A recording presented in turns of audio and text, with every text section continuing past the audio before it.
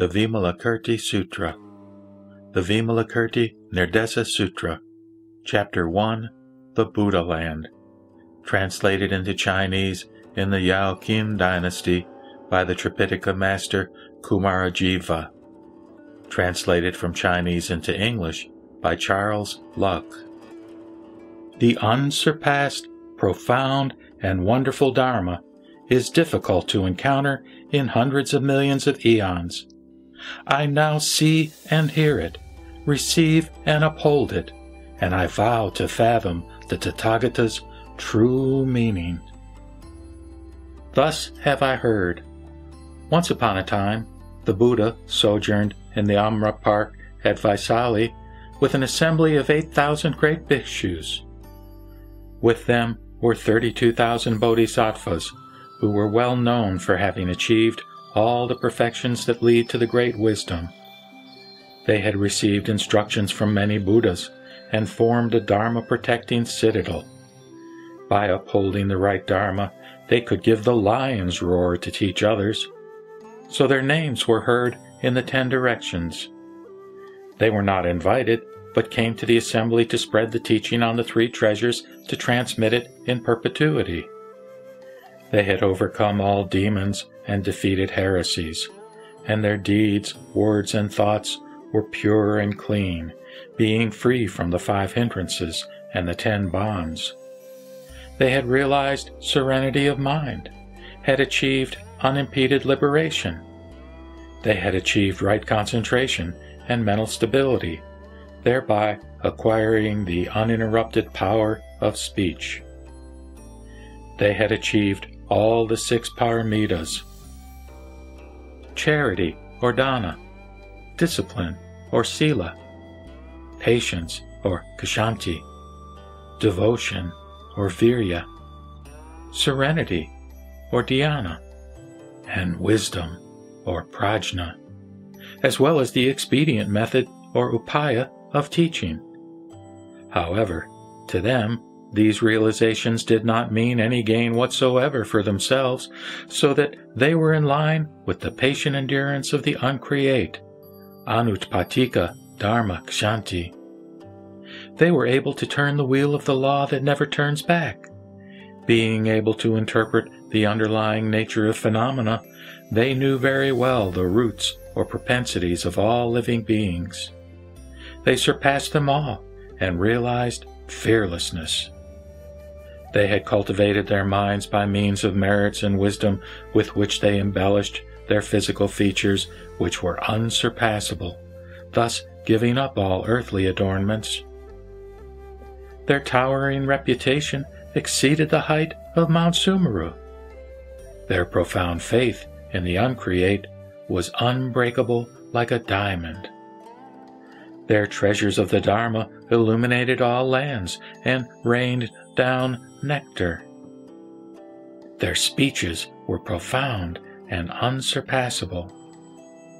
They entered deep into all worldly causes, but cut off all heretical views, for they were already free from all dualities and had rooted out all previous habits. They were fearless and gave the lion's roar to proclaim the Dharma, their voices being like thunder they could not be gauged, for they were beyond all measures. They had amassed all treasures of the Dharma and acted like skilful seafaring pilots. They were well versed in the profound meanings of all Dharmas. They knew very well the mental states of all living beings and their comings and goings within the realms of existence.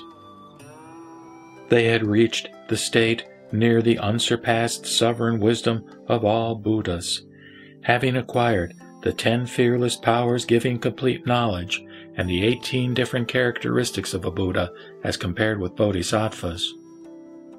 Although they were free from rebirth in evil existences, they appeared in five mortal realms as royal physicians to cure all ailments, prescribing the right medicine in each individual case, thereby winning countless merits to embellish countless Buddha lands. Each living being derived great benefit from seeing and hearing them, for their deeds were not in vain.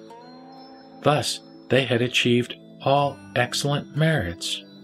Their names were the Bodhisattva beholding all things as equal, the Bodhisattva beholding all things as unequal, the Bodhisattva beholding all things as equal, yet as unequal, the Bodhisattva of sovereign serenity, the Bodhisattva of sovereign Dharma, the Bodhisattva of Dharma aspects, the Bodhisattva of light, the Bodhisattva of glorious light, the Bodhisattva of great majesty, the Bodhisattva store of treasures, the Bodhisattva store of rhetoric, the Bodhisattva of precious hands, the Bodhisattva of precious mudra, the hand rising Bodhisattva, the hand lowering Bodhisattva, the always grieved Bodhisattva, the Bodhisattva root of joy,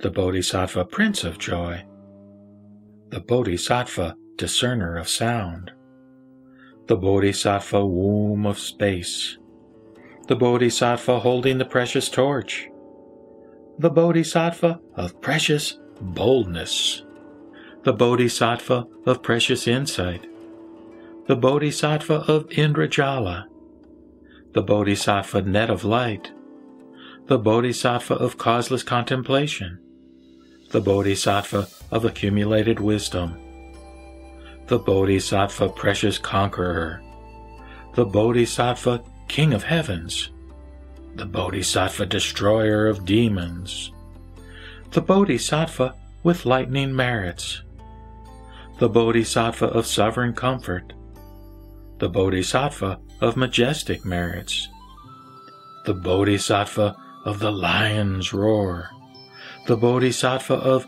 thundering voice, the Bodhisattva with a voice like rocks knocking one another, the Bodhisattva fragrant elephant, the Bodhisattva white fragrant elephant, the Bodhisattva of constant devotion, the Bodhisattva of unremitting care, the Bodhisattva of wonderful rebirth, the Bodhisattva garland, the Bodhisattva of Avalokiteshvara, the Bodhisattva Mahasthama, the Bodhisattva Brahmajala, the Bodhisattva of precious staff, the unconquerable Bodhisattva, the Bodhisattva of majestic land, the Bodhisattva with a golden topknot, the Bodhisattva with a pearl in his topknot, the Bodhisattva Maitreya, and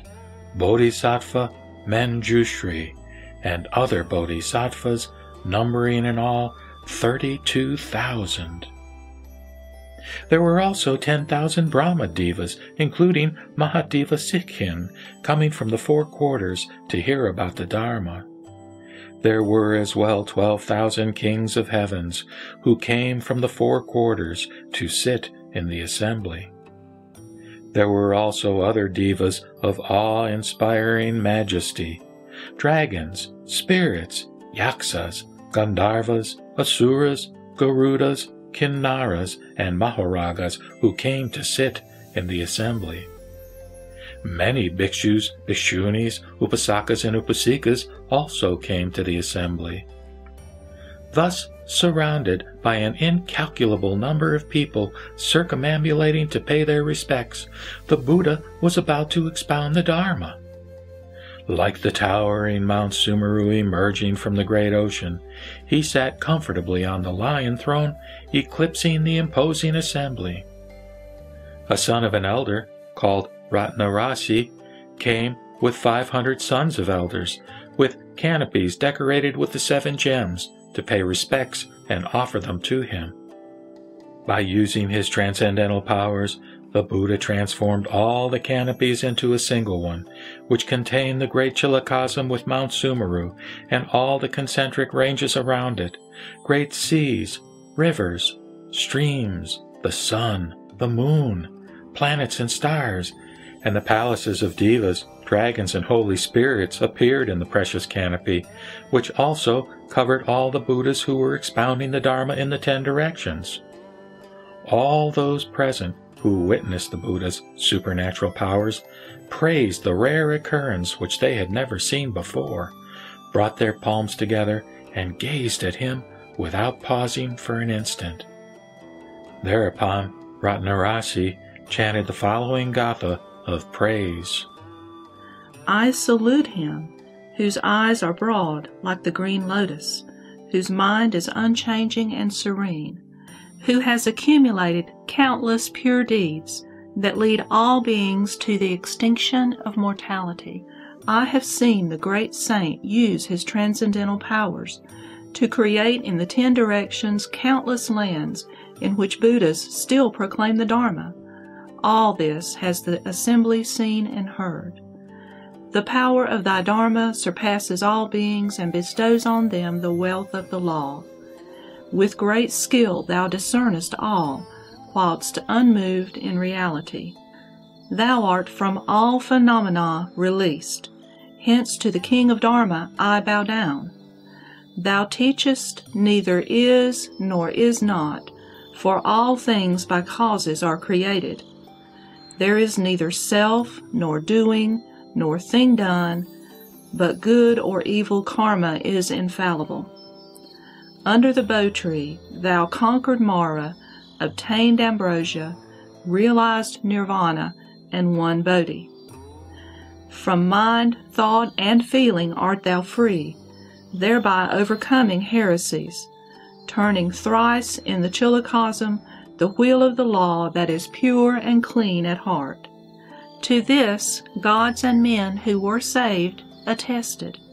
Thus the three treasures appeared in the Saha world to save living beings with this profound Dharma, which, when applied, fails never to nirvana lead. Thou art the King Physician who destroys old age, illness, and death.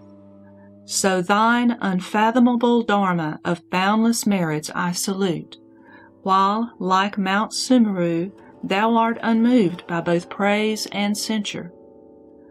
Thy compassion is extended to both good and evil men. Like space, thy mind remains impartial. Does not anyone revere this human Buddha after hearing about him?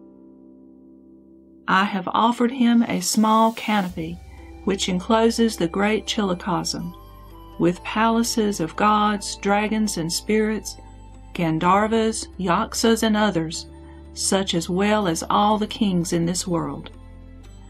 With mercy, he used his ten powers to make this change. The witnesses praise the Buddha.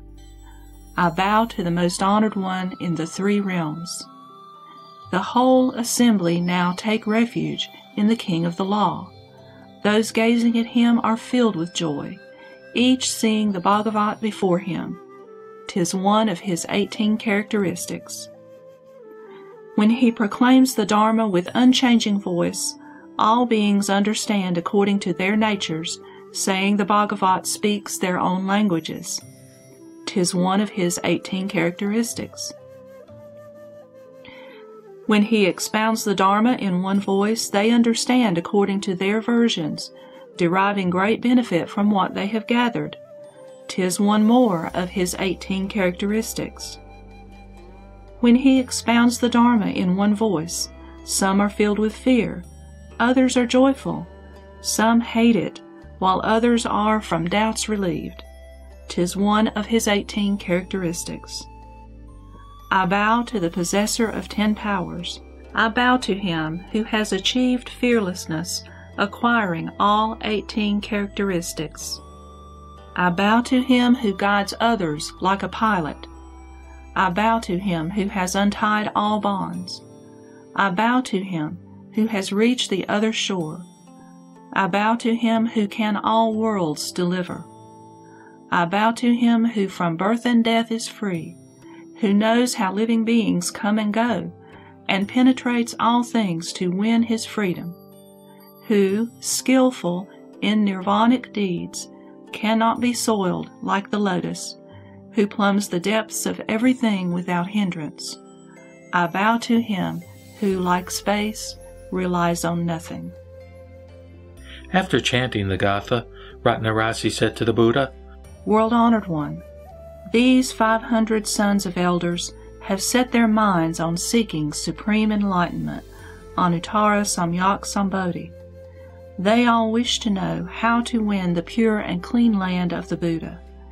Will the world honored one teach us the bodhisattva deeds that lead to the realization of the Pure Land? The Buddha said, Excellent, Ratnarasi. It is good that you can ask on behalf of these bodhisattvas about deeds that lead to the realization of the Buddha's Pure Land. Listen carefully and ponder over all what I now tell you. Thereat, Ratnarasi and the five hundred sons of elders listened attentively to his instruction. The Buddha said, Ratnarasi, all species of living beings are the Buddha land sought by all bodhisattvas. Why is it so? Because a bodhisattva wins the Buddha land according to the living beings converted by him to the Dharma, according to the living beings tamed by him, according to the country where they will be reborn to realize the Buddha wisdom, and in which they will grow the bodhisattva root. Why is it so? Because a bodhisattva wins the Pure Land solely for the benefit of all living beings. For instance, a man can build palaces and houses on vacant ground without difficulty, but he will fail if he attempts to build them in empty space. So, a bodhisattva, in order to bring living beings to perfection, seeks the Buddha land, which cannot be sought in empty space. Ratnarasi you should know that the straightforward mind is the Bodhisattva's pure land, for when he realizes Buddhahood, beings who do not flatter will be reborn in his land. The profound mind is the Bodhisattva's pure land, for when he realizes Buddhahood, living beings who have accumulated all merits will be reborn there. The Mahayana mind is the Bodhisattva's pure land, for when he attains Buddhahood, all living beings seeking Mahayana will be reborn there. Charity or dana is the Bodhisattva's pure land, for when he attains Buddhahood, living beings who can give away to charity will be reborn there. Discipline or sila is the Bodhisattva's pure land, for when he realizes Buddhahood, living beings who have kept the ten prohibitions will be reborn there. Patience, or Kshanti, is the Bodhisattva's pure land, for when he attains Buddhahood, living beings endowed with the 32 excellent physical marks will be reborn there. Devotion, or Virya, is the Bodhisattva's pure land, for when he attains Buddhahood, living beings who are diligent in their performance of meritorious deeds will be reborn there. Serenity, or dhyana, is the Bodhisattva's pure land. For when he attains Buddhahood, living beings whose minds are disciplined and unstirred will be reborn there. Wisdom, or prajna, is the Bodhisattva's pure land. For when he attains Buddhahood, living beings who have realized samadhi will be reborn there. The four boundless minds are the Bodhisattva's pure land. For when he attains Buddhahood, living beings who have practiced and perfected the four infinites kindness, compassion, joy, and indifference will be reborn there. The four persuasive actions are the Bodhisattva's pure land, for when he attains Buddhahood, living beings who have benefited from his helpful persuasion will be reborn there. The expedient methods, or upaya, of teaching the Absolute Truth are the Bodhisattva's pure land. For when he attains Buddhahood, living beings conversant with Upaya will be reborn there. The 37 contributory states to enlightenment are the Bodhisattva's pure land. For when he attains Buddhahood, living beings who have successfully practiced the four states of mindfulness, the four proper lines of exertion, the four steps towards supramundane powers, the five spiritual faculties, the five transcendental powers, the seven degrees of enlightenment, and the Eightfold Noble Path will be reborn in his land. Dedication of one's merits to the salvation of others is the Bodhisattva's pure land. For when he attains Buddhahood, his land will be adorned with all kinds of meritorious virtues. Preaching the ending of the eight sad conditions is the Bodhisattva's pure land. For when he attains Buddhahood, his land will be free from these evil states. To keep the precepts while refraining from criticizing those who do not is the Bodhisattva's pure land.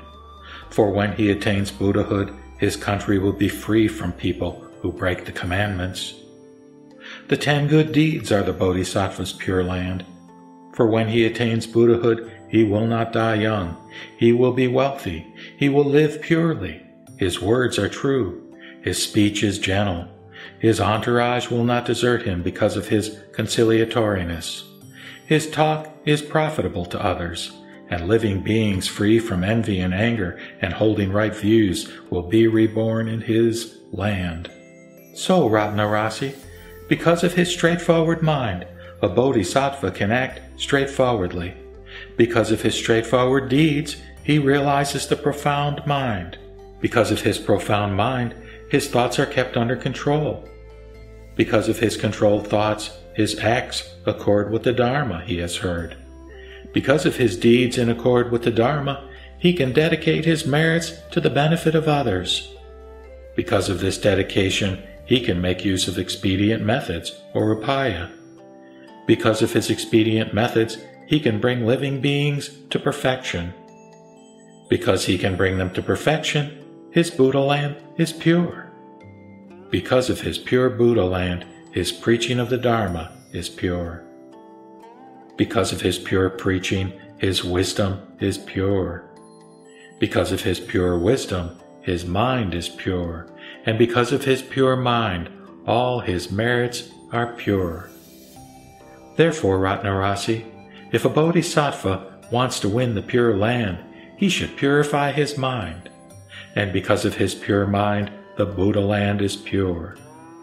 As Sariputra was fascinated by the Buddha's awe inspiring majesty, he thought, If the Buddha land is pure because of the Bodhisattva's pure mind, is it because the mind of the world honored one was not pure when he was still in the Bodhisattva stage that this Buddha land, that is, this world, is so unclean as we see it now? The Buddha knew of his thought and said to Sariputra, are the sun and the moon not clean when a blind man does not see their cleanliness? Sariputra said, World honored one, this is the fault of the blind man and not that of the sun and the moon. The Buddha said, Sariputra, because of their spiritual blindness, living beings do not see the imposing majesty of the Tathagata's pure land. This is not the fault of the Tathagata. Sariputra, this land of mine is pure but you do not see its purity. Thereupon, Brahma, with a tuft of hair on his head resembling a conch, said to Sariputra, Don't think this Buddha land is impure. Why? Because I see that the land of Sakyamuni Buddha is pure and clean, like a heavenly palace. Sariputra said, I see that this world is full of hills, mountains, pits, thorns, stones, and earth, which are all unclean. Brahma said, Because your mind is up and down and disagrees with the Buddha wisdom, you see that this land is unclean. Sariputra, because a bodhisattva is impartial toward all living beings, and his profound mind is pure and clean in accord with the Buddha Dharma, he can see that this Buddha land is also pure and clean.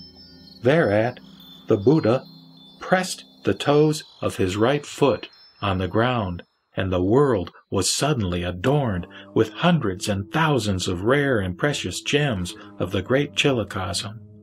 Like the precious majestic Buddha's pure land, adorned with countless precious merits, which the assembly praised as never seen before. In addition, each person present found himself seated on a precious lotus throne. The Buddha said to Sariputra, Look at the majestic purity of this Buddha land of mine. Sariputra said, World honored one, I have never seen and heard of this Buddha land in its majestic purity. The Buddha said, This Buddha land of mine is always pure, but appears filthy, so that I can lead people of inferior spirituality to their salvation. This is like the food of devas, which takes various colors according to the merits of each individual eater. So, Sariputra, the man whose mind is pure, sees this world in its majestic purity. When this Buddha land, that is, the world, appeared in its majestic purity, the 500 sons of elders who came with Ratnarasi realized the patient endurance of the uncreate, Anutpatika Dharma Kshanti, and 84,000 people developed their minds set on supreme enlightenment, or Anuttara Samyak Sambodhi. The Buddha then stopped pressing his toes on the ground, and the world returned to its previous filthy condition. 32,000 devas and men aspiring to the Shravaka stage understood the impermanence of all phenomena, kept from earthly impurities, and achieved the Dharma eye, which sees the truth of the Four Noble Truths. 8,000 bhikshus kept from phenomena and succeeded in putting an end to the stream of transmigration, thus realizing arhatship.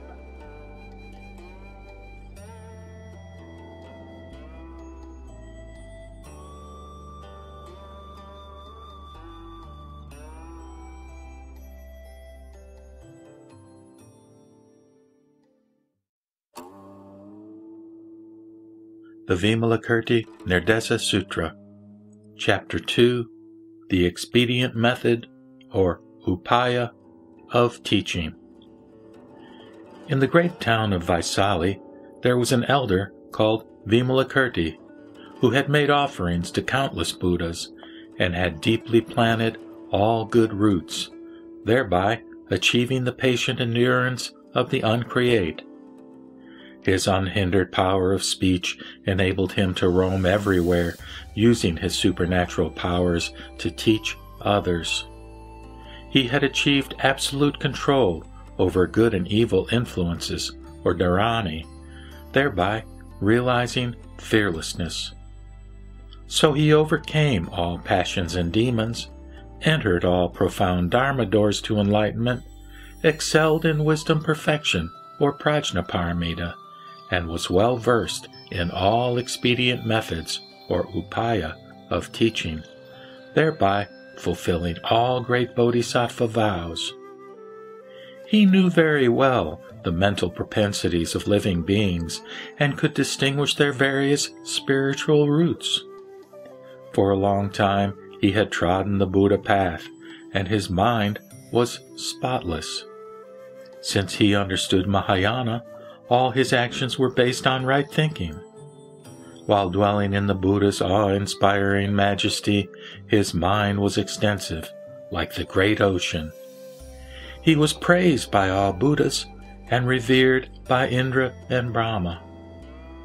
As he was set on saving men, he expediently stayed at Vaisali for this purpose. He used his unlimited wealth to aid the poor he kept all the rules of morality and discipline to correct those breaking the precepts. He used his great patience to teach those giving rise to anger and hate. He taught zeal and devotion to those who were remiss.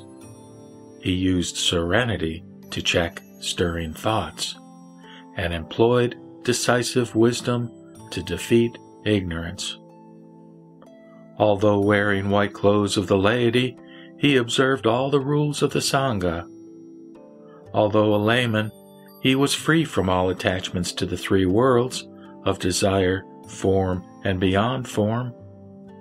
Although he was married and had children, he was diligent in his practice of pure living. Although a householder, he delighted in keeping from domestic establishments. Although wearing jewels and ornaments, he embellished his body with its majestic spiritual characteristics. Although he ate and drank like others, he delighted in tasting the flavor of meditation. When entering a gambling house, he always tried to teach and deliver people there. He received heretics, but never strayed from the right faith. Though he knew worldly classics, he always took joy in the Buddha Dharma. He was revered by all who met him. He upheld the right Dharma and taught it to old and young people.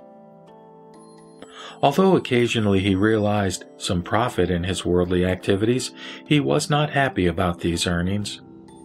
While walking in the street, he never failed to convert others to the Dharma.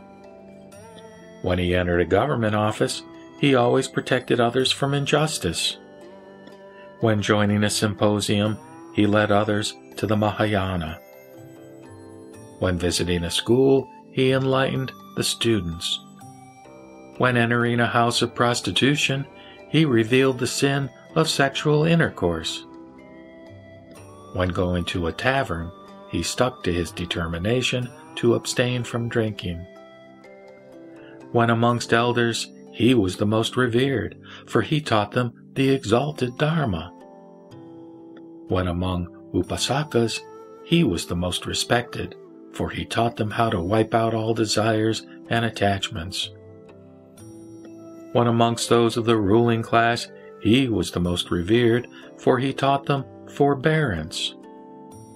When among Brahmins, he was the most revered, for he taught them how to conquer pride and prejudice. When amongst government officials, he was the most revered, for he taught them correct law. When amongst princes, he was the most revered, for he taught them loyalty and filial piety. When in the inner palaces, he was the most revered, for he converted all maids of honor there. When amongst common people, he was the most revered, for he urged them to cultivate all meritorious virtues. When amongst Brahmadevas, he was the most revered, for he urged the gods to realize the Buddha wisdom. When amongst Sakras and Indras, he was the most revered, for he revealed to them the impermanence of all things. When amongst Lokapalas, he was the most revered, for he protected all living things.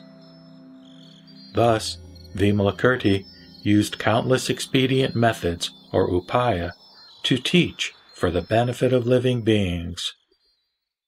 Now, using upaya, he appeared ill, and because of his indisposition, kings, ministers, elders, upasakas, brahmins, etc., as well as princes and other officials numbering many thousands, came to inquire after his health.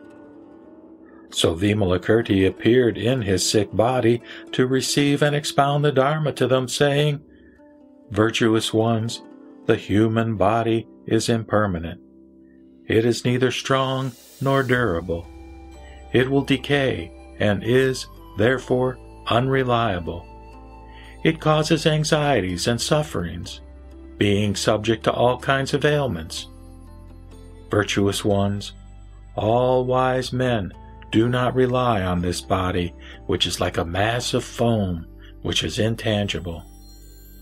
It is like a bubble and does not last for a long time. It is like a flame and is the product of the thirst of love. It is like a banana tree, the center of which is hollow.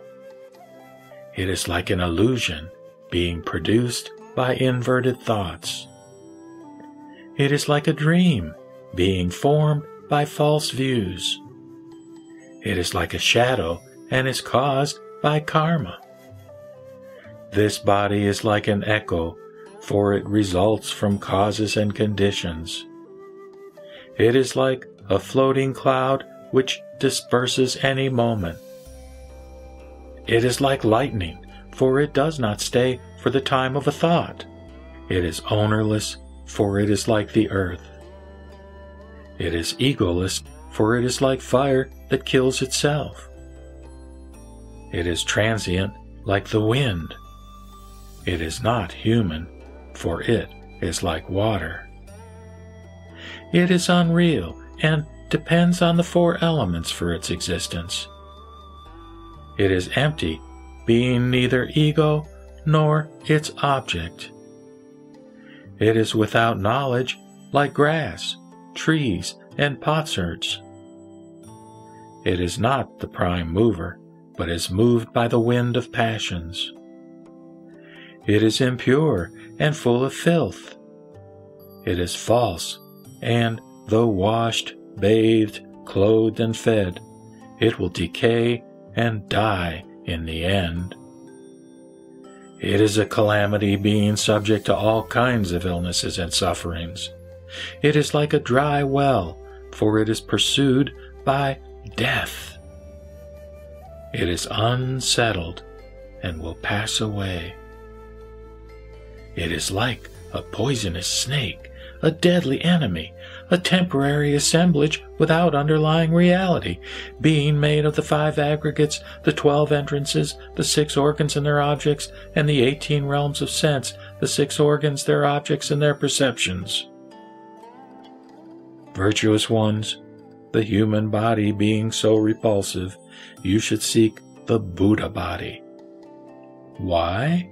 Because the Buddha body is called Dharmakaya, the product of boundless merits and wisdom, the outcome of discipline, meditation, wisdom, liberation, and perfect knowledge of liberation, the result of kindness, compassion, joy, and indifference to emotions, the consequence of the six perfections, or paramitas, charity, discipline, patience, zeal, meditation, and wisdom, and the sequel of expedient teaching, or upaya. The six supernatural powers, the three insights, the 37 stages contributory to enlightenment, serenity and insight, the 10 transcendental powers, the four kinds of fearlessness, the 18 unsurpassed characteristics of the Buddha the wiping out of all evils and the performance of all good deeds. Truthfulness and freedom from looseness and unrestraint. So countless kinds of purity and cleanness produce the body of the Tathagata, virtuous ones, if you want to realize the Buddha body in order to get rid of all the illnesses of a living being, you should set your minds on the quest of supreme enlightenment, or Anuttara Samyak Sambodhi. Thus, the elder Vimalakirti expounded the Dharma to all those who came to inquire after his health, urging countless visitors to seek supreme enlightenment.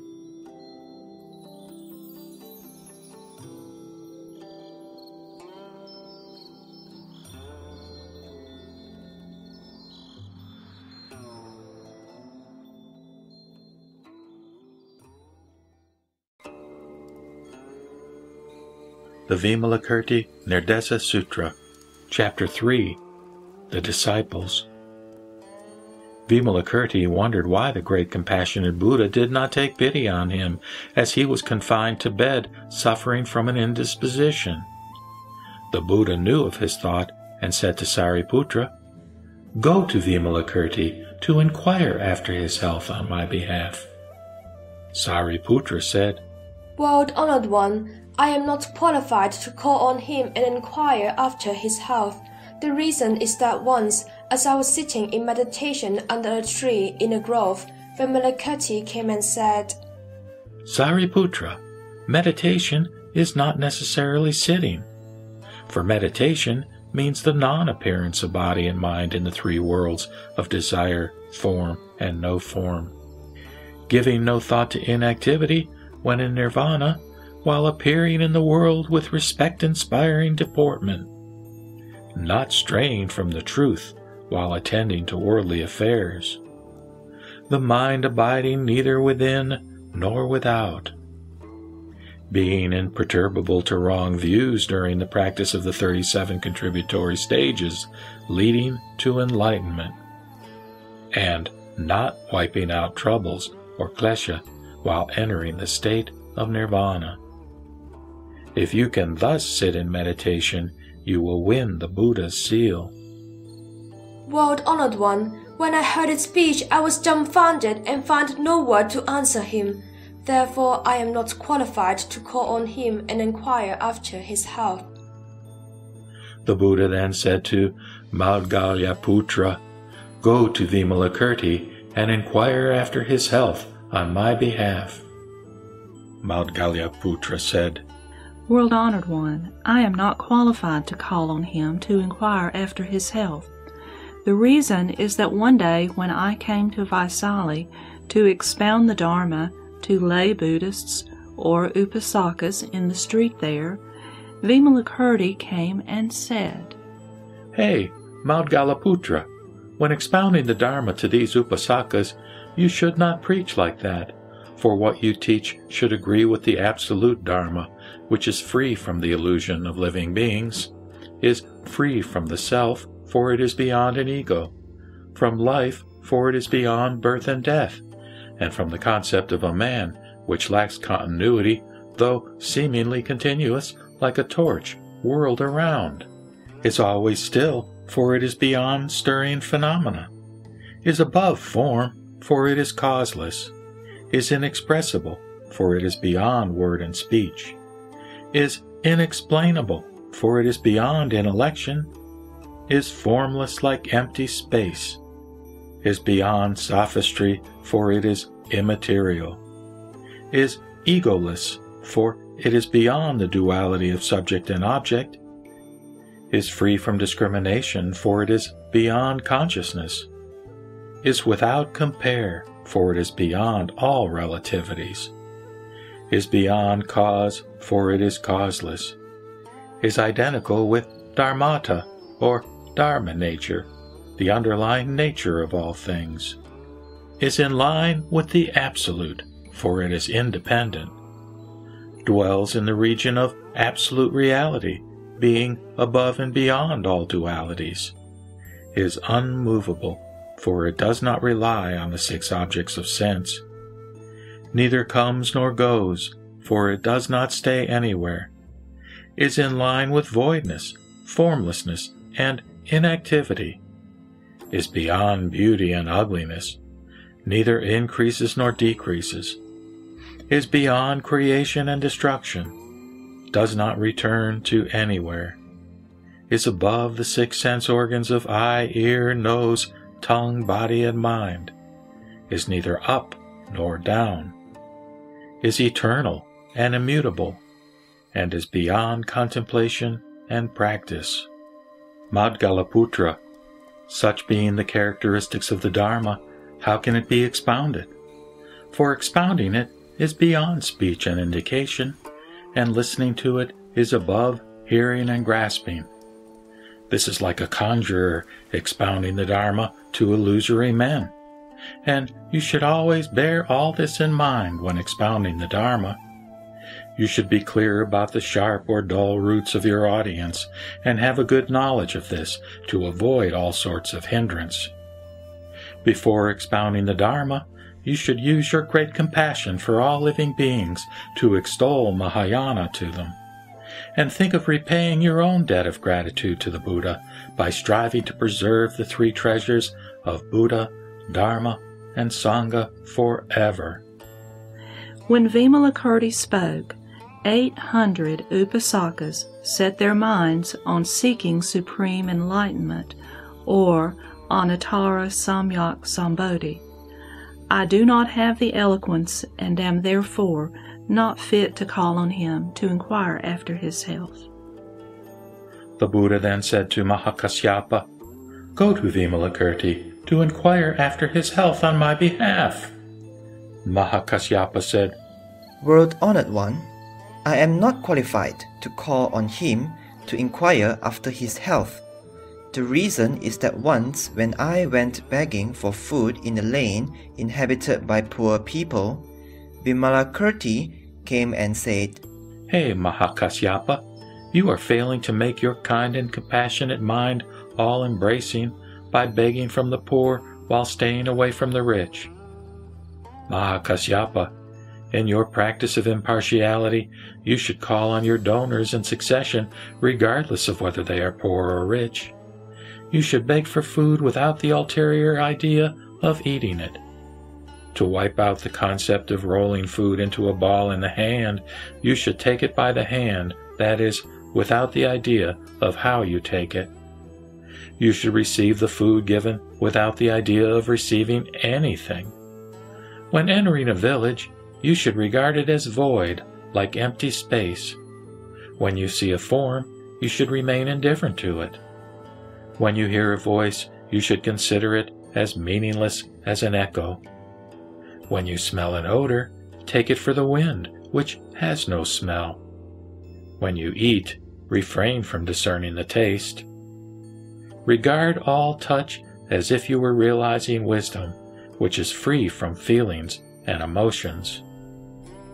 You should know that all things are illusory, having neither nature of their own nor that of something else, and that since fundamentally they are not self existent, they cannot now be the subject of annihilation.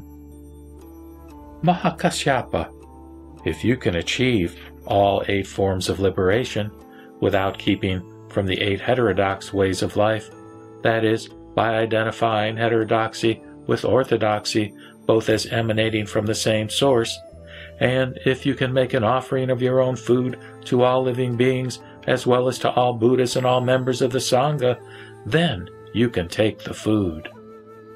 Such a way of eating is beyond the troubles of the worldly man and the absence of the troubles of Hinayana men.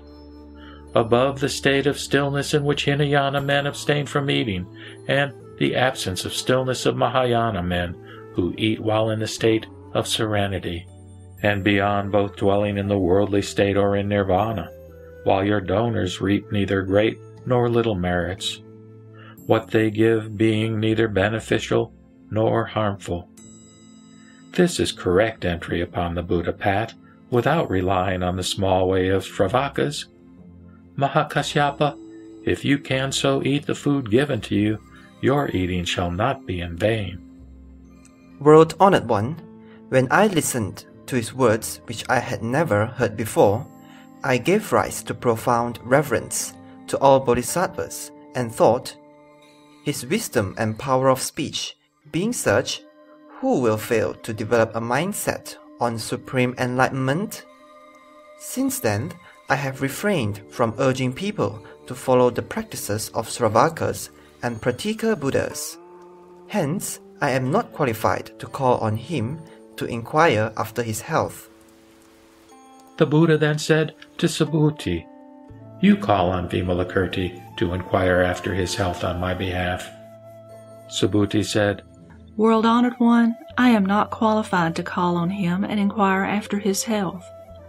The reason is that once when I went to his house begging for food, he took my bowl and filled it with rice, saying, Subhuti, if your mind set on eating is in the same state as one confronting all other things, and if this uniformity as regards all things equally applies to the act of eating, you can then beg for food and eat it. Subhuti, if without cutting off carnality, anger, and stupidity, you can keep from these three evils, if you do not wait for the death of your body to achieve the oneness of all things, if you do not wipe out stupidity and love in your quest of enlightenment and liberation, if you can look into the underlying nature of the five deadly sins to win liberation with at the same time no idea of either bondage or freedom, if you give rise to neither the Four Noble Truths nor their opposites, if you do not hold both the concept of winning and not winning the holy fruit, if you do not regard yourself as a worldly or unworldly man, as a saint or not as a saint, if you perfect all dharmas while keeping away from the concept of dharmas, then you can receive and eat the food. Subhuti, if you neither see the Buddha nor hear the Dharma, if the six heterodox teachers, Purana Kasyapa, Maskari Gosaliputra, Sanjaya Vajraputra, Ajita Kesakambabala, Kakuda Katyayana, and Nirgranta Yanti Putra are regarded impartially as your own teachers, and if when they induce leavers of home into heterodoxy, you also fall with the latter, then you can take away the food and eat it.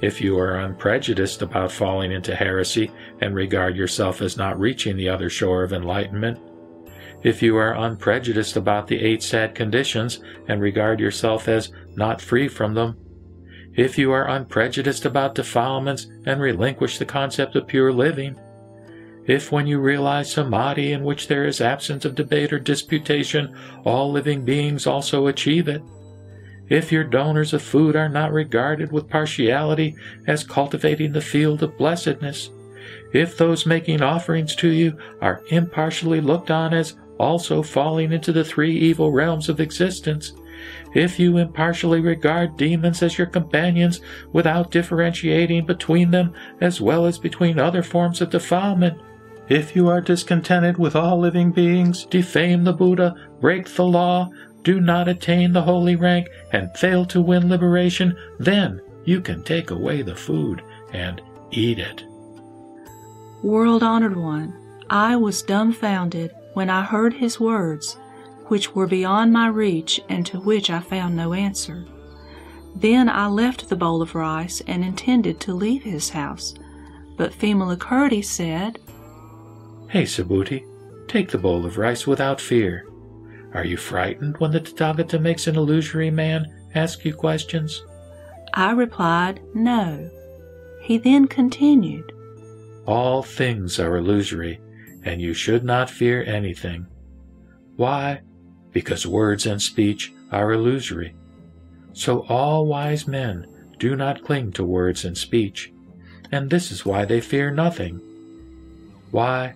Because words and speech have no independent nature of their own, and when they are no more, you are liberated. This liberation will free you from all bondage. When Vimalakirti expounded the Dharma, 200 sons of Devas realized the Dharma eye. Hence, I am not qualified to call on him to inquire after his health. The Buddha then said to Purna Maitrayani Putra, You call on Vimalakirti to inquire after his health on my behalf. Purna Maitrayani Putra said, World honored one, I am not qualified to call on him and inquire after his health.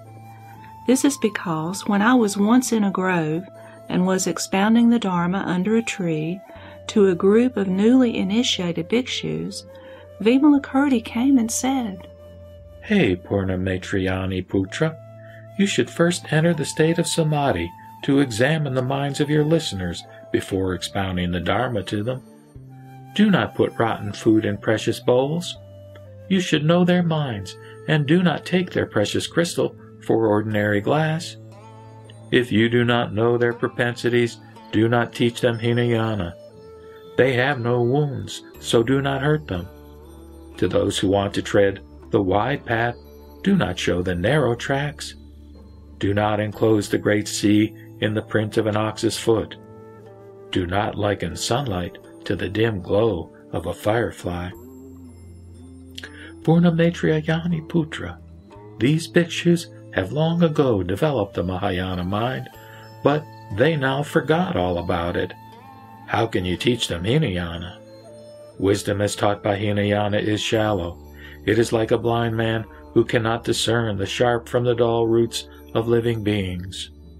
Thereat, Vimalakirti entered the state of samadhi and caused the bhikshus to remember their former lives, when they had met 500 Buddhas and had then planted seeds of excellent virtues, which they had dedicated to their quest of supreme enlightenment. They instantly awakened to their past and recovered their fundamental minds. They at once bowed with their heads at the feet of Vimalakirti, who then expounded the Dharma to them. They resumed their quest of supreme enlightenment without backsliding. I think that Sravakas who do not know how to look into the roots of their listeners should not expound the Dharma. Hence, I am not qualified to call on Vimalakirti to inquire after his health. The Buddha then said to Mahakatyayana, You go to Vimalakirti to inquire after his health on my behalf. Mahakatyayana said, World honored one, I am not qualified to call on him and inquire after his health. For once, after the Buddha had expounded the essentials of the Dharma to a group of bhikshus, I followed him to explain to them the meanings of impermanence, suffering, voidness, egolessness, and nirvana. Vimalakirti came and said, Hey, Mahakatyayana, do not use your mortal mind to preach immortal reality. Mahakatyayana, all things are fundamentally above creation and destruction. This is what impermanence means. The five aggregates are perceived as void and not arising. This is what suffering means. All things are basically non existent. This is what voidness means. Ego and its absence are not a duality. This is what egolessness means. All things basically are not what they seem to be. They cannot be subject to extinction now. This is what nirvana means. After Vimalakirti had expounded the Dharma, the bhikshus present succeeded in liberating their minds. Hence, I am not qualified to call on him and inquire after his health. The Buddha then said to Aniruddha, You call on Vimalakirti to inquire after his health on my behalf. Aniruddha said, World honored one, I am not qualified to call on him and inquire after his health. For once, when I was walking about, while meditating to prevent sleepiness, a Brahma called the gloriously pure, together with an entourage of 10,000 devas, sent off rays of light, came to my place, bowed their heads to salute me, and asked, How far does your deva eye see? I replied, Virtuous one, I see the land of Sakyamuni Buddha in the great chiliocosm like an amala fruit held in my hand. Vimalakirti suddenly came and said, Hey, Aniruddha, when your deva eye sees, does it see form or formlessness? If it sees form, you are no better than those heretics who have won five supernatural powers. If you see formlessness, your deva eye is non active and should be unseeing. World honored one, I kept silent, and the devas praised Vimalakirti for what they had not heard before. They then paid reverence and asked him, Is there anyone in this world who has realized the real Deva eye? Vimalakirti replied, There is the Buddha who has realized the real Deva eye.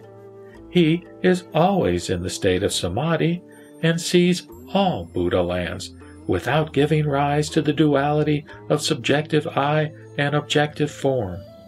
Thereat, Brahma and 500 of his relatives developed the Anuttara Samyak Sambodhi mind. They bowed their heads at Vimalakirti's feet and suddenly disappeared. This is why I am not qualified to call on him to inquire after his health. The Buddha then said to Upali, You call on Vimalakirti to inquire after his health on my behalf. Upali said, World honored one, I am not qualified to call on Vimalakirti to inquire after his health. For once, two bhikshus broke the prohibitions, and being shameful of their sins, they dared not call upon the Buddha. They came to ask me, Upali, we have broken the commandments and are ashamed of our sins, so we dare not ask the Buddha about this and come to you. Please teach us the rules of repentance so as to wipe out our sins. I then taught them the rules of repentance. Thereat, Vimalakirti came and said, Hey, Upali, do not aggravate their sins, which you should wipe out at once, without further disturbing their minds. Why? Because the nature of sin is neither within nor without, nor in between. As the Buddha has said, living beings are impure because their minds are impure. If their minds are pure, they are all pure. And mind also is neither within nor without, nor in between. Their minds being such, so are their sins. Likewise, all things do not go beyond their suchness. Upali, when your mind is liberated, is there any remaining impurity? I replied, There will be no more. He said, Likewise, the minds of all living beings are free from impurities. Upali, false thoughts are impure, and the absence of false thought is purity. Inverted ideas are impure, and the absence of inverted ideas is purity.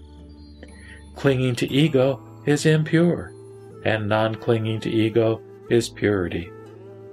Upali, all phenomena rise and fall without staying for an instant, like an illusion and lightning.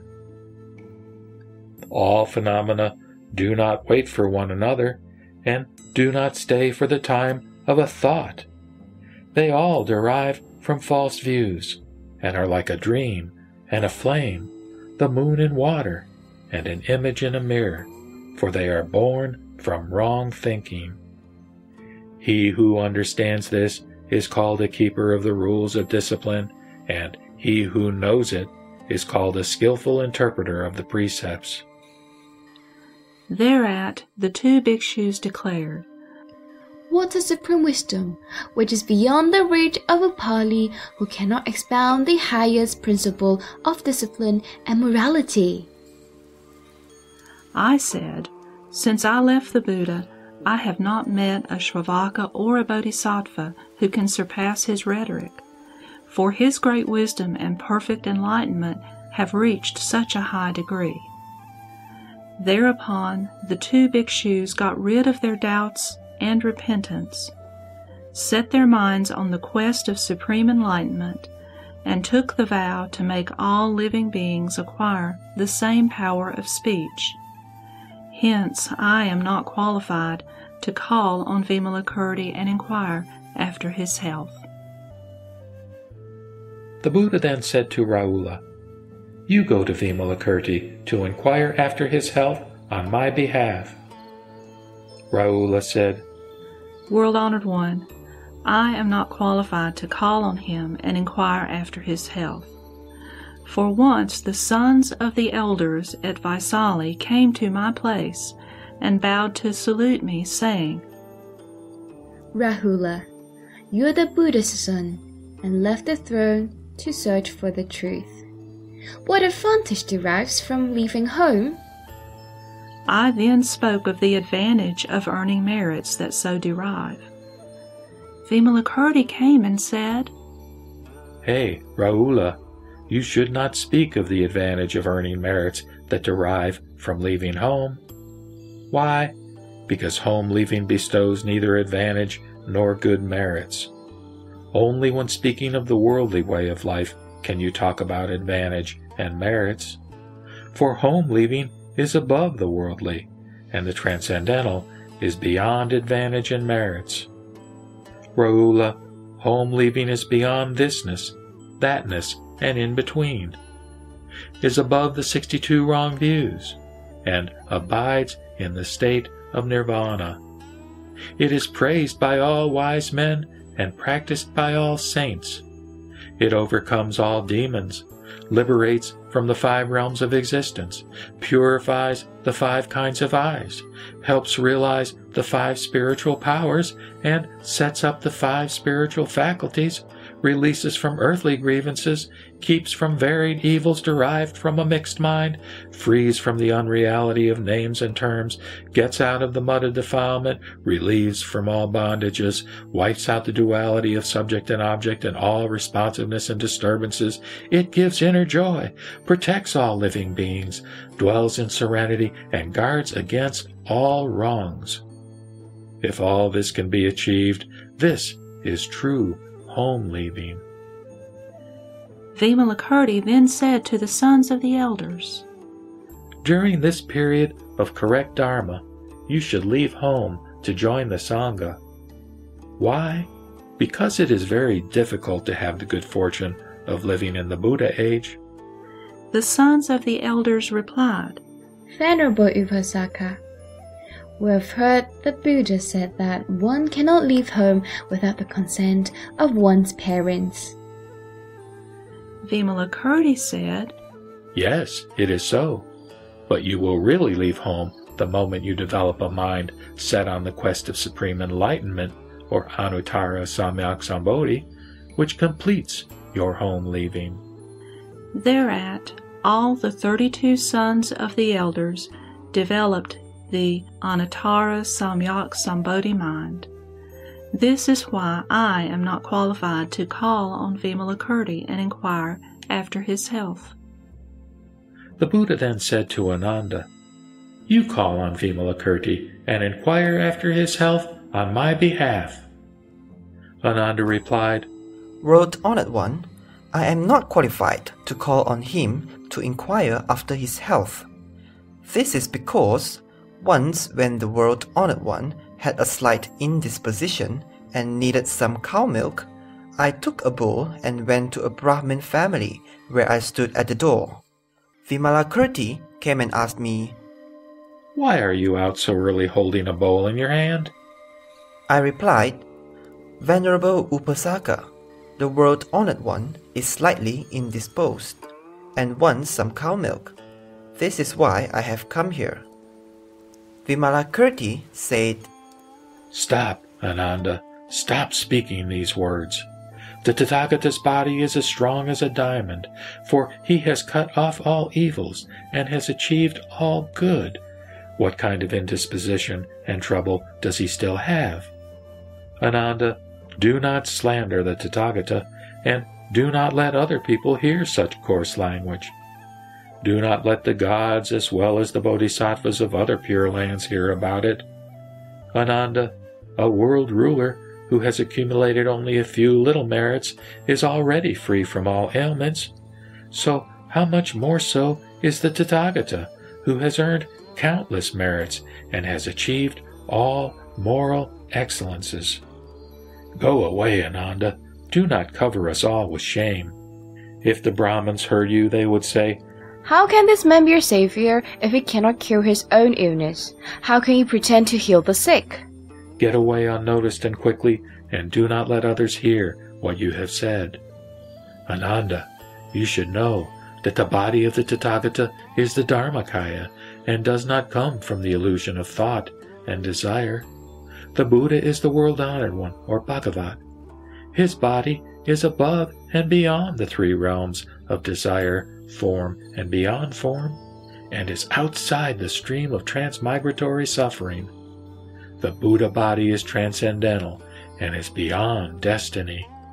How then can such a body be ill? World honored one, his word covered me with shame, and I asked myself if I had not wrongly understood the Buddha's order. At that time, a voice was heard in the air above, saying, Ananda, the Upasaka is right. But since the Buddha appeared in the five kasaya, or periods of turbidity on earth, he uses this expedient method, or upaya, to liberate living beings. Ananda, go and beg for the cow's milk without shame. World honored one, Vimalakirti's wisdom and power of speech being such, I am really not qualified to call on him to inquire after his health. Thus, each of the 500 chief disciples related his encounter with Vimalakirti and declined to call on him to inquire after his health.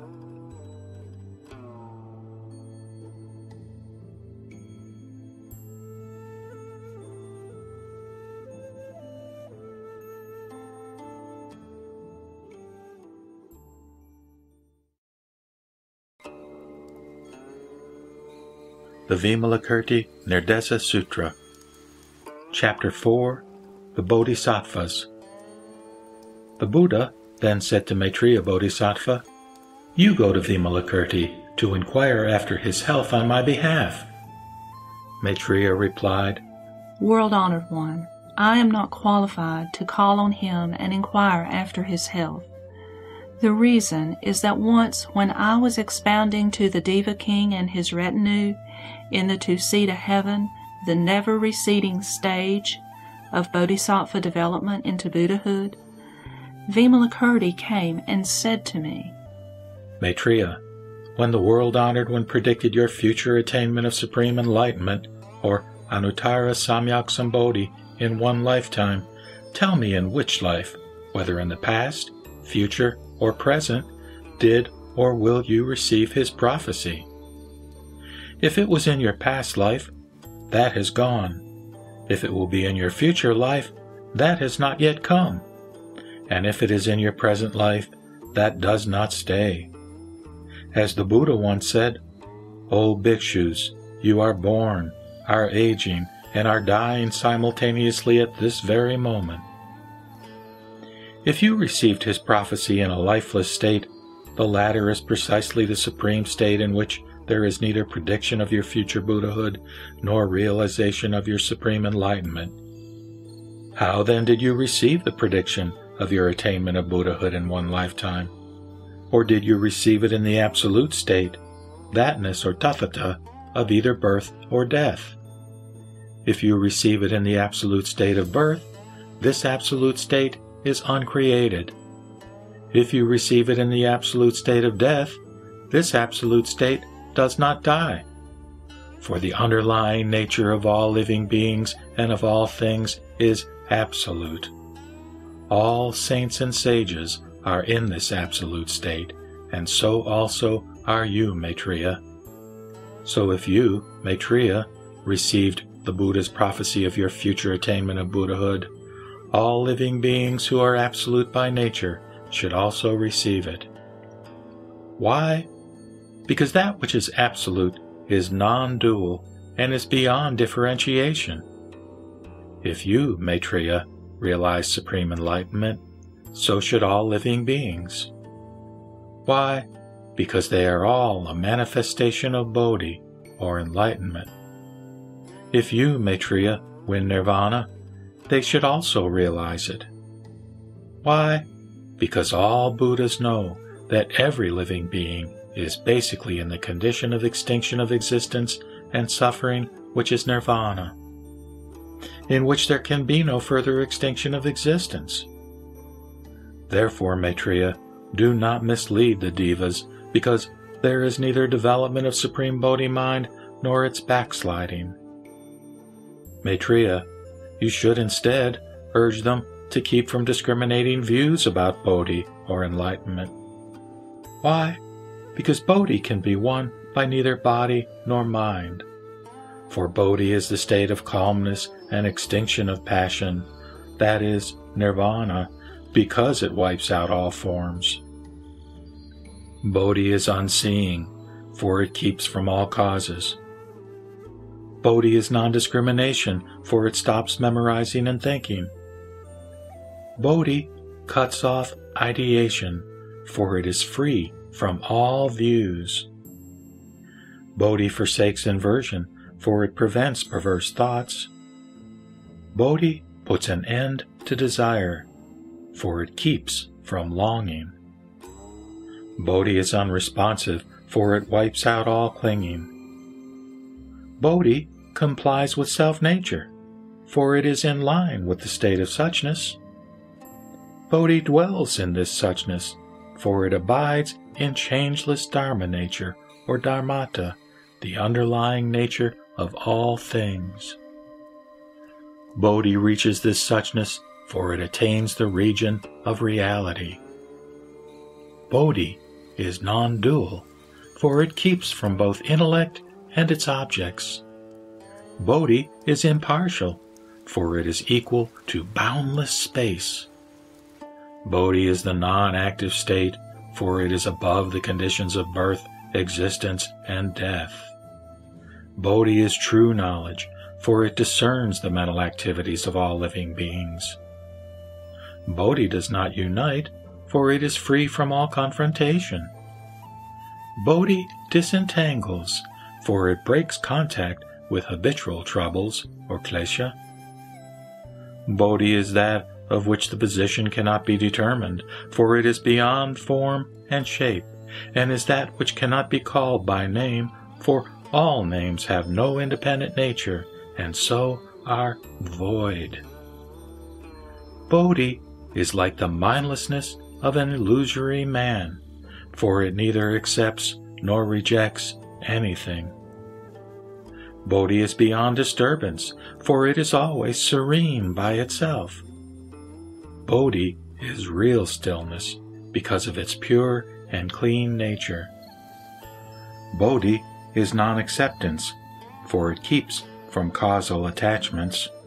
Bodhi is non differentiating because of its impartiality toward all.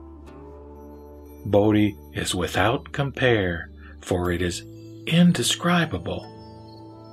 Bodhi is profound and subtle, for although unknowing, it knows all. World Honored One, when Vimalakirti so expounded the Dharma, 200 sons of devas realized the patient endurance of the uncreate. Anupatika Dharma Santi. This is why I am not qualified to call on him and inquire after his health. The Buddha then said to the Bodhisattva Glorious Light, You go to Vimalakirti to inquire after his health on my behalf. Glorious Light replied, World Honored One, I am not qualified to call on him to inquire after his health. The reason is that once when I was leaving Vaisali, I met Vimalakirti who was entering it.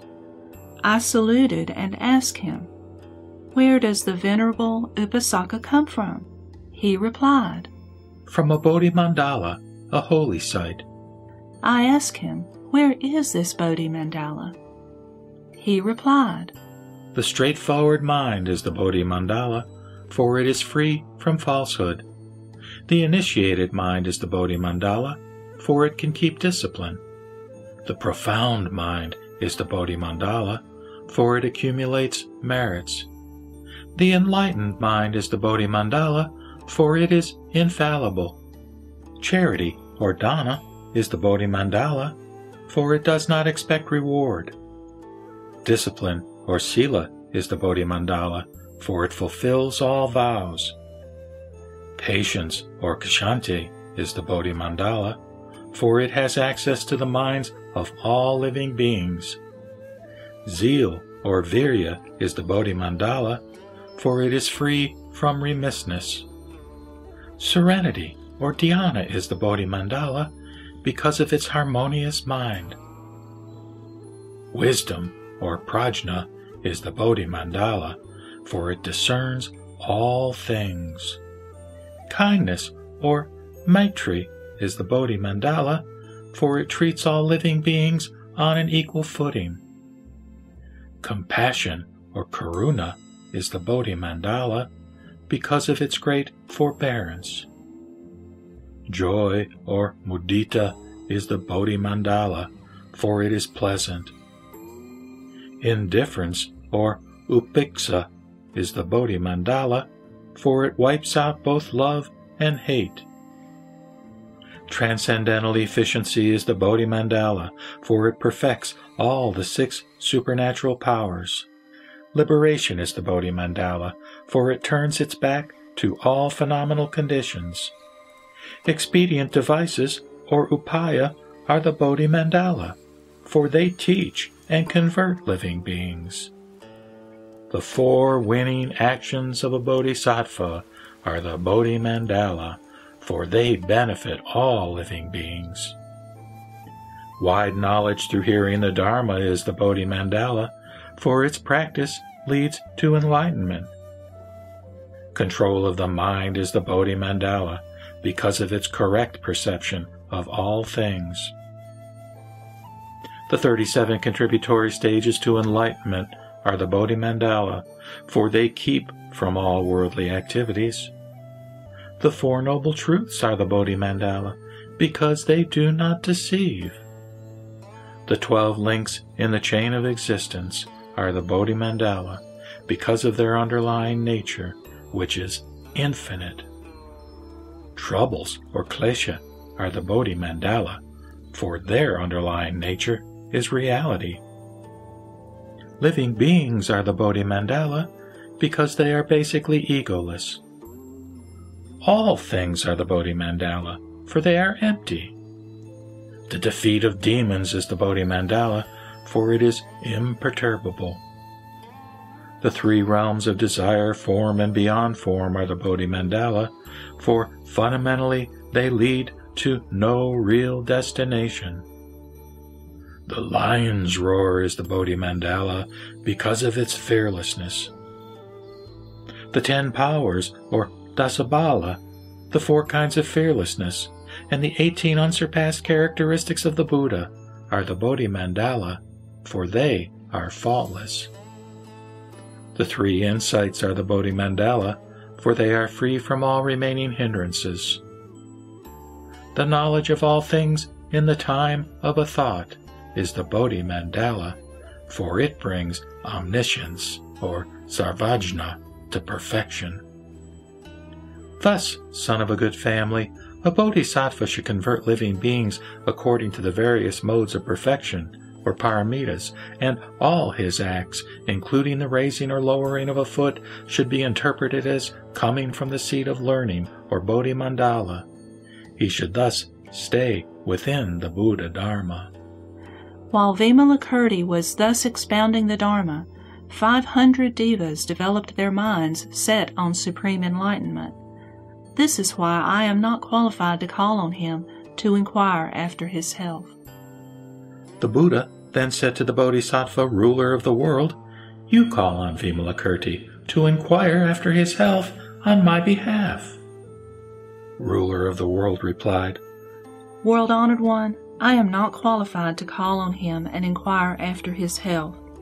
I still remember that once, as I was staying in a vihara, a demon like Indra appeared, followed by 12,000 goddesses, Deva Kanya, playing music and singing songs.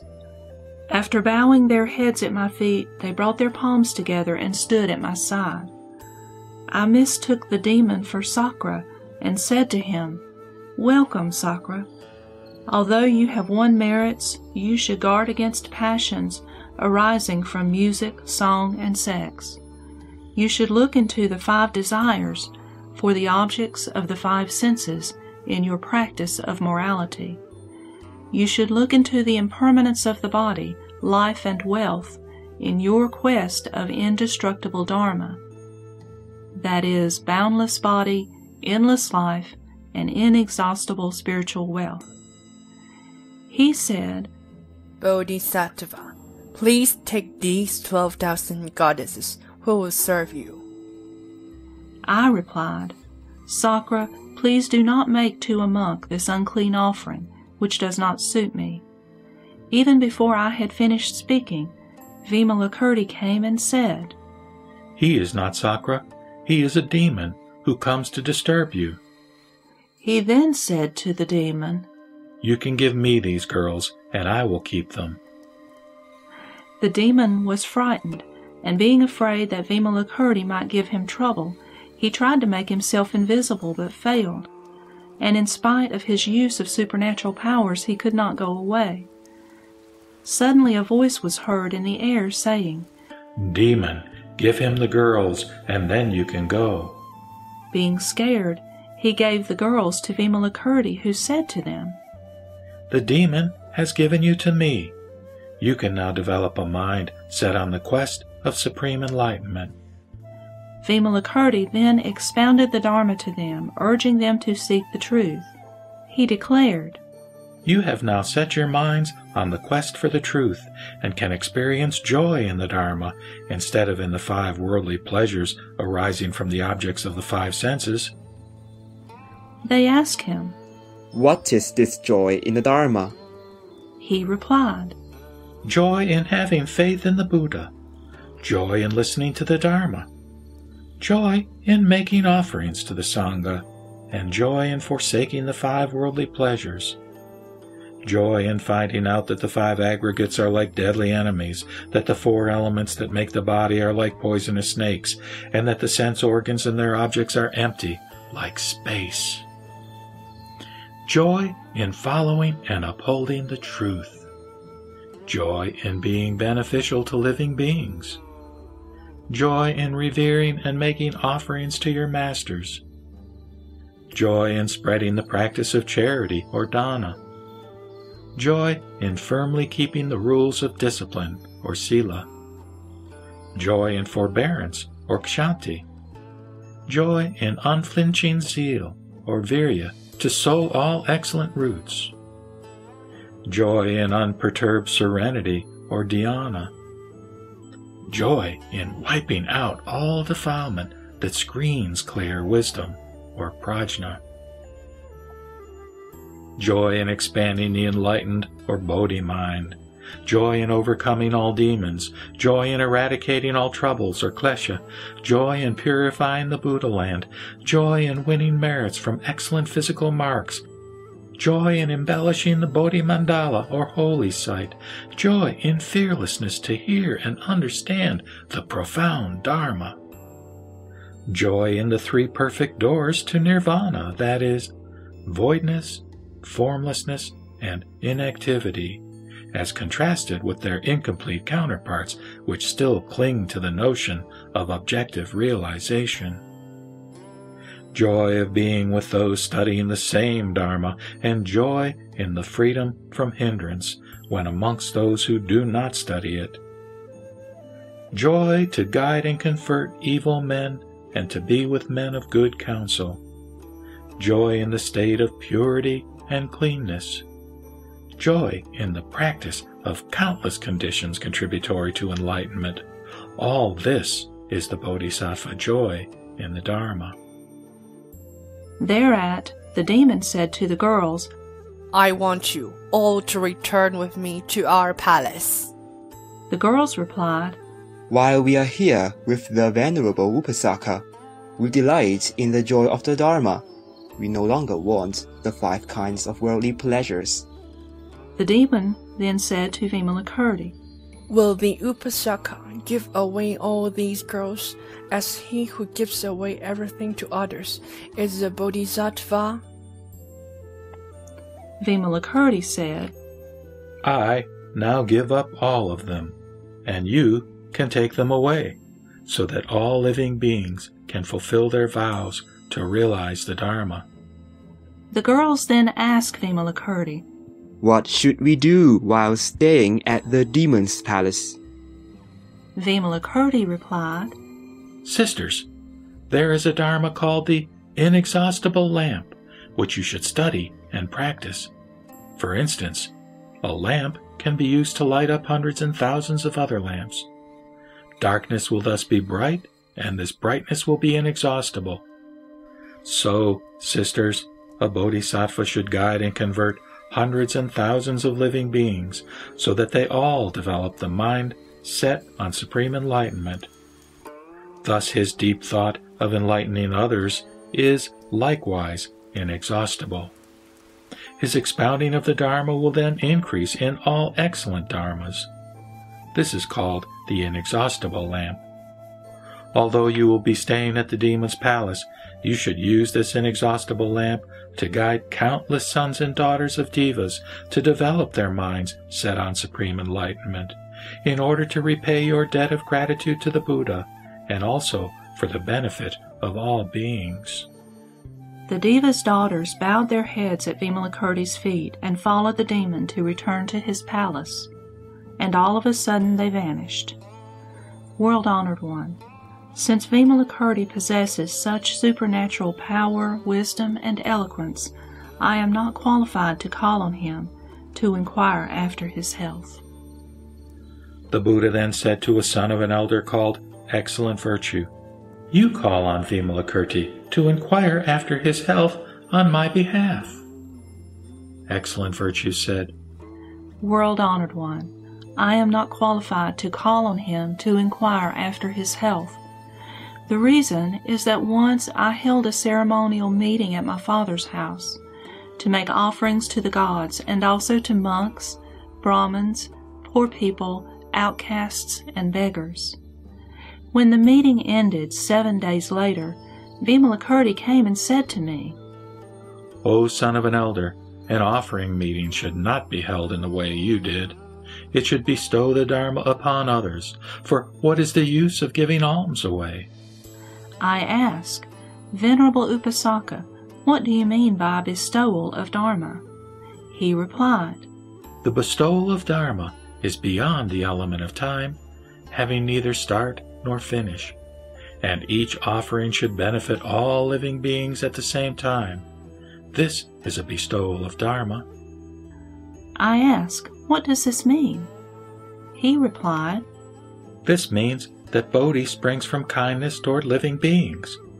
The salvation of living beings springs from compassion. The upholding of right Dharma from joy. Wisdom from indifference. The overcoming of greed from charity perfection, or Dana Paramita. Ceasing to break the precepts from discipline perfection, or Sila Paramita. Egolessness from patience perfection, or Kshanti Paramita. Relinquishment of body and mind from zeal perfection, or Virya Paramita. Realization of enlightenment from serenity perfection, or Dhyana Paramita. Realization of all knowledge from wisdom perfection, or Prajna Paramita. The teaching and converting of living beings spring from the void. Non rejection of worldly activities springs from formlessness. Appearance in the world springs from inactivity. Sustaining the right Dharma from the power of expedient devices, or upaya. The liberation of living beings from the four winning virtues. Respect for and service to others from the determination to wipe out arrogance. The relinquishment of body, life, and wealth from the three indestructibles. The six thoughts to dwell upon from concentration on the Dharma. The six points of reverent harmony in a monastery from the straightforward mind. Right deeds from pure livelihood. Joy in the pure mind from nearness to saints and sages. Non rising of hate for bad people from the effective control of mind. Retiring from the world from the profound mind. Practice in accordance with the preaching from the wide knowledge gained from hearing about the Dharma. Absence of disputation from a leisurely life. The quest of Buddha wisdom from meditation. The freeing of living beings from bondage from actual practice. The earning of all excellent physical marks to embellish Buddha lands from the karma of moral excellence. The knowledge of the minds of all living beings and the relevant expounding of Dharma to them from the karma of good knowledge. The understanding of all things commensurate with neither acceptance nor rejection of them to realize their oneness from the karma of wisdom. The eradication of all troubles or klesha, hindrances, and evils from all excellent karmas. The realization of all wisdom and good virtues from the contributory conditions leading to enlightenment. All this, son of a good family, pertains to the bestowal of Dharma. A bodhisattva holding this meeting that bestows the Dharma is a great almsgiver. He is also a field of blessedness for all worlds. World Honored One, as Vimalakirti was expounding the Dharma, two hundred Brahmins who listened to it set their minds on the quest of supreme enlightenment. I myself realized purity and cleanness of mind which I had never experienced before. I then bowed my head at his feet and took out my priceless necklace of precious stones, which I offered to him, but he refused it. I then said, Venerable Upasaka, please accept my present and do what you like with it. He took my necklace and divided it in two, offering half to the poorest beggar in the assembly, and the other half to the invincible Tathagata, whose radiant land was then visible to all present, who saw the half necklace transformed into a precious tower in all its majesty on four pillars which did not shield one another. After this supernatural transformation, Vimalakirti said, He who gives alms to the poorest beggar with an impartial mind performs an act which does not differ from the field of blessedness of the Tathagata, for it derives from great compassion, with no expectation of reward. This is called the complete bestowal of Dharma. After witnessing Vimalakirti's supernatural power, the poorest beggar who had also listened to his expounding of the Dharma developed a mind set on supreme enlightenment. Hence, I am not qualified to call on Vimalakirti to inquire after his health. Thus, each of the bodhisattvas present related his encounter with Vimalakirti and declined to call on him to inquire after his health.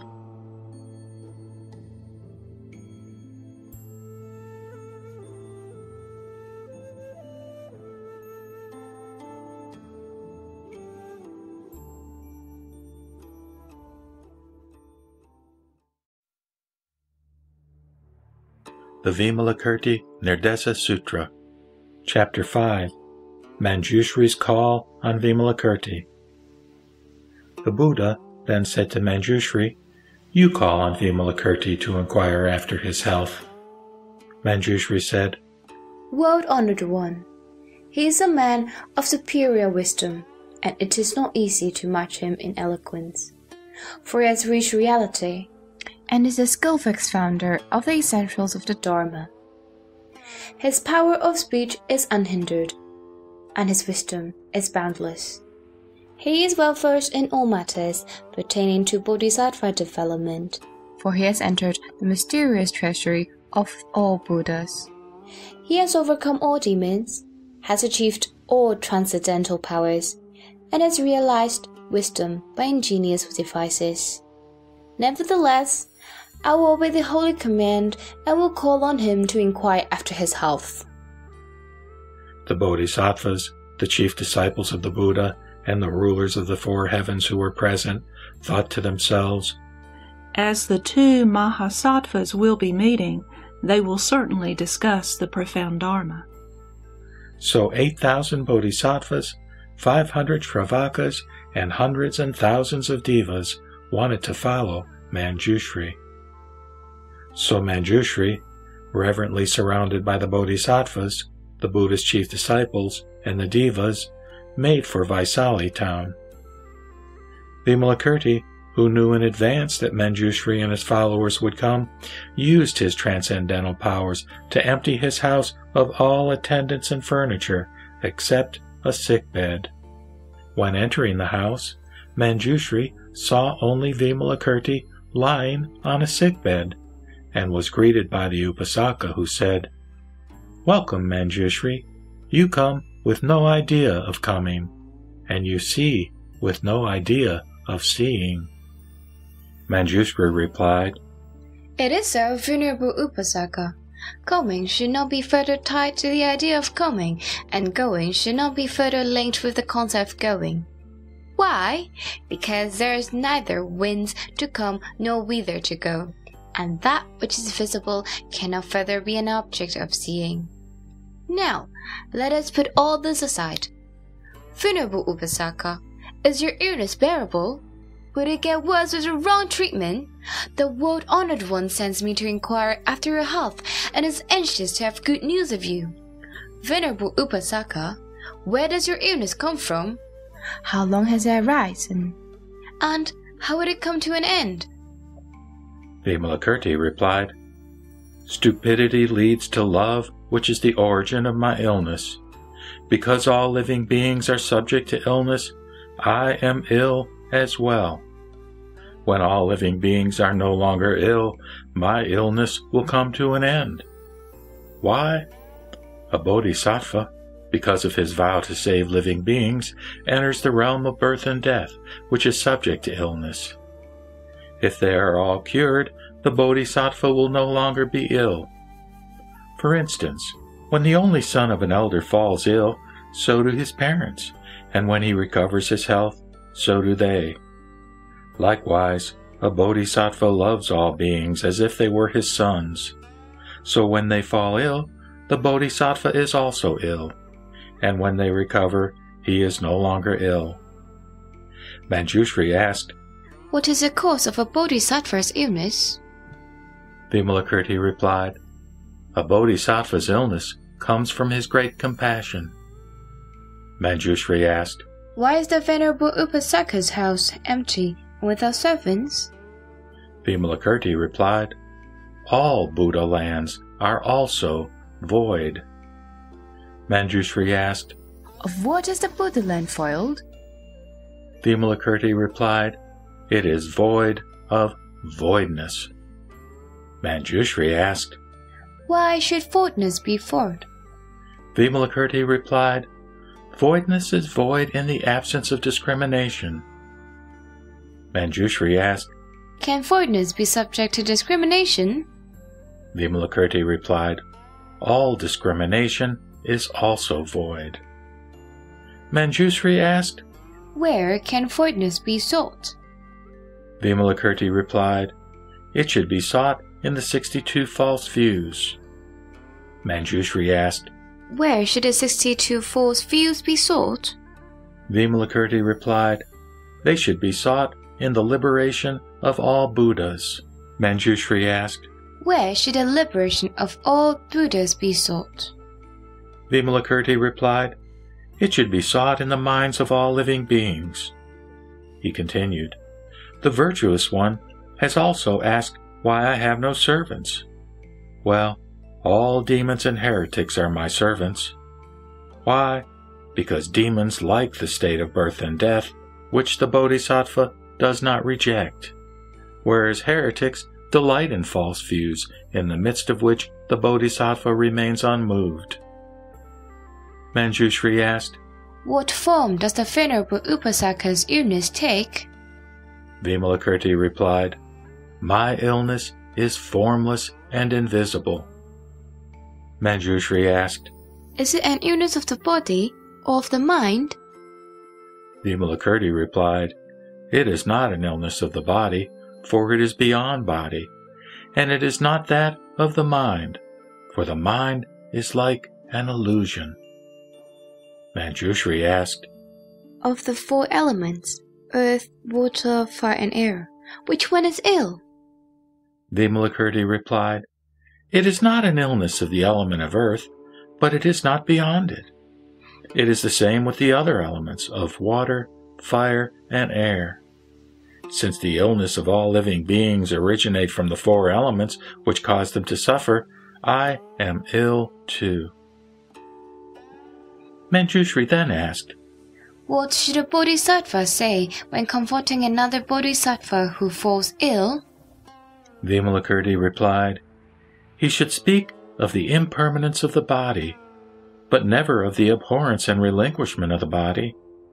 He should speak of the suffering body, but never of the joy in nirvana. He should speak of egolessness in the body, while teaching and guiding all living beings in spite of the fact that they are fundamentally non existent in the absolute state. He should speak of the voidness of the body, but should never cling to the ultimate nirvana. He should speak of repentance of past sins, but should avoid slipping into the past. Because of his own illness, he should take pity on all those who are sick. Knowing that he has suffered during countless past eons, he should think of the welfare of all living beings. He should think of his past practice of good virtues to uphold his determination for right livelihood. Instead of worrying about troubles or klesha, he should give rise to zeal and devotion in his practice of the Dharma. He should act like a king physician to cure others' illnesses. Thus, a bodhisattva should comfort another sick bodhisattva to make him happy. Manjushri asked, How does a sick bodhisattva control his mind? Vimalakirti replied, A sick bodhisattva should think thus. My illness comes from inverted thoughts and troubles or klesha during my previous lives, but it has no real nature of its own. Therefore, who is suffering from it? Why is it so? Because when the four elements unite to form a body, The former are ownerless, and the latter is egoless. Moreover, my illness comes from my clinging to an ego. Hence, I should wipe out this clinging. Now that he knows the source of his illness, he should forsake the concept of an ego and a living being.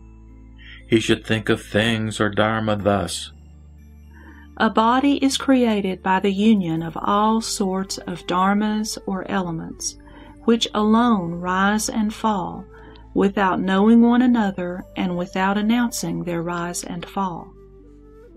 In order to wipe out the concept of things or dharmas, a sick bodhisattva should think thus. This notion of dharma is also an inversion, which is my great calamity, so I should keep from it. What is to be kept from? From both subject and object. What does the keeping from subject and object mean? It means keeping from dualities. What does this keeping from dualities mean? It means not thinking of inner and outer dharmas, that is, contraries, by the practice of impartiality. What is impartiality? It means equality of all contraries, such as ego and nirvana. Why is it so? Because both ego and nirvana are void. Why are both void? Because they exist only by names which have no independent nature of their own. When you achieve this equality, you are free from all illnesses, but there remains the conception of voidness, which also is an illusion, which should be wiped out as well. A sick bodhisattva should free himself from the conception of sensation when experiencing any one of its three states, which are painful, pleasurable, and neither painful nor pleasurable feeling. Before his full development into Buddhahood, that is, before delivering all living beings in his own mind, he should not wipe out sensation for his own benefit with a view to attaining nirvana for himself only. Knowing that the body is subject to suffering, he should think of living beings in the lower realms of existence and give rise to compassion for them. Since he has succeeded in controlling his false views, he should guide all living beings to bring theirs under control as well. He should uproot their inherent illnesses without trying to wipe out non existent dharmas, externals, or sense data.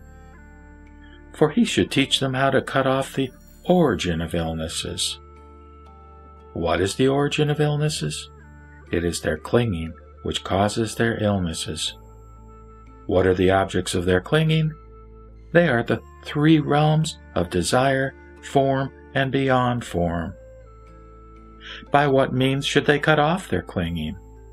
By means of the doctrine that nothing whatsoever can be found, and that if nothing can be found, there will be no clinging. What is meant by nothing can be found? It means that apart from dual views, there is nothing else that can be had. What are dual views? They are inner and outer views beyond which there is nothing. Manjushri. This is how a sick bodhisattva should control his mind. To wipe out suffering from old age, illness, and death is the bodhisattva's bodhi or enlightened practice. If he fails to do so, his practice lacks wisdom and is unprofitable. For instance, a bodhisattva is called courageous if he overcomes hatred. If, in addition, he wipes out the concept of old age, illness, and death, he is a true bodhisattva. A sick bodhisattva should again reflect Since my illness is neither real nor existing, the illnesses of all living beings are also unreal and non existent. But while so thinking, if he develops a great compassion derived from his love for living beings and from his attachment to this false view, he should immediately keep from these feelings. Why is it so? Because a bodhisattva should wipe out all external causes of troubles while developing great compassion. For this love and these wrong views result from hate of birth and death. If he can keep from this love and these wrong views, he will be free from hatred. and wherever he may be reborn, he will not be hindered by love and wrong views. His next life will be free from obstructions, and he will be able to expound the Dharma to all living beings and free them from bondage. As the Buddha has said, there is no such thing as untying others when one is still held in bondage, for it is possible to untie others only after one is free from bonds.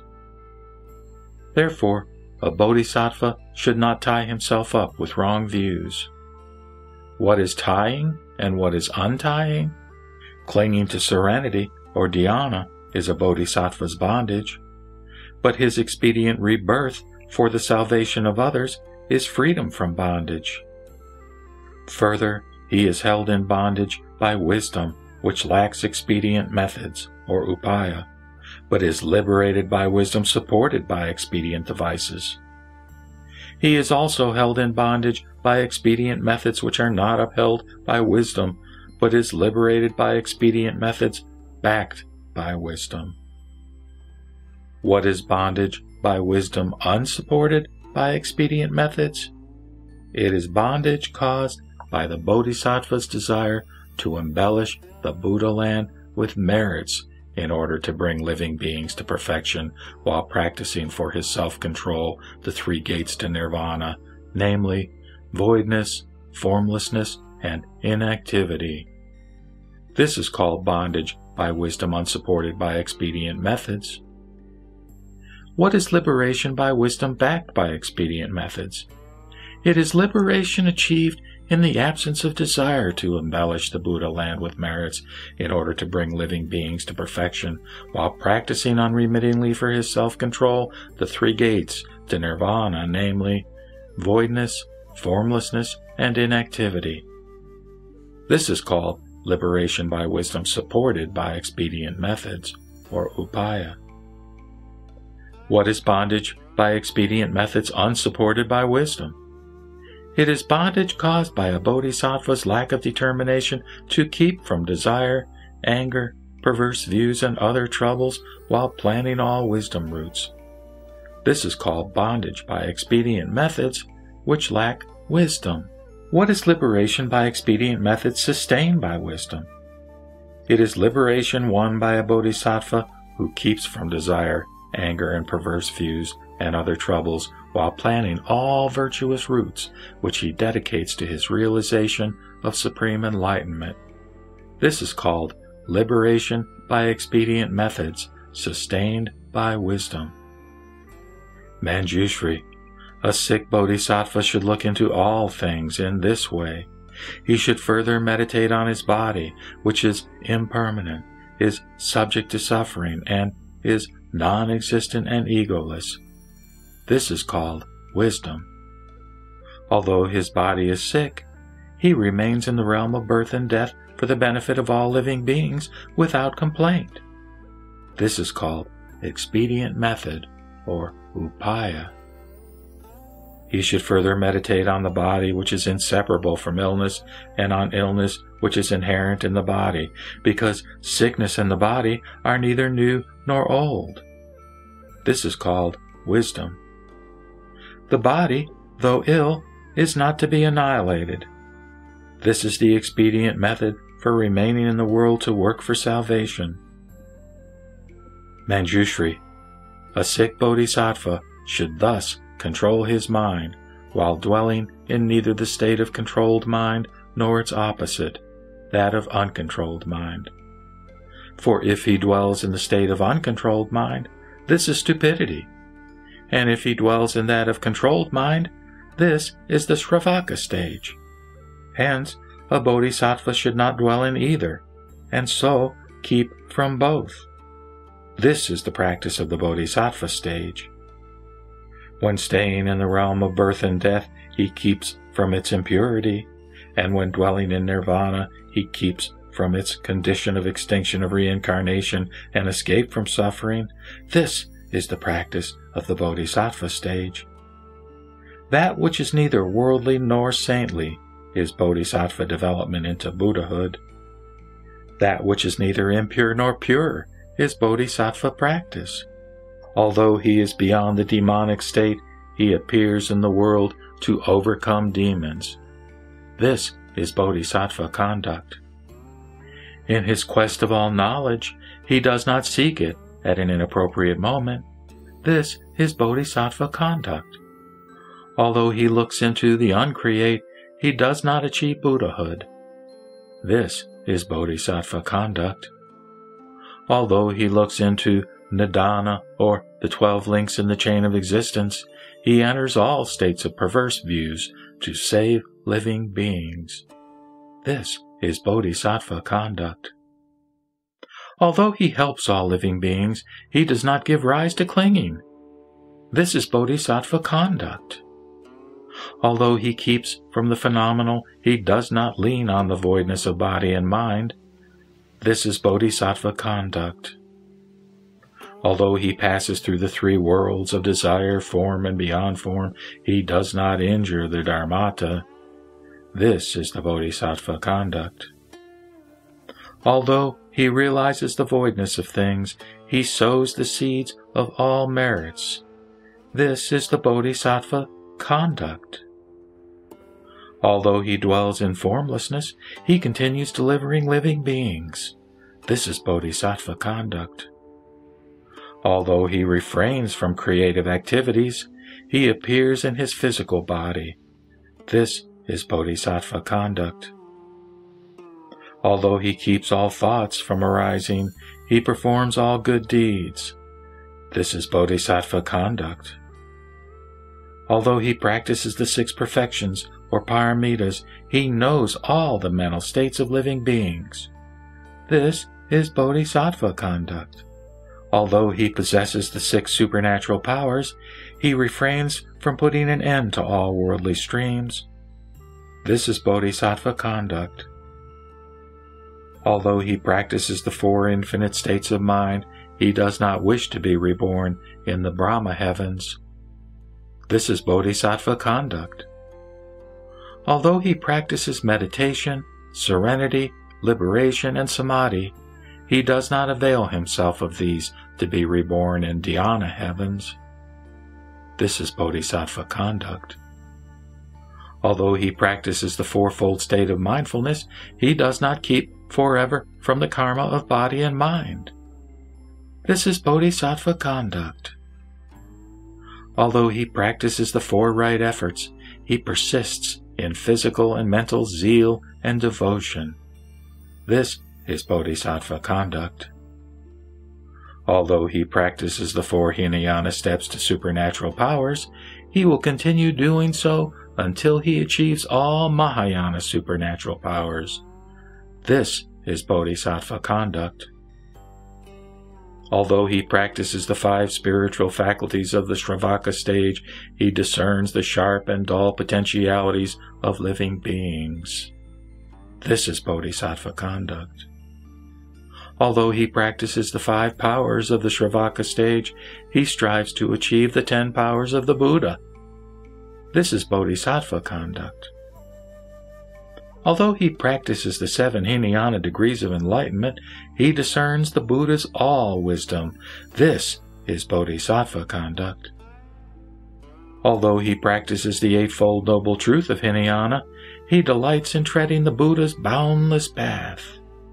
This is Bodhisattva conduct although he practices samatha vipassana, which contributes to the realization of bodhi or enlightenment, he keeps from slipping into nirvana.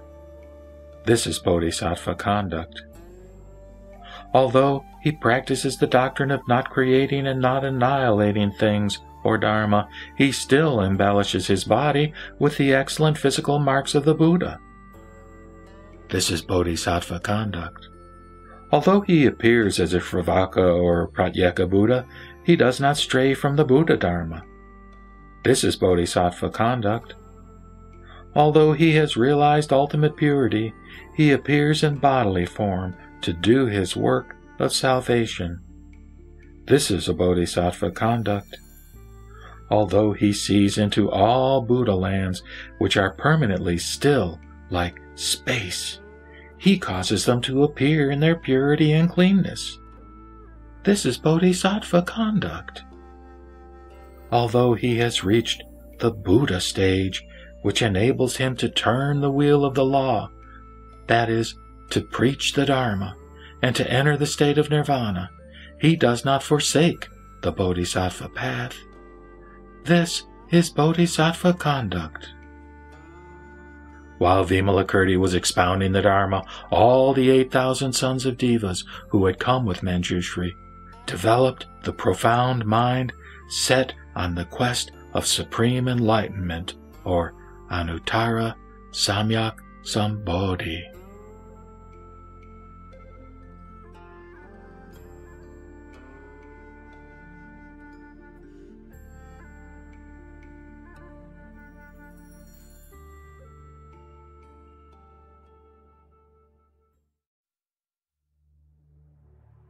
The Vimalakirti Nirdesa Sutra, Chapter 6 The Inconceivable Liberation.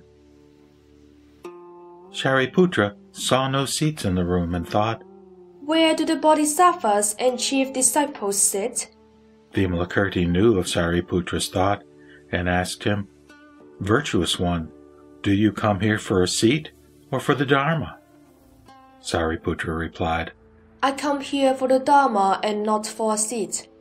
Vimalakirti said, Hey, Sariputra, he who searches for the Dharma does not even cling to his body and life, still less to a seat. For the quest of the Dharma is not related to the five aggregates form or rupa, sensation or vedana, conception or samjna, discrimination or samskara, and consciousness or vijnana to the 18 fields of sense, dhatu, the six organs, their objects and their perceptions, to the 12 entrances, ayatana, the six organs and six sense data that enter for or lead to discrimination, and to the worlds of desire, form, and beyond form. Sariputra, a seeker of the Dharma, does not cling to the Buddha, the Dharma, and the Sangha. A seeker of the Dharma does not hold the view of suffering, of cutting off all the accumulated causes thereof to put an end to it by treading the path to nirvana, that is, the Four Noble Truths. Why is it so? Because the Dharma is beyond all sophistry. For if one says, Because I see suffering, I cut off its accumulated causes to wipe it out by treading the path thereto. This is mere sophistry and is not the quest of the Dharma. Sariputra, the Dharma is called nirvana, the condition of complete serenity and ultimate extinction of reincarnation. If you give rise to the concept of birth and death, this is a search for birth and death and is not the quest of Dharma. The Dharma is absolute and immaculate. But if you are defiled by the thought of Dharma and even that of Nirvana, this is pollution which runs counter to the quest of Dharma. Dharma cannot be practiced, and if it is put into practice, this implies something, that is, an object to be practiced, and it is not the quest of Dharma. Dharma is beyond grasping and rejecting, and if you grasp or reject it, this is grasping or rejecting something else, but not the quest of Dharma. Dharma is beyond position, but if you give it a place, this is clinging to space, but not the quest of Dharma. Dharma is formless, but if you rely on form to conceive the Dharma, this is a search for form, but not the quest of Dharma. Dharma is not an abode, but if you want to stay in it, this is dwelling in an objective Dharma, but not the quest of absolute Dharma. Dharma can be neither seen, nor heard, nor felt, nor known. But if you want to see, hear, feel, and know it, this is the functioning of your discriminatory seeing, hearing, feeling, and knowing, but not the quest of Dharma. Dharma is transcendentally inactive, but if you are set on worldly activities, this is a search for the worldly way of life, but not the quest of Dharma. Therefore, Sariputra, the quest of Dharma does not imply seeking anything whatsoever. When Vimalakirti so spoke, 500 sons of Devas realized the pure Dharma eye. Vimalakirti then asked Manjushri, The virtuous one has traveled in countless thousands and tens of thousands of lakhs of worlds. Which one is the Buddha land where the highest merits make the lion throne of its Buddha? Manjushri replied, Venerable Upasaka, in the east there is a Buddha land which is separated from here by a distance represented by worlds as countless as the sand grains in 36 Ganges rivers. It is called Merudhvaja, whose Buddha is called Merukalpa, who is still there. His body is 84,000 yojana tall, and his lion throne, also as high, is of prominent majesty. Thereat, Vimalakirti used his transcendental powers to invite Buddha Merukalpa to send to his room 32,000 high, large, majestic, and clean lion thrones, which the Bodhisattvas, chief disciples of the Buddha Sakyamuni, Indra and Brahma, the four Deva kings, etc., had never seen before. The room contained all the 32,000 lion thrones, which did not hinder one another, and which did not obstruct anything at Vaisali, in Jambudvipa, or our earth, and in the four heavens, where all things remained unchanged as before. Vimalakirti then said to Manjusri, Please take a lion's throne and be seated among the great bodhisattvas by enlarging the size of your body to that of the seat. Those bodhisattvas who had acquired supernatural powers enlarged their bodies to the size of the thrones on which they sat without difficulty. But the newly initiated bodhisattvas and chief disciples of the Buddha could not mount the high thrones. Vimalakirti then said to Sariputra, Please be seated on a lion throne. Sariputra replied, Venerable Upasaka, these thrones are large and high. I cannot mount them. Vimalakirti said, Sariputra, you should first pay reverence to the Tathagata Merukalpa, and will then be able to sit on one of them. Thereat, all newly initiated bodhisattvas and chief disciples of the Buddha paid reverence to the Tathagata Merukalpa, and then sat on the lion thrones.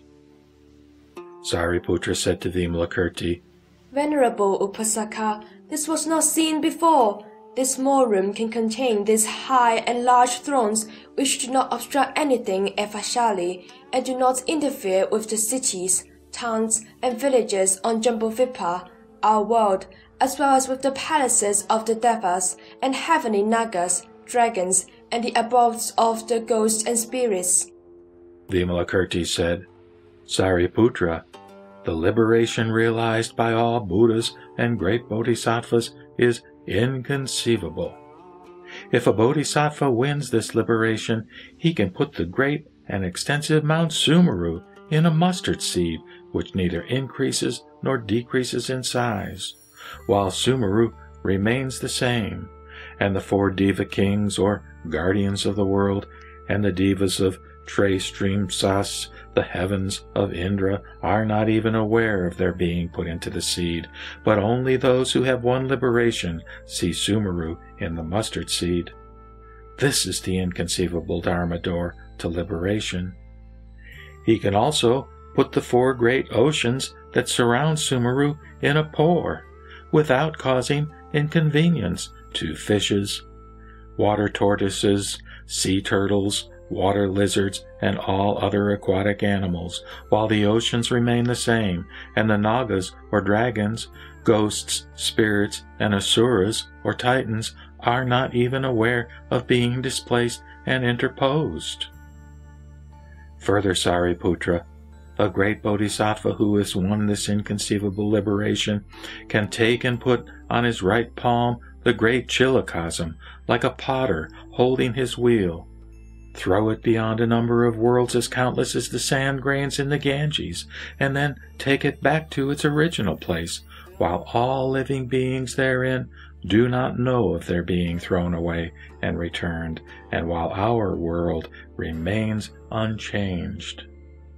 Further, Sariputra, if there are living beings who are qualified for liberation but who want to stay longer in the world, this bodhisattva will use his supernatural power to extend a week to an eon, so that they will consider their remaining time to be an eon.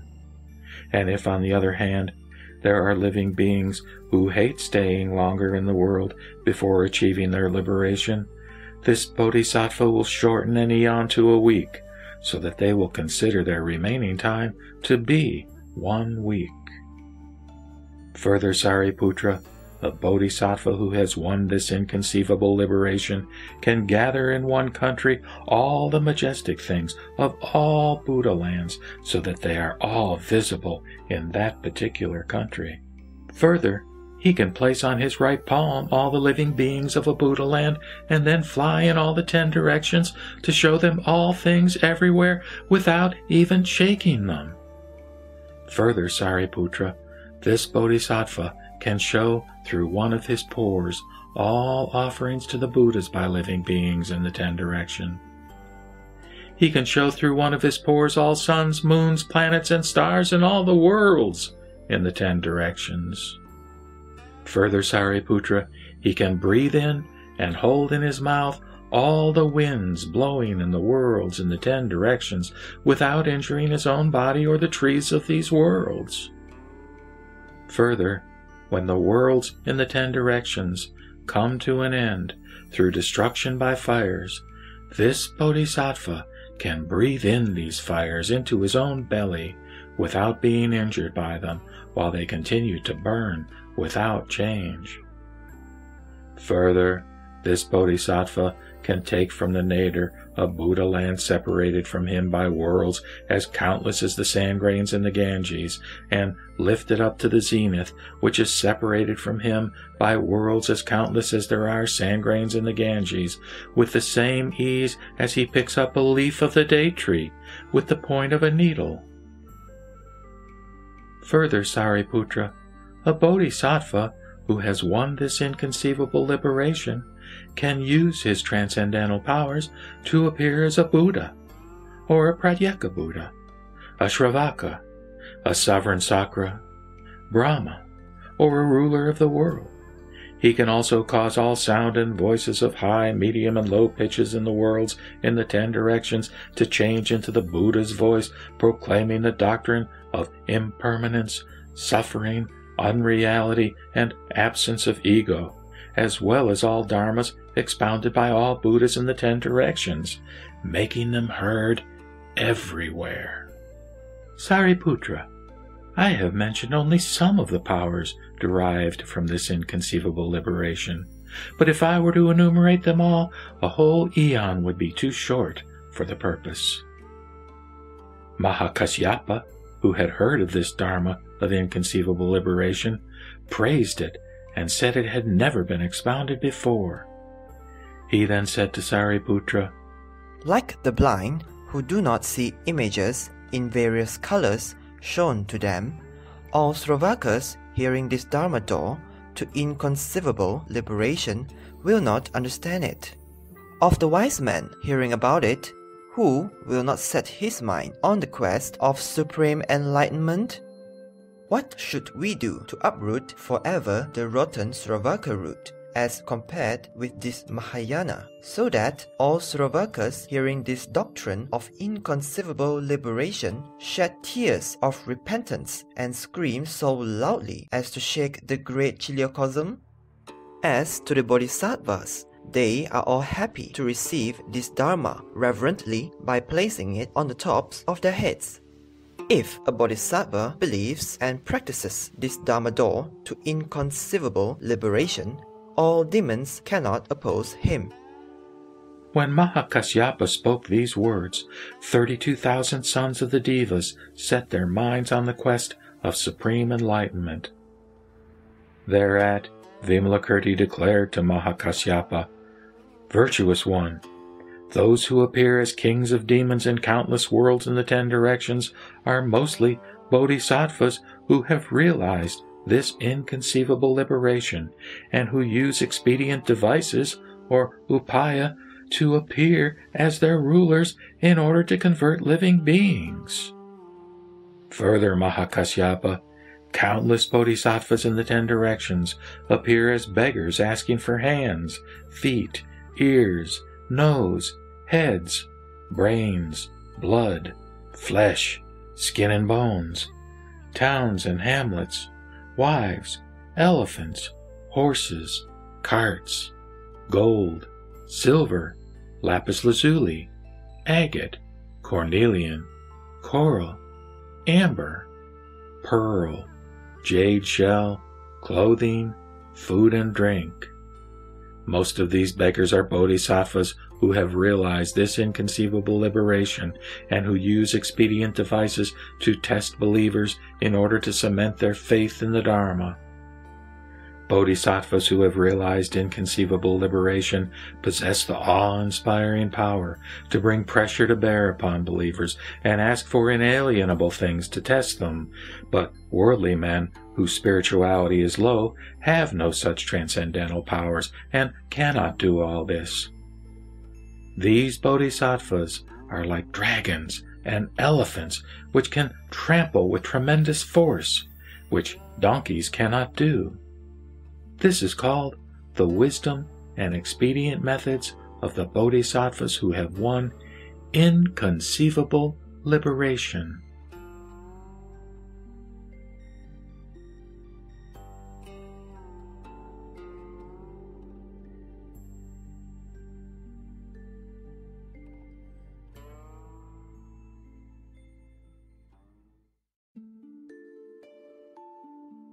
The Vimalakirti Nirdesa Sutra, Chapter 7 Looking at Living Beings. Manjushri asked Vimalakirti, How should a bodhisattva look at living beings? Vimalakirti replied, A bodhisattva should look at living beings like an illusionist does at the illusory men he has created, and like a wise man looking at the moon's reflection in water, at his own face in a mirror at the flame of a burning fire, at the echo of a calling voice, at flying clouds in the sky, at foam in a liquid, at bubbles on water, at the empty core of a banana tree, at a flash of lightning, at the non existent fifth element beside the four that make the human body, at the sixth aggregate beside the five that make a sentient being, at the seventh sense datum beside the six objects of sense, at the thirteenth entrance or ayatana beside the twelve involving the six organs and six sense data, at the nineteenth realm of sense beside the eighteen dhatus or fields of sense, at form in the formless world, at the non existent sprout of a charred grain of rice, at a body seen by a Shrodapana, who has wiped out the illusory body to enter the holy stream. At the entry of an Anagamin, or a non returning Shravaka, into the womb of a woman for rebirth.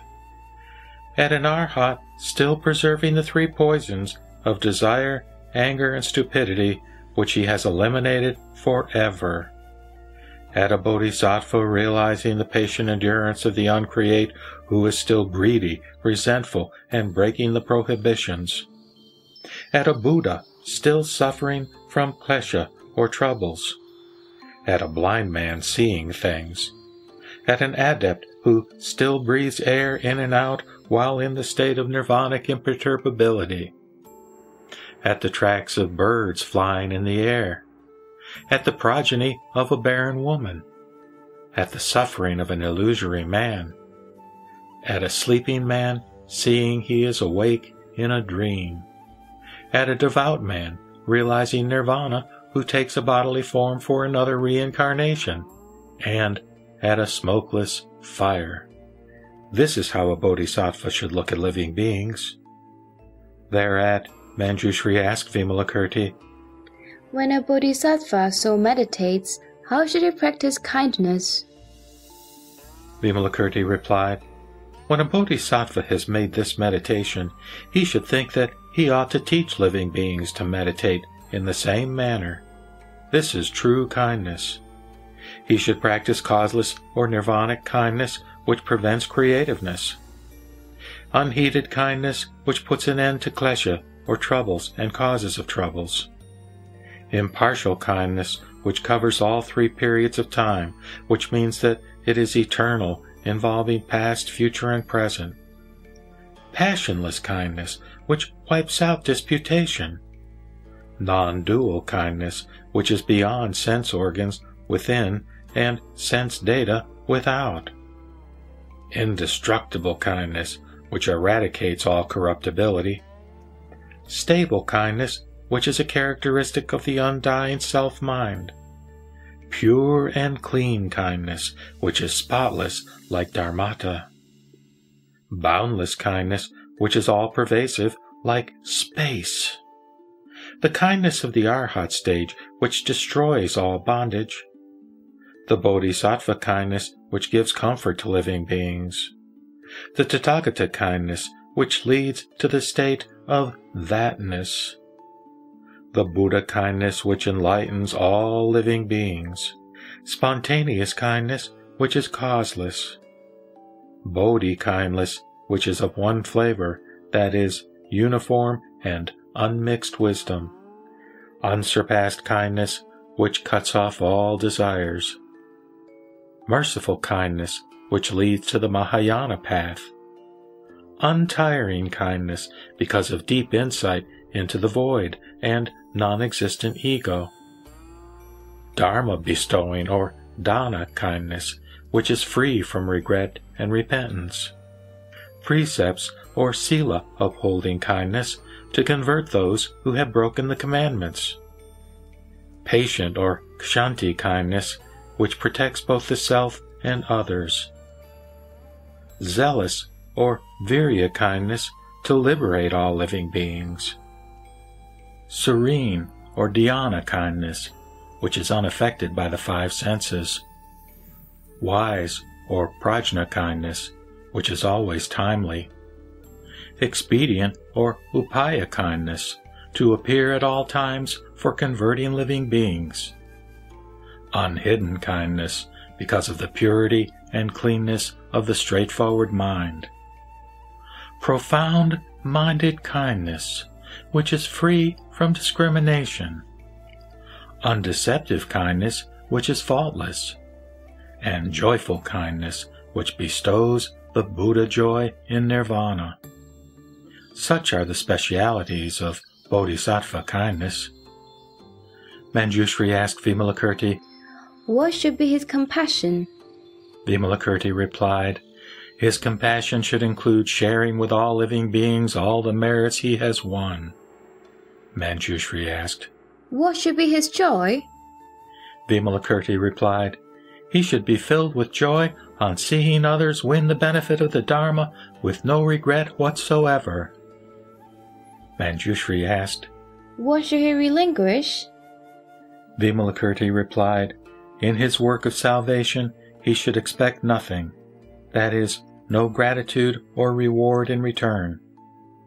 Manjushri asked, On what should he rely in his fear of birth and death? Vimalakirti replied, He should rely on the power of the Tathagata's moral merits. Manjushri asked, What should he do to win support from the power of the Tathagata's moral merits? Vimalakirti replied, he should liberate all living beings in order to win support from the power of the Tathagata's moral merits. Manjushri asked, What should he wipe out in order to liberate living beings? Vimalakirti replied, When liberating living beings, he should wipe out their klesha, or troubles and causes of troubles. Manjushri asked, What should he do to wipe out Klesha? Vimalakirti replied, He should uphold right mindfulness. Manjushri asked, What should he do to uphold right mindfulness? The Vimalakirti replied, He should advocate the unborn and the undying. Manjushri asked, What is the unborn and what is the undying? The Vimalakirti replied, The unborn is evil that does not arise, and the undying is good that does not end. Manjushri asked, What is the root of good and evil? Vimalakirti replied, The body is the root of good and evil. Manjushri asked, What is the root of the body? Vimalakirti replied, Craving is the root of the body. Manjushri asked, What is the root of craving? Vimalakirti replied, Baseless discrimination is the root of craving. Manjushri asked, What is the root of baseless discrimination? Vimalakirti replied, Inverted thinking is the root of discrimination. Manjushri asked, What is the root of inverted thinking? Vimalakirti replied, Non-abiding is the root of inverted thinking. Manjushri asked, What is the root of non-abiding? Vimalakirti replied, Non-abiding is rootless. Manjushri, from this non-abiding root, all things arise. A goddess who had watched the gods listening to the Dharma in Vimalakirti's room appeared in bodily form to shower flowers on the bodhisattvas and the chief disciples of the Buddha in their honor. When the flowers fell on the bodhisattvas, they fell to the ground, but when they fell on the chief disciples, they stuck to their bodies and did not drop, in spite of all their efforts to shake them off. Thereat, the goddess asked Sariputra why he strove to shake the flowers off. Sariputra replied, I want to shake off these flowers which are not in the state of suchness. The goddess said, Do not say these flowers are not in the state of suchness. Why? Because they do not differentiate, and it is you alone who give rise to differentiation. If you still differentiate after leaving home in your quest for the Dharma, this is not a state of suchness. But if you no longer give rise to differentiation, this will be the state of suchness. Look at the bodhisattvas whose bodies do not retain the flowers. This is because they have put an end to differentiation. This is like a man taking fright who invites trouble for himself from evil people. So if a disciple fears birth and death, then form, sound, smell, taste, and touch can trouble him. But if he is fearless, he is immune from all the five sense data. In your case, it is because the force of habit still remains that these flowers cleave to your body, but if you cut it off, they will not stick to it. Sariputra asked. How long have you been in this room? The goddess replied, My stay in this room is just like the Venerable Elder's liberation. Sariputra asked. Do you then mean that you have stayed here for a long time? The goddess retorted. Does your liberation also involve time? Sariputra kept silent and did not reply. The goddess then asked, Why is the wise elder silent on this point?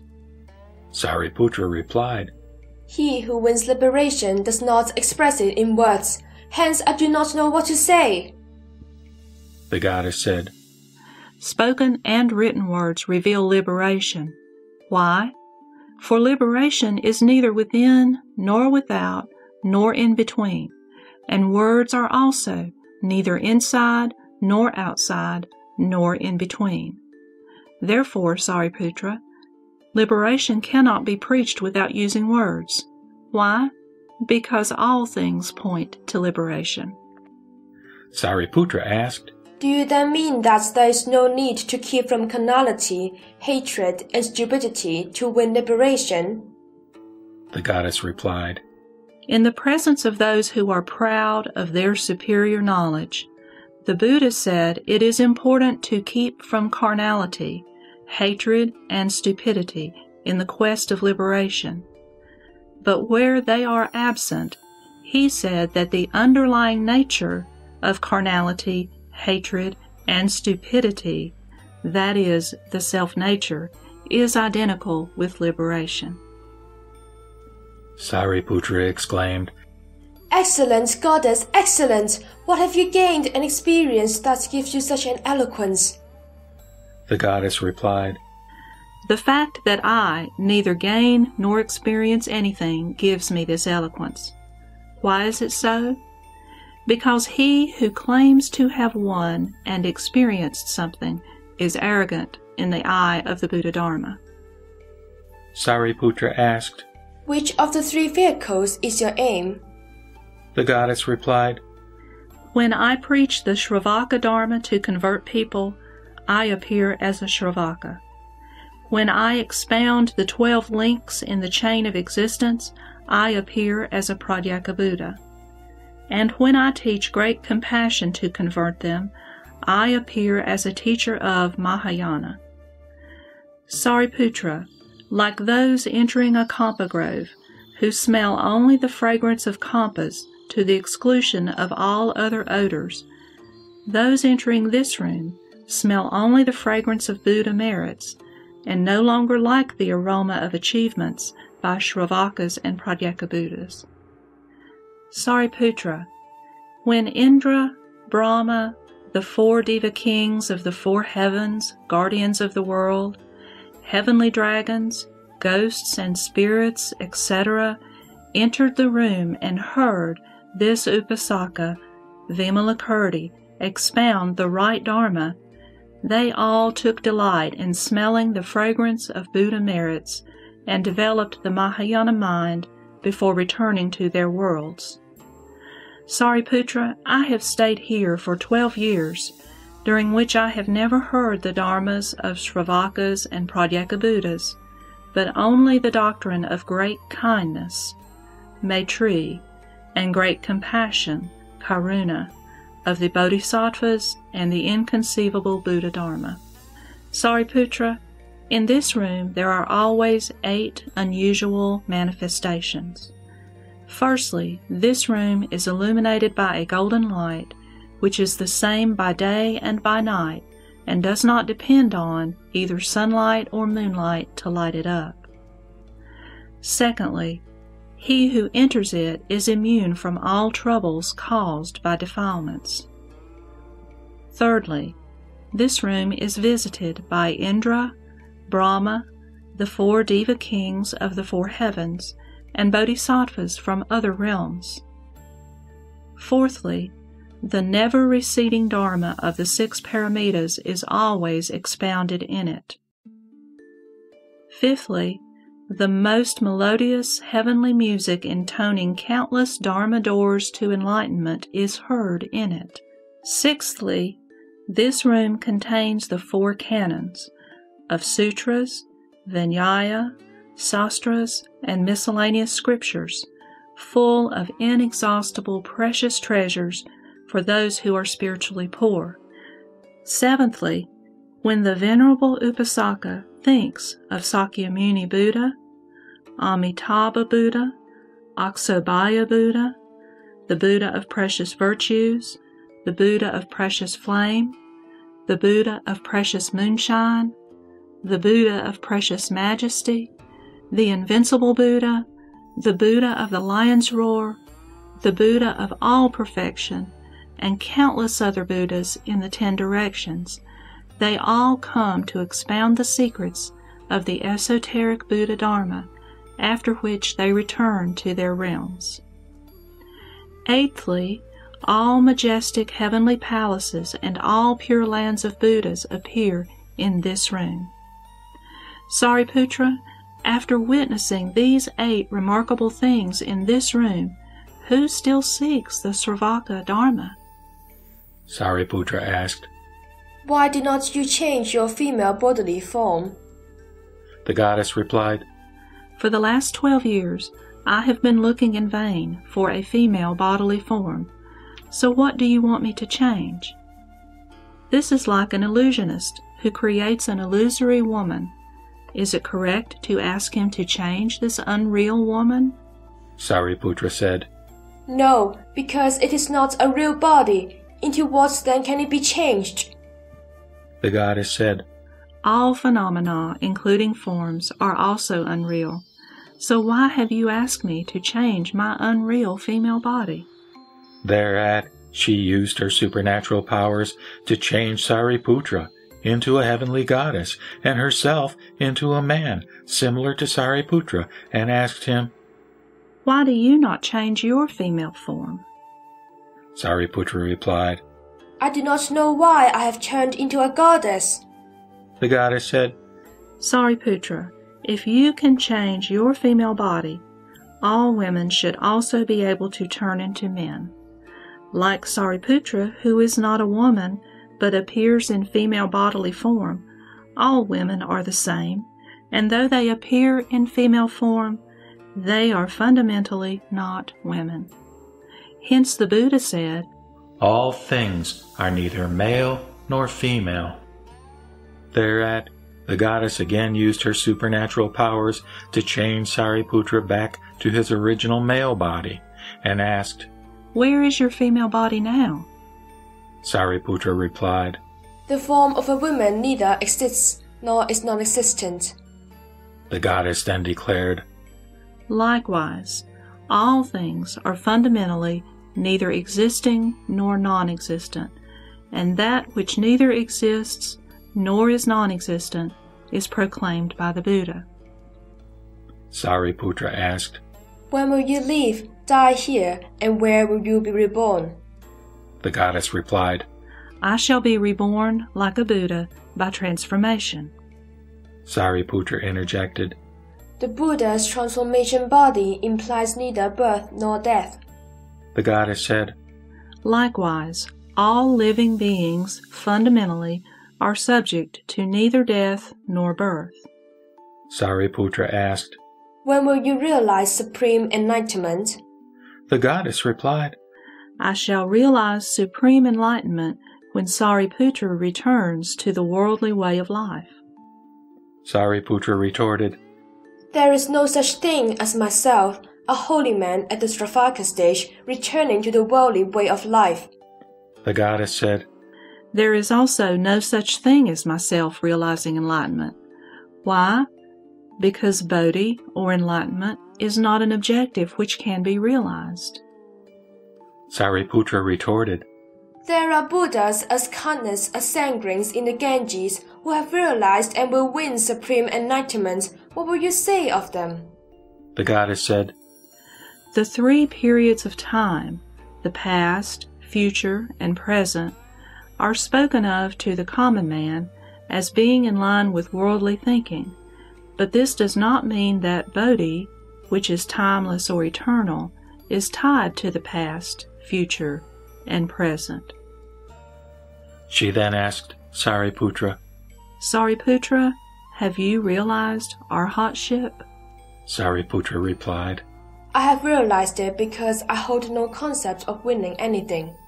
The goddess said, Likewise, all Buddhas and great bodhisattvas achieved their goals because they were free from the idea of winning supreme enlightenment.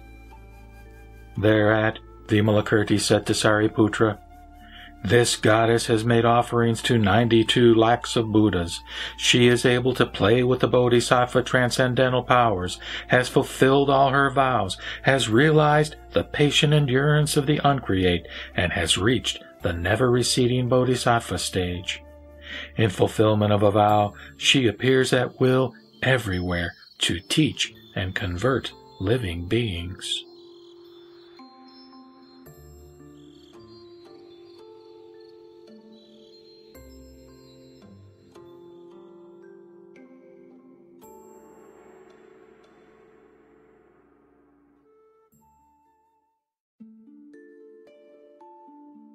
The Vimalakirti Nirdesa Sutra, Chapter 8 The Buddha Path. Manjushri asked Vimalakirti. How does a bodhisattva enter the Buddha path? Vimalakirti replied, If a bodhisattva treads the wrong ways without discrimination, he enters the Buddha path. Manjushri said, What do you mean by a bodhisattva treading the wrong ways?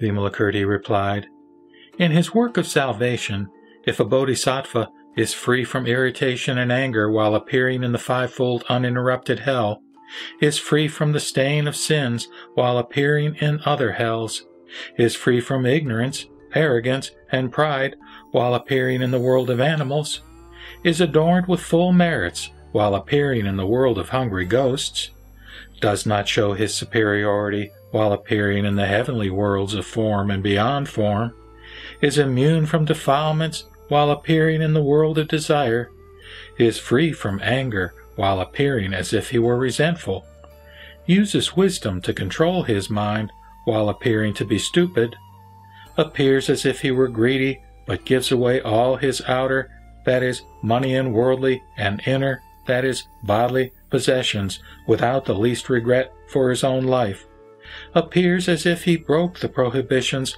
while delighting in pure living and being apprehensive of committing even a minor fault, appears as if he were filled with hatred while always abiding in compassionate patience, appears as if he were remiss while diligently practicing all meritorious virtues, appears as if he were disturbed while always remaining in the state of serenity, appears as if he were ignorant while possessing both mundane and supramundane wisdoms, appears as if he delighted in flattering and falsehood while he excels in expedient methods in conformity with straightforwardness as taught in the sutras, shows arrogance and pride while he is as humble as a bridge, appears as if he were tormented by troubles while his mind remains pure and clean, appears in the realm of demons while defeating heterodox doctrines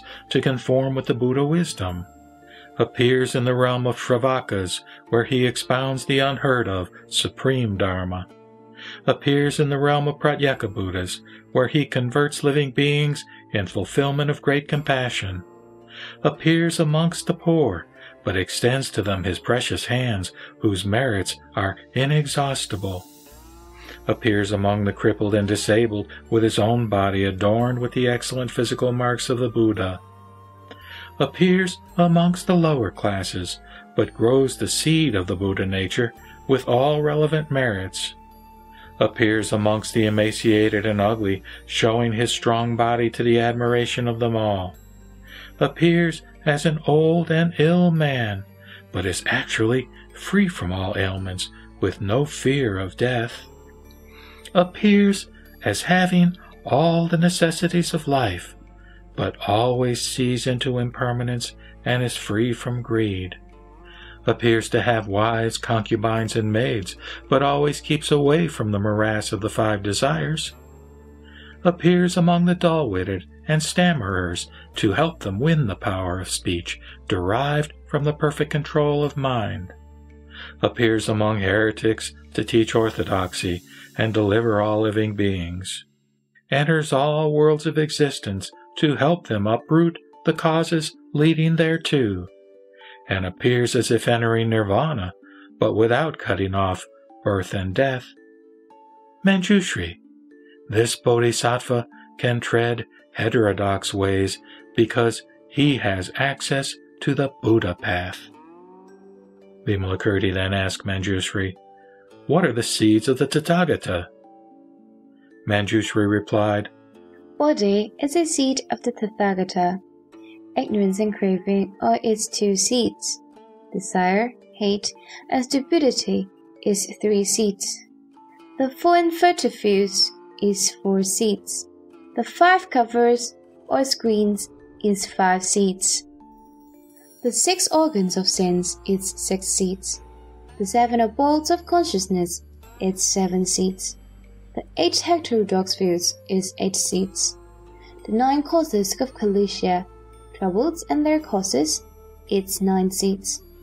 The ten evils is ten seats. To sum up, all the sixty-two heterodox views and all sorts of Klesha are the seats of Buddhahood. Vimalakirti asked Manjushri, Why is it so? Manjushri replied, Because he who perceives the inactive state and enters its right nirvana position is incapable of advancing further to achieve supreme enlightenment. For instance, high ground does not produce the lotus, which grows only in marshy land.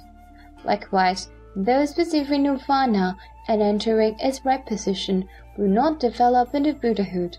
whereas living beings in the mire of Klesha can eventually develop the Buddha Dharma.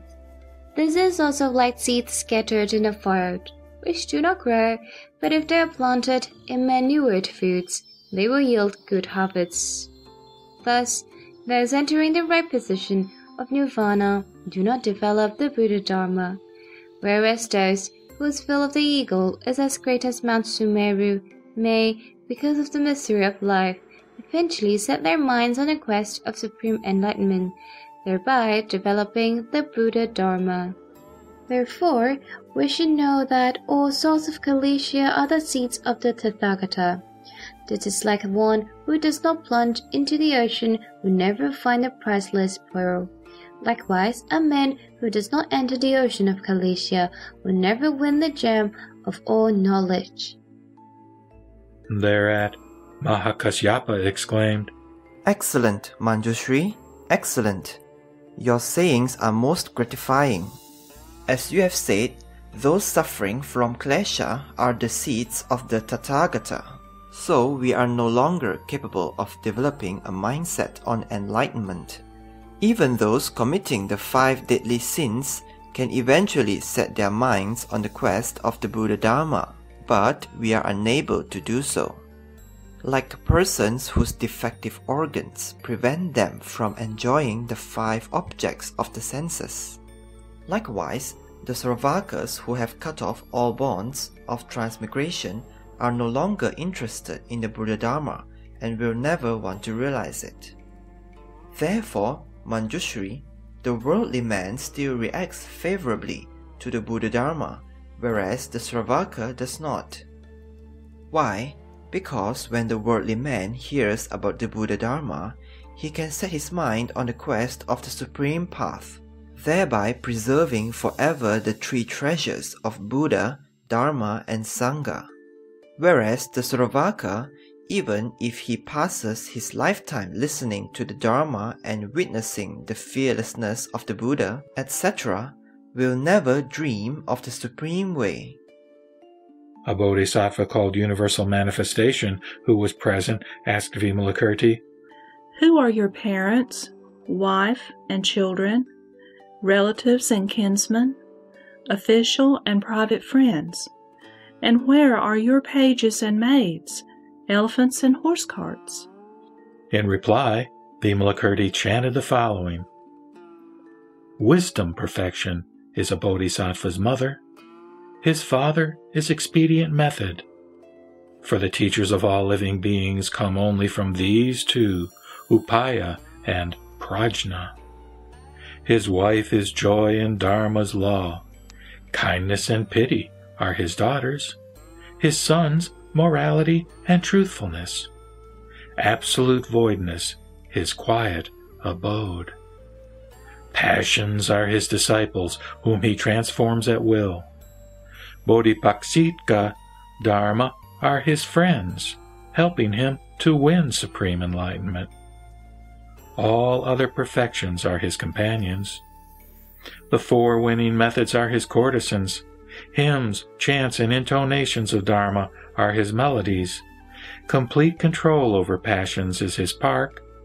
Passionlessness is his grove. The seven grades of Bodhi are the flowers bearing the fruit of wisdom's liberation. The pool of eightfold liberation holds calm water, which is clear and full. The seven blossoms of purity are well arranged to bathe this undefiled bodhisattva man, whose five supernatural powers are walking elephants and horses, while the Mahayana is his vehicle, which, controlled by the one mind, rolls through the eight noble paths. Thirty-two distinctive marks dignify his body, while eighty excellences add to it their grace. Shamefulness is his raiment, and deep mind his coiffure. The seven riches that he owns are his assets, which, used to teach others, earn more dividends. Dedicating all merits to Buddhahood, his practice of the Dharma, as received, wins far greater profit. The four dhyanas are his meditation bed, which from pure living originates. Much learning increases wisdom, announcing self awakening. His broth is the flavor of release. The precepts are his perfumed salve, and pure mind is his bath. By killing the culprit Klesha is his boldness unsurpassed. By defeating the four demons, he plants his triumphant banner as a Bodhi Mandala. Though he knows there is neither birth nor death, he is reborn to show himself to all, appearing in many countries like the sun, seen by everyone.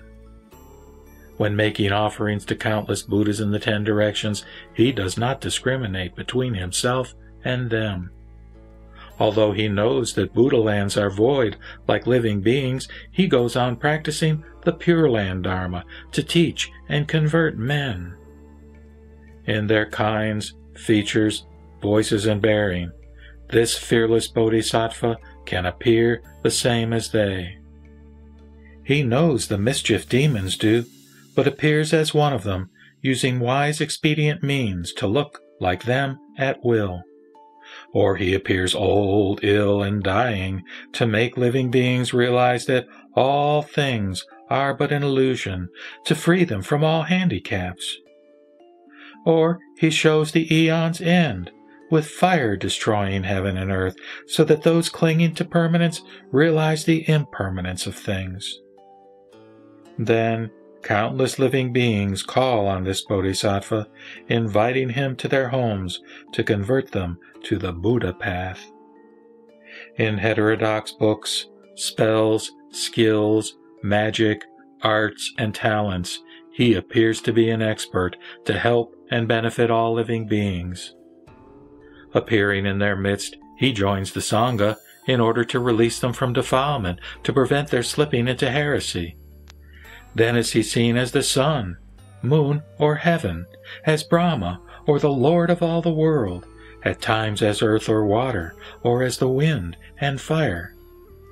When they fall ill, or epidemics rage, he prepares medicinal herbs for them to take to cure their illness or infection.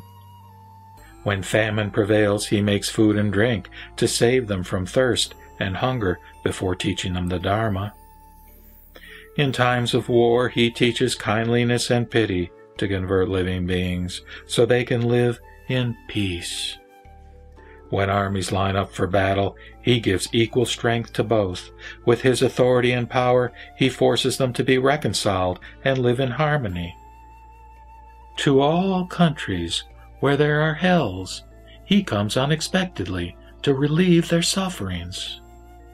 Wherever animals devour one another, he appears among them, urging them to do good. Seeming to have the five desires, he is always meditating to upset the demons and prevent their mischief. Like that thing most rare, a lotus blossoming in a scorching fire, he meditates amidst desires, which also is a thing most rare or he appears as a prostitute to entice those who to lust are given. First using temptation to hook them, he then leads them to the Buddha wisdom. He appears as a district magistrate or as a chief of the caste of traders, a state preceptor or high official to protect living beings. To the poor and destitute, he appears with boundless purse to advise and guide them until they develop the Bodhi mind. To the proud and arrogant, he appears as powerful to overcome their vanity till they tread the path supreme. Then he comes to comfort people who are cowards. First, he makes them fearless, then urges them to seek the truth or he appears without desires and acts like a seer with five spiritual powers to convert living beings by teaching them morality, patience, and pity. To those needing support and help, he may appear as a servant to please and induce them to grow the Tao mind, providing them with all they need to enter on the Buddha path, thus using expedient methods to supply them with all their needs. Then, as with boundless truth, his deeds are also endless. With his wisdom that has no limit, he frees countless living beings. If all the Buddhas were to spend countless eons in praising his merits, they could never count them fully. Who, after hearing this Dharma, develops not the Bodhi mind, can only be a worthless man, a jackass without wisdom.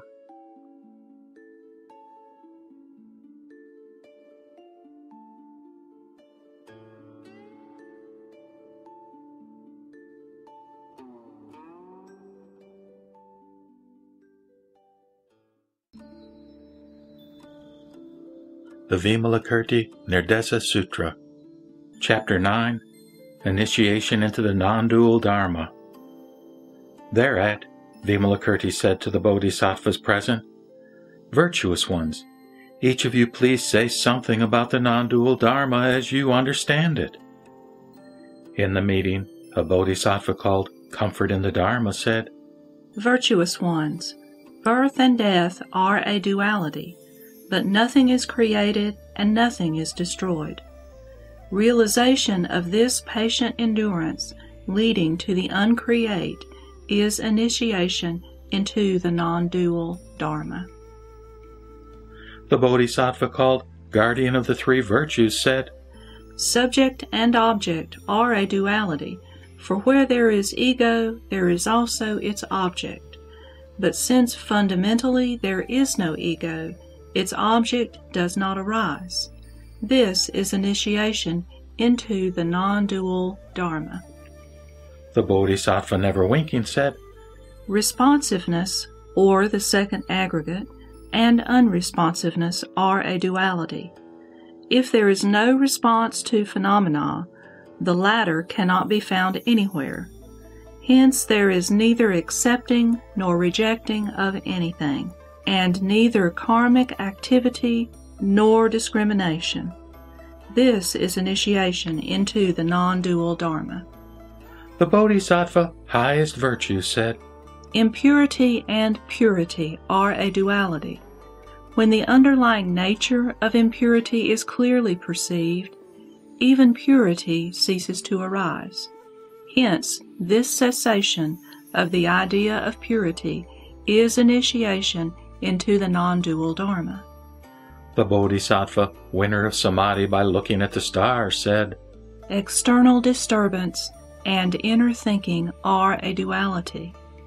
When disturbance subsides, thinking comes to an end, and the absence of thought leads to non discriminating. Reaching this state is initiation into the non dual Dharma. The Bodhisattva skillful eye said, Monistic form and formlessness are a duality. If monistic form is realized as fundamentally formless, with relinquishment of formlessness in order to achieve impartiality, this is initiation into the non dual Dharma. The Bodhisattva Wonderful Arm said, The Bodhisattva mind and the Shravaka mind are a duality. If the mind is looked into as void and illusory, there is neither bodhisattva mind nor shravaka mind. This is initiation into the non dual Dharma. The Bodhisattva, Pusya, said, Good and evil are a duality. If neither good nor evil arises, so that formlessness is realized to attain reality, this is initiation into the non dual Dharma. The Bodhisattva Simha, or lion, said, Weal and woe are a duality. If the underlying nature of woe is understood, woe does not differ from weal. If the diamond indestructible wisdom is used to look into this, with neither bondage nor liberation coming into play, this is initiation into the non dual Dharma. The Bodhisattva, lion's fearlessness, said, The mundane and the supramundane are a duality. If all things are looked into impartially, neither the mundane nor the supramundane will arise, with no differentiation between form and formlessness. This is initiation into the non dual Dharma. The Bodhisattva Pure Interpretation said, Activity and non activity are a duality, but if the mind is kept from all mental conditions, it will be void like space, and pure and clean wisdom will be free from all obstructions. This is initiation into the non dual Dharma. The Bodhisattva Narayana said, The mundane and the supramundane are a duality, but the underlying nature of the mundane is void or immaterial, and is but the supramundane, which can be neither entered nor left, and neither overflows like the stream of transmigration nor scatters like smoke. This is initiation into the non dual Dharma. The Bodhisattva Skillful Mind said, Samsara and nirvana are a duality. If the underlying nature of samsara is perceived, there exists neither birth nor death, neither bondage nor liberation, and neither rise nor fall. Such an understanding is initiation into the non dual Dharma. The Bodhisattva Direct Insight said, The exhaustible and the inexhaustible are a duality. If all things are looked into exhaustively, both the exhaustible and the inexhaustible cannot be exhausted, and the inexhaustible is identical with the void, which is beyond both the exhaustible and the inexhaustible. Such an interpretation is initiation into the non dual Dharma. The Bodhisattva Upholder of Universality said, The ego and non ego are a duality. Since the ego cannot be found, where can the non ego be found? He who perceives the real nature of the ego will not give rise to dualities. This is initiation into the non dual Dharma. The Bodhisattva Lightning Perception said, Enlightenment and unenlightenment are a duality, but the underlying nature of unenlightenment is enlightenment, which should also be cast away. If all relativities are discarded and replaced by non dual impartiality, this is initiation into the non dual Dharma. The Bodhisattva Priyadarsana said, Form and voidness are a duality, but form is identical with voidness, which does not mean that form wipes out voidness, for the underlying nature of form is void itself. So are the other four aggregates reception, conception, discrimination, and consciousness in relation to voidness. Consciousness and voidness are a duality, yet consciousness is identical with voidness, which does not mean that consciousness wipes out voidness. For the underlying nature of voidness is void of itself. A thorough understanding of this is initiation into the non dual Dharma. The Bodhisattva, understanding the four elements, said, The four elements, earth, water, fire, and air, and their voidness, are a duality, but the underlying nature of the four elements is identical to that of voidness. Like the past, before the four elements came into being, and the future, when they scatter away, which are both void, the present, when they appear, is also void.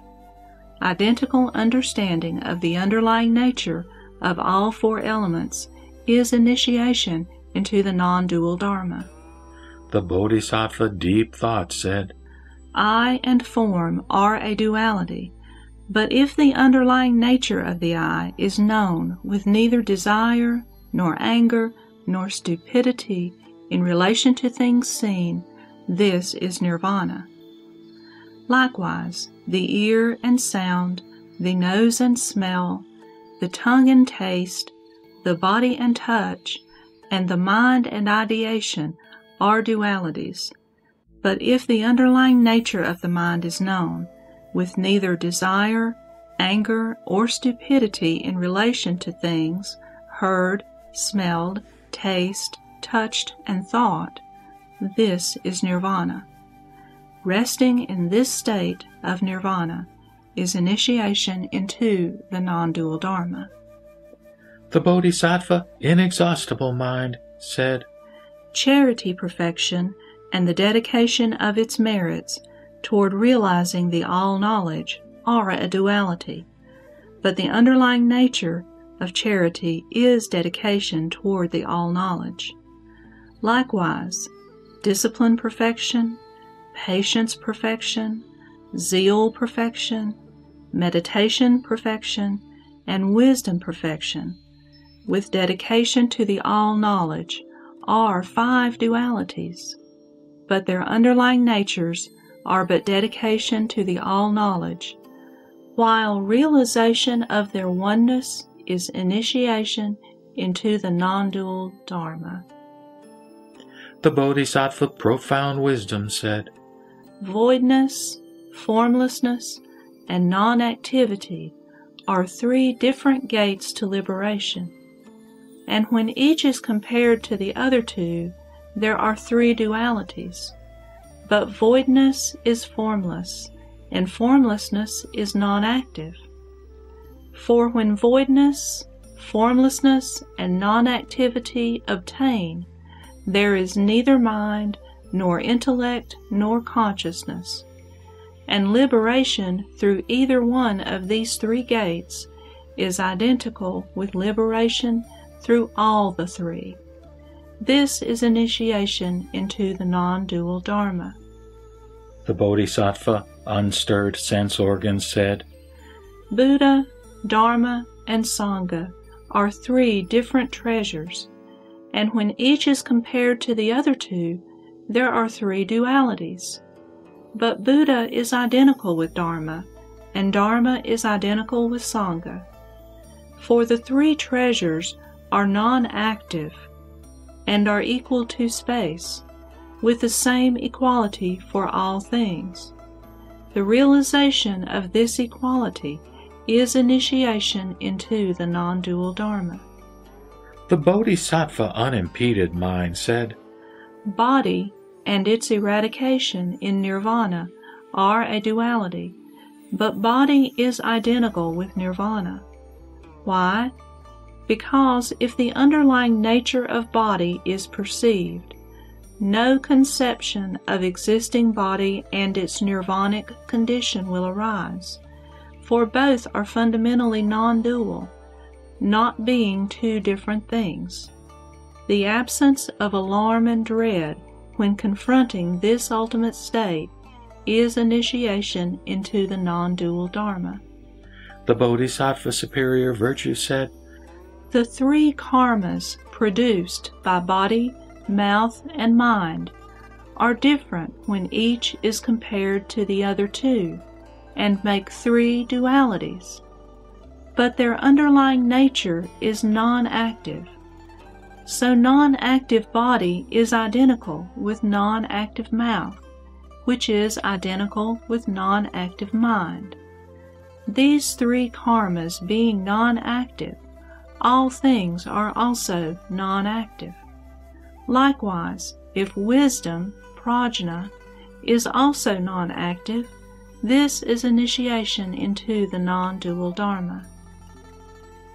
The Bodhisattva field of blessedness said, Good conduct, evil conduct, and motionlessness are different, and when each is compared to the other two, make three dualities. But the underlying nature of all three is voidness, which is free from good, evil, and motionlessness. The non arising of these three is initiation into the non dual Dharma. The Bodhisattva, majestic blossom, said, The ego and its objective are a duality, but if the underlying nature of the ego is looked into, this duality vanishes. If duality is cast away, there will be no consciousness, and freedom from consciousness is initiation into the non dual Dharma. The Bodhisattva, treasure of the threefold potency, said, Realization implies subject and object, which are a duality. But if nothing is regarded as realization, there will be neither grasping nor rejecting, and freedom from grasping and rejecting is initiation into the non dual Dharma. The Bodhisattva, moon in mid heaven, said, Darkness and light are a duality. Where there is neither darkness nor light, this duality is no more. Why? Because in the state of samadhi resulting from the complete extinction of sensation and thought, there is neither darkness nor light, while all things disappear. A disinterested entry into this state is initiation into the non dual Dharma. The Bodhisattva Ratna Mudra, or precious symbol, said, Joy in nirvana and sadness in samsara are a duality which vanishes when there is no longer joy and sadness. Why? Because where there is bondage, there is also desire for liberation. But if fundamentally there is no bondage, who seeks liberation? Where there is neither bondage nor liberation, there will be neither joy nor sadness. This is initiation into the non dual Dharma. The Bodhisattva, gem on the head, said, Orthodoxy and heterodoxy are a duality, but he who dwells in, that is, realizes, orthodoxy does not discriminate between orthodoxy and heterodoxy. Keeping from these two extremes is initiation into the non dual Dharma. The Bodhisattva, joy in reality, said, Reality and unreality are a duality, but he who realizes reality does not even perceive it, still less unreality. Why? because reality is invisible to the ordinary eyes and appears only to the eye of wisdom. Thus, realization of the eye of wisdom, which is neither observant nor unobservant, is initiation into the non dual Dharma. After all the bodhisattvas had spoken, they asked Manjushri for his opinion on the non dual Dharma. Manjushri said, in my opinion, when all things are no longer within the province of either word or speech, and of either indication or knowledge, and are beyond questions and answers, this is initiation into the non-dual Dharma. Thereat, Manjushri asked Vimalakirti, All of us have spoken. Please tell us what is the Bodhisattva's initiation into the non-dual Dharma. Vimalakirti kept silent, without saying a word.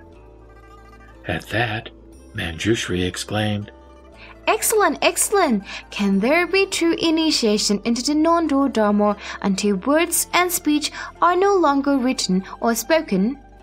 After this initiation into the non dual Dharma had been expounded, 5,000 bodhisattvas at the meeting were initiated into it, thereby realizing the patient endurance of the uncreate.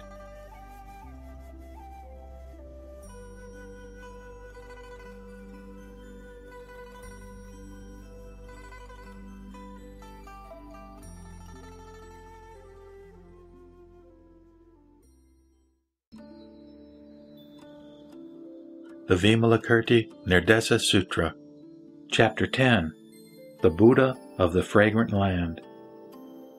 Sariputra was thinking of mealtime and of the food for the bodhisattvas in the meeting when Vimalakirti, who read his thought, said to him, The Buddha taught the eight forms of liberation which you have received for practice. Do you now mix your desire to eat with his Dharma? If you want to eat, please wait for a moment and you will have a rare treat. At that, Vimalakirti entered the state of samadhi and used his transcendental power to show to the assembly a country which is above, separated from this world by a distance represented by Buddha lands as countless as sand grains in 42 Ganges rivers, and which was called the country of all fragrances, whose Buddha was called the Tathagata of the fragrant land, and was still there.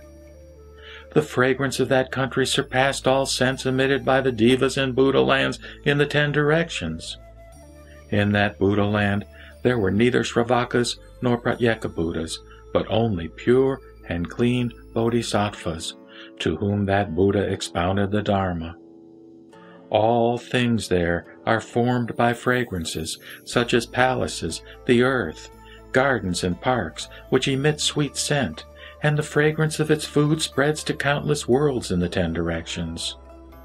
Its Buddha and Bodhisattvas were sitting down for the meal offered to them by the sons of Devas, who were all called glorious fragrances, and were setting their minds on the quest of supreme enlightenment.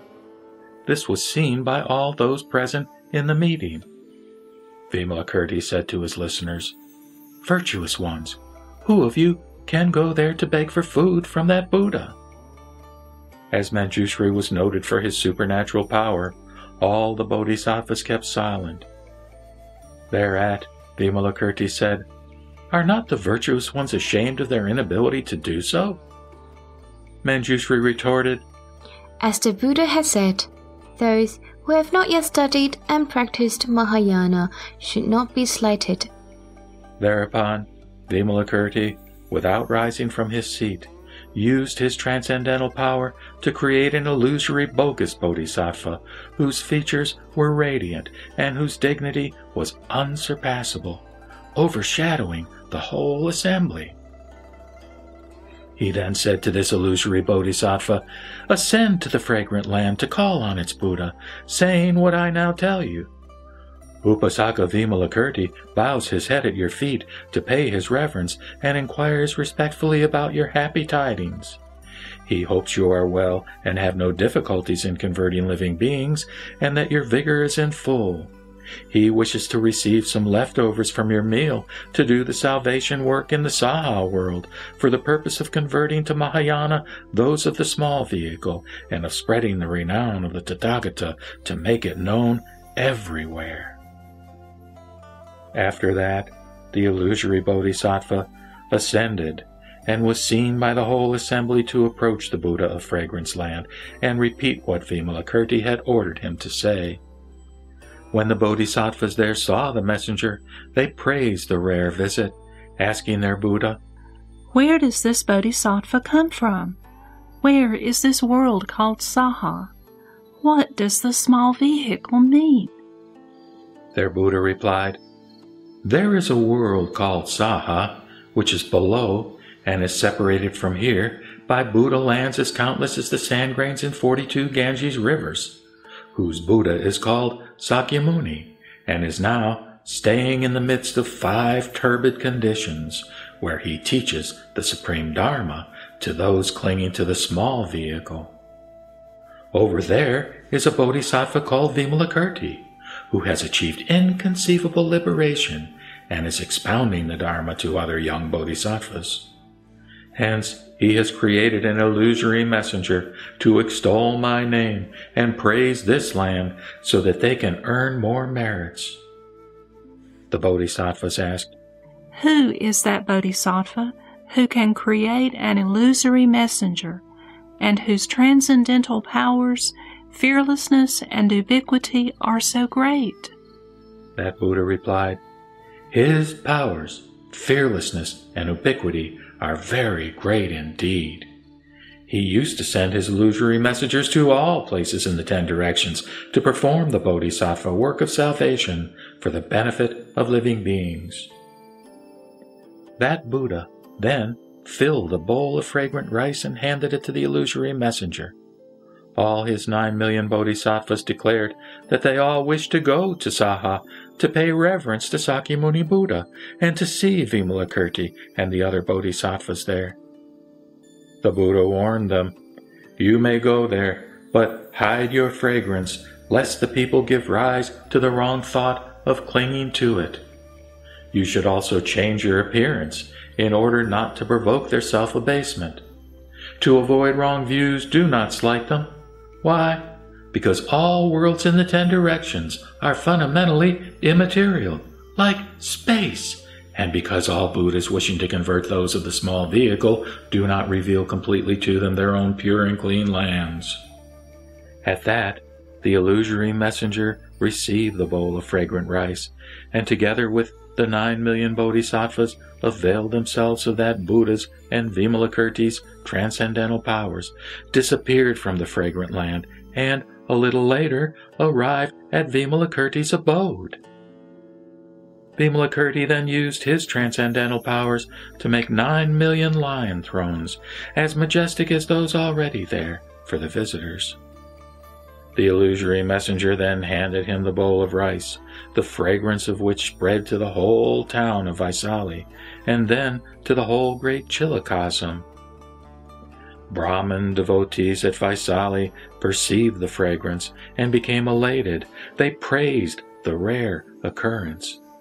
Their chief, called Lunar Canopy, took 84,000 men to Vimalakirti's house, where they saw many bodhisattvas seated on majestic lion thrones.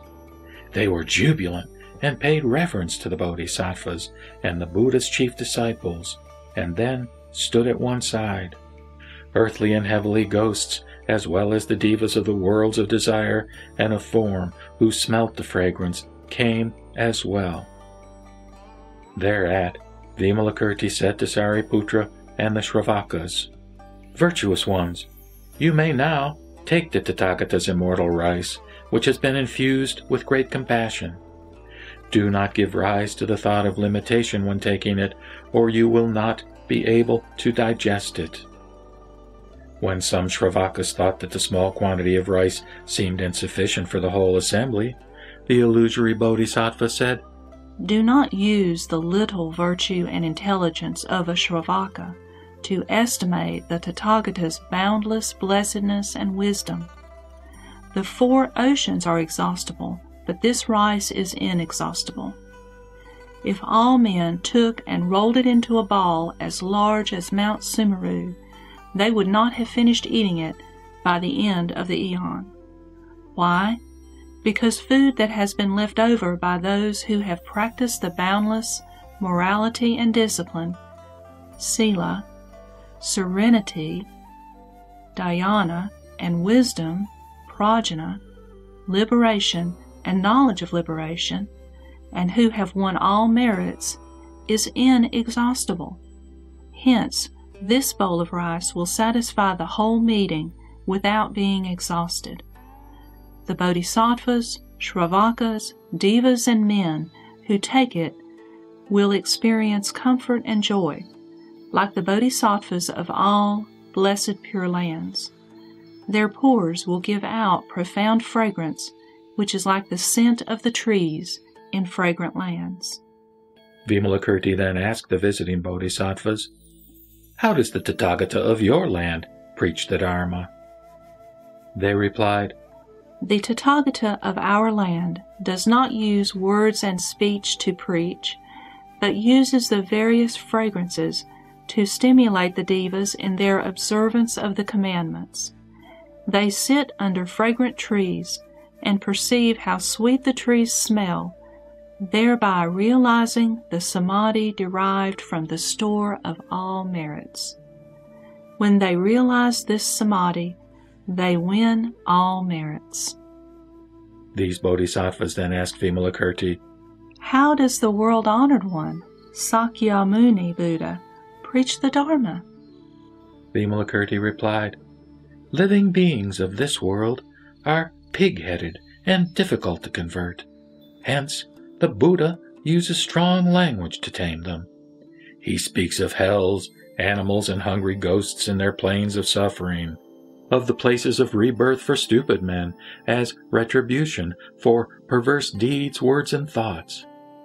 That is, for killing, stealing, carnality, lying, double tongue, coarse language, affected speech, covetousness, anger, perverted views, which are the ten evils, for stinginess, breaking the precepts, anger, remissness, confused thoughts and stupidity, that is, the six hindrances to the six paramitas, for accepting, observing, and breaking the prohibitions, for things that should and should not be done, for obstructions and non obstructions, for what is sinful and what is not, for purity and filthiness, for the worldly and holy states, for heterodoxy and orthodoxy, for activity and non activity, and for samsara and nirvana.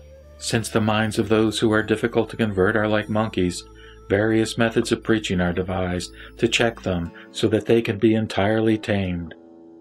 Like elephants and horses which cannot be tamed without whipping them until they feel pain and become easily managed, the stubborn of this world can be disciplined only with bitter and eager words.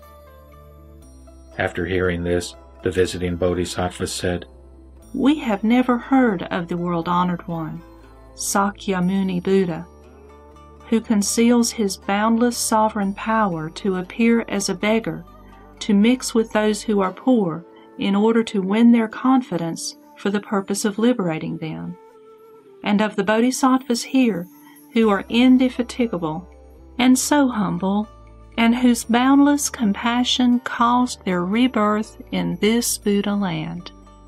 Vimalakirti said, As you have said, the bodhisattvas of this world have strong compassion, and their lifelong works of salvation for all living beings surpass those done in other pure lands during hundreds and thousands of eons.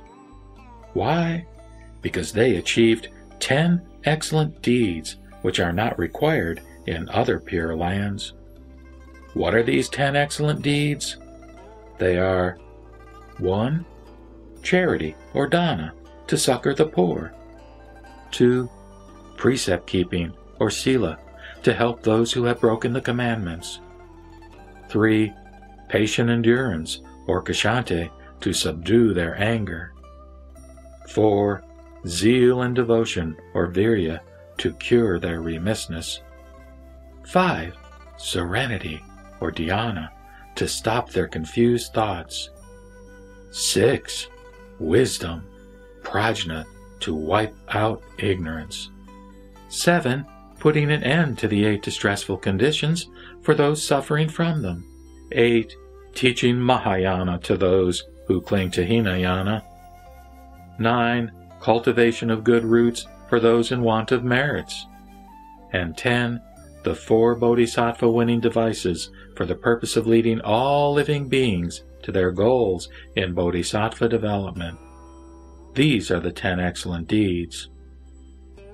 The visiting bodhisattvas asked, How many dharmas should a bodhisattva achieve in this world to stop its morbid growth, defilements, in order to be reborn in the Buddha's pure land? Vimalakirti replied, A bodhisattva should bring to perfection eight dharmas to stop morbid growth in this world in order to be reborn in the pure land. They are 1. Benevolence toward all living beings with no expectation of reward. 2. Endurance of sufferings for all living beings, dedicating all merits to them. 3. Impartiality toward them, with all humility, free from pride and arrogance. 4.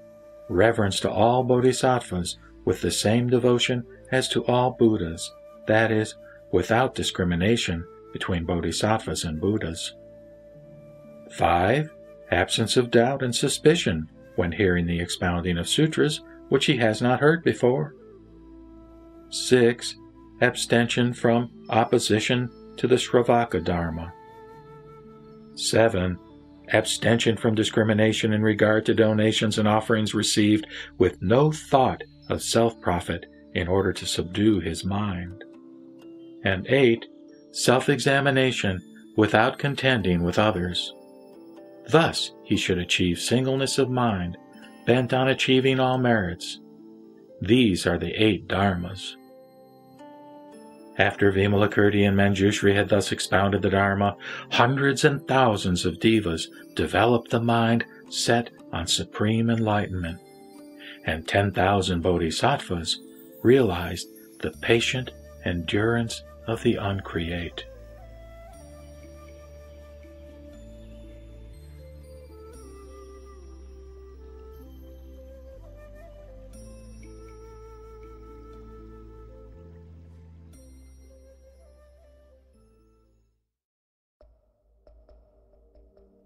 The Vimalakirti Nirdesa Sutra, Chapter 11 The Bodhisattva Conduct.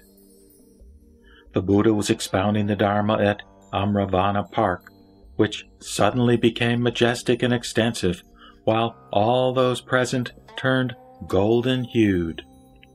Ananda asked the Buddha, World Honored One, what is the cause of these auspicious signs? Why does this place become extensive and majestic? And why does the assembly turn golden hued? The Buddha replied, This is because Vimalakirti and Manjushri, with their followers circumambulating them, want to come here. Hence, these auspicious signs. At Vaisali, Vimalakirti said to Manjushri, We can now go and see the Buddha, so that we and the Bodhisattvas can pay reverence and make offerings to him. Manjushri said, Excellent, let us go. It is now time to start. Vimalakirti then used his transcendental powers to carry the whole meeting with the lions' thrones on the palm of his right hand and flew in the air to the Buddha's place. When they landed there, Vimalakirti bowed his head at his feet, walked around him from the right seven times, and bringing his palms together, stood at one side.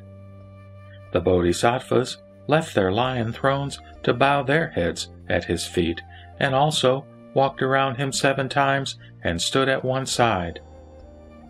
The Buddha's chief disciples, with Indra, Brahma, both as protectors of the Dharma, and the four Deva kings of the four heavens, also left their lion thrones, bowed their heads at his feet, walked around him seven times, and then stood at one side. The Buddha comforted the bodhisattvas, and ordered them to take their seats to listen to his teaching. After they had sat down, the Buddha asked Sariputra, Have you seen what the great bodhisattvas have done with their transcendental powers? Sariputra replied that he had. And he asked, What do you think of all this? Sariputra answered, I saw them do inconceivable feats which the mind can neither think of nor estimate. Ananda then asked the Buddha, World Honored One, the fragrance we are smelling was never perceived before. What is it?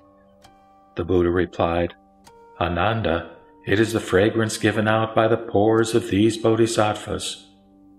At that, Sariputra said to Ananda, Our pores also give the same fragrance. Ananda asked Sariputra, Where does it come from? Sariputra replied, It is this Upasaka Vimalakirti who obtained what was left over from the Buddha's meal in the fragrance land, and those who ate it at his abode give out this fragrance from their pores. Ananda then asked Vimalakirti. How long does this fragrance last? Vimalakirti replied, It lasts until the rice has been digested. Ananda asked, How long does this take? Vimalakirti replied, It will be digested after a week. Ananda, Shravakas who have not reached the right position, that is, nirvana, will attain it after taking this rice, which will then be digestible. And those who have attained nirvana will realize liberation of their minds from the subtle conception of nirvana, and then the rice will be digested. Those who have not developed the Mahayana mind will develop it, and then the rice will be digested. Those who have developed it and take this rice will achieve the patient endurance of the uncreate, and the rice will then be digestible. Those who have achieved the patient endurance of the uncreate and take this rice will reincarnate once more for final development into Buddhahood, and the rice will be digested. Like an efficacious medicine which cures an ailment before wasting away, this rice will be digestible after it has killed all troubles and afflictions, or klesha. Ananda said to the Buddha, World Honored One, it is indeed a rare thing that this fragrant rice performs the Buddha work of salvation. The Buddha said, It is so, Ananda, it is so. There are Buddha lands where the Buddha light performs the work of salvation, where the Bodhisattvas perform it, where illusory men created by the Buddha do it, where the Bo trees do it, where the Buddhist robe and bedding do it, where the rice taken by the Buddha does it, where parks and temples do it, where the Buddha's 32 physical marks and their 80 notable characteristics do it, where the Buddha's body or Rupakaya does it, and where empty space does it. And living beings practice discipline with success because of these causes.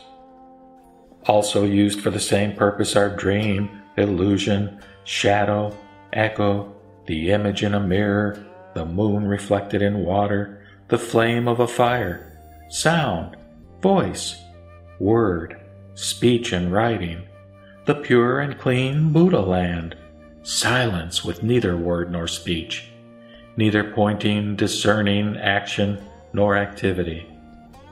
Thus, Ananda, whatever the Buddhas do, by either revealing or concealing their awe inspiring majesty, is the work of salvation.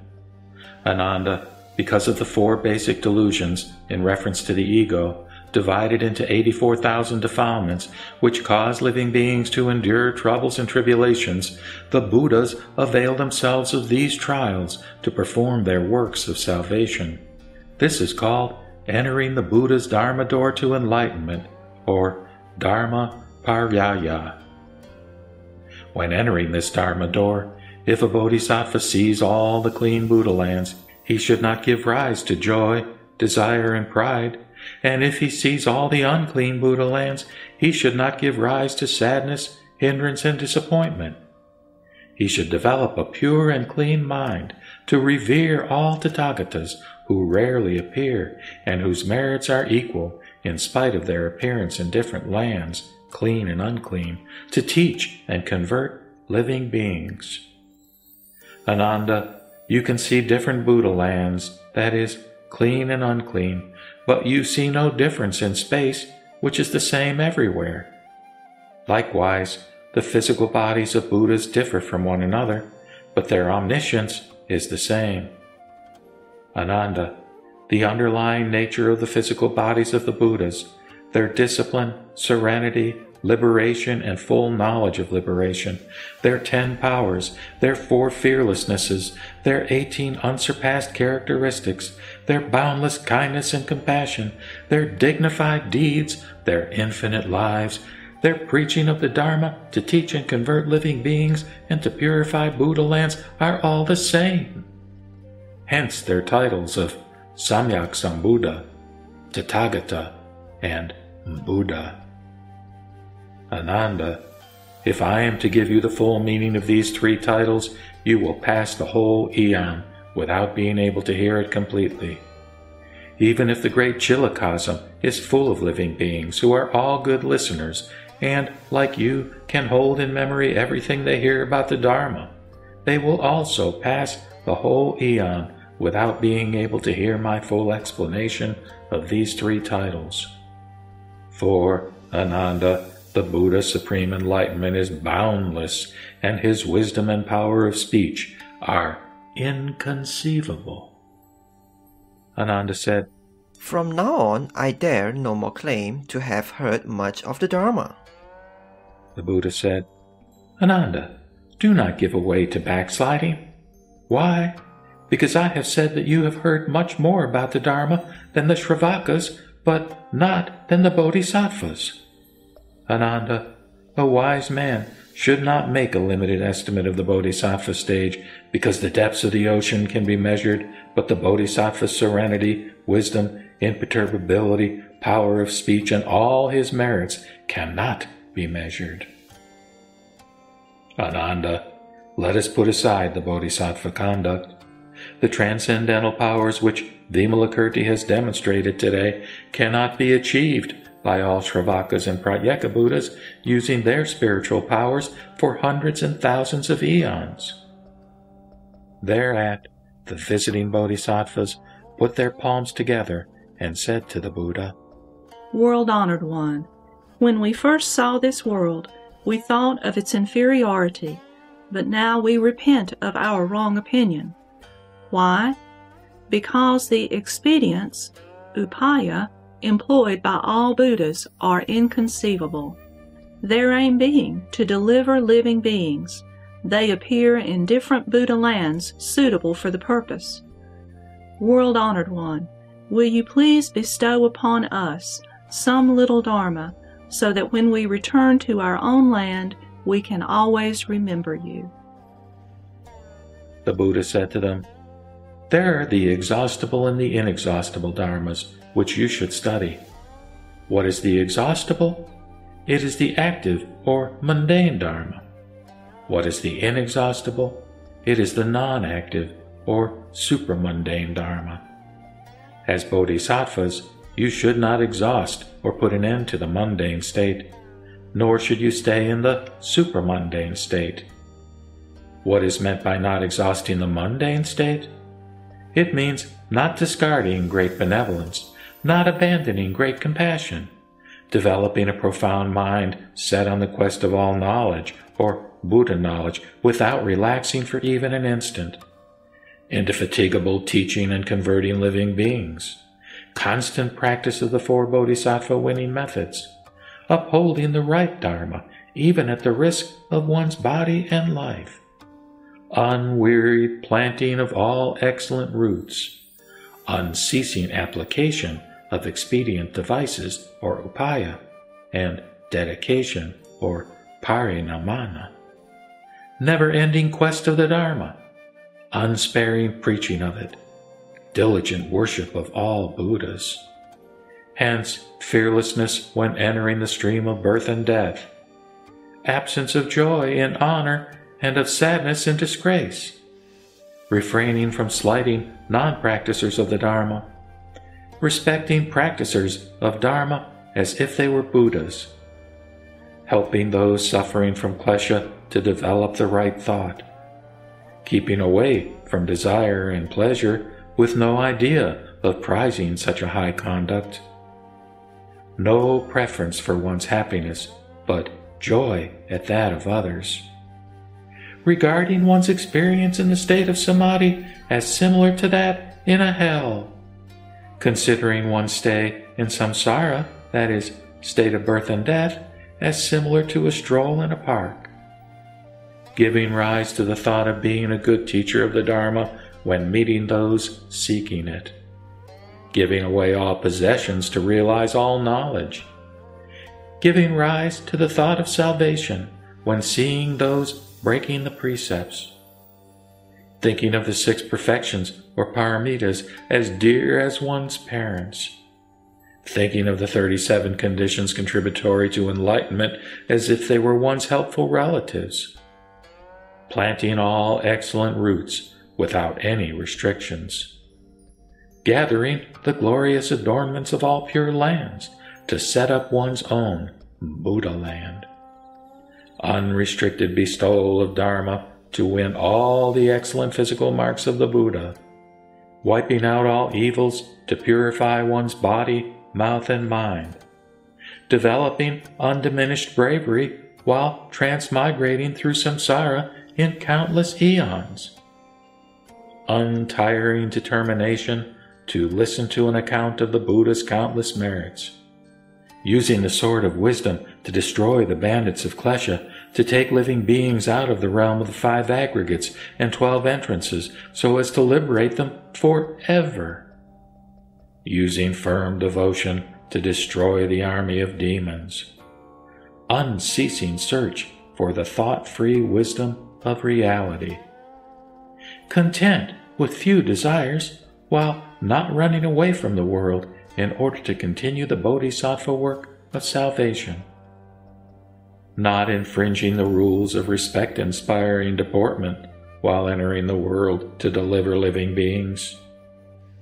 Use of the transcendental power derived from wisdom to guide and lead all living beings. Controlling the thinking process in order never to forget the Dharma being aware of the roots of all living beings in order to cut off their doubts and suspicions about their underlying nature. Use of the power of speech to preach the Dharma without impediment. Perfecting the ten good deeds to win the blessings of men and devas in order to be reborn among them to spread the Dharma.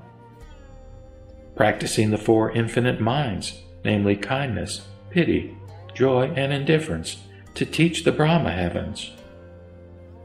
Rejoicing at being invited to expound and extol the Dharma in order to win the Buddha's skillful method of preaching. Realizing excellence of body, mouth, and mind to win the Buddha's respect inspiring deportment. Profound practice of good Dharma to make one's deeds unsurpassed. Practicing Mahayana to become a Bodhisattva monk. And developing an ever receding mind in order not to miss all excellent merits. This is the Bodhisattva not exhausting the mundane state. What is the Bodhisattva not staying in the supramundane state or nirvana? It means studying and practicing the immaterial but without abiding in voidness, studying and practicing formlessness and inaction but without abiding in them, studying and practicing that which is beyond causes but without remaining in it, looking into impermanence without discarding the roots of good causation, looking into suffering in the world without hating birth and death, that is, samsara looking into the absence of the ego while continuing to teach all living beings indefatigably. Looking into nirvana with no intention of dwelling in it permanently. Looking into the relinquishment of nirvana while one's body and mind are set on the practice of all good deeds. Looking into the non existing destinations of all things while the mind is set on practicing excellent actions as true destinations looking into the unborn, that is, the uncreate, while abiding in the illusion of life to shoulder responsibility to save others. Looking into passionlessness without cutting off the passion stream in order to stay in the world to liberate others. Looking into the state of non action while carrying out the Dharma to teach and convert living beings. Looking into nothingness without forgetting about great compassion. Looking into the right position, that is, nirvana, without following the Hinayana habit of staying in it. Looking into the unreality of all phenomena, which are neither firm nor have an independent nature, and are egoless and formless. But since one's own fundamental vows are not entirely fulfilled, one should not regard merits, serenity, and wisdom as unreal, and so cease practicing them. This is the bodhisattva not staying in the non active state. Further, to win merits, a bodhisattva does not stay in the supramundane, and to realize wisdom, he does not exhaust the mundane.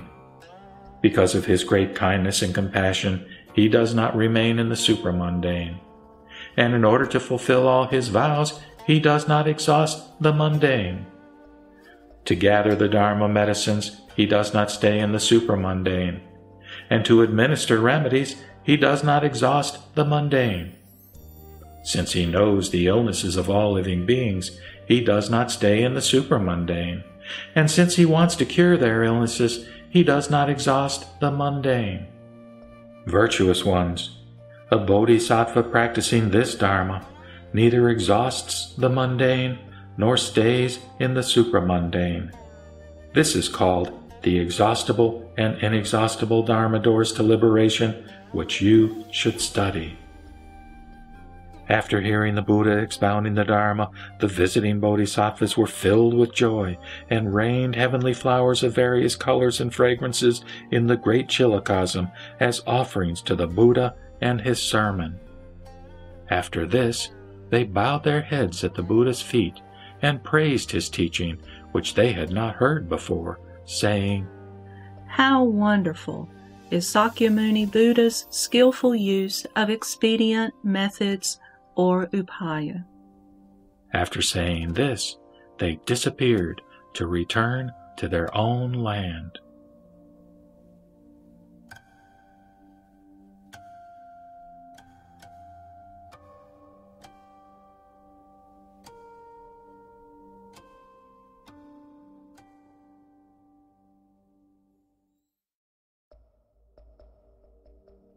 the Vimalakirti Nirdesa Sutra, Chapter 12 Seeing Aksobhya Buddha. The Buddha then asked Vimalakirti, You spoke of coming here to see the Tathagata, but how do you see him impartially? Vimalakirti replied, Seeing reality in one's body is how to see the Buddha. I see the Tathagata did not come in the past, will not go in the future, and does not stay in the present.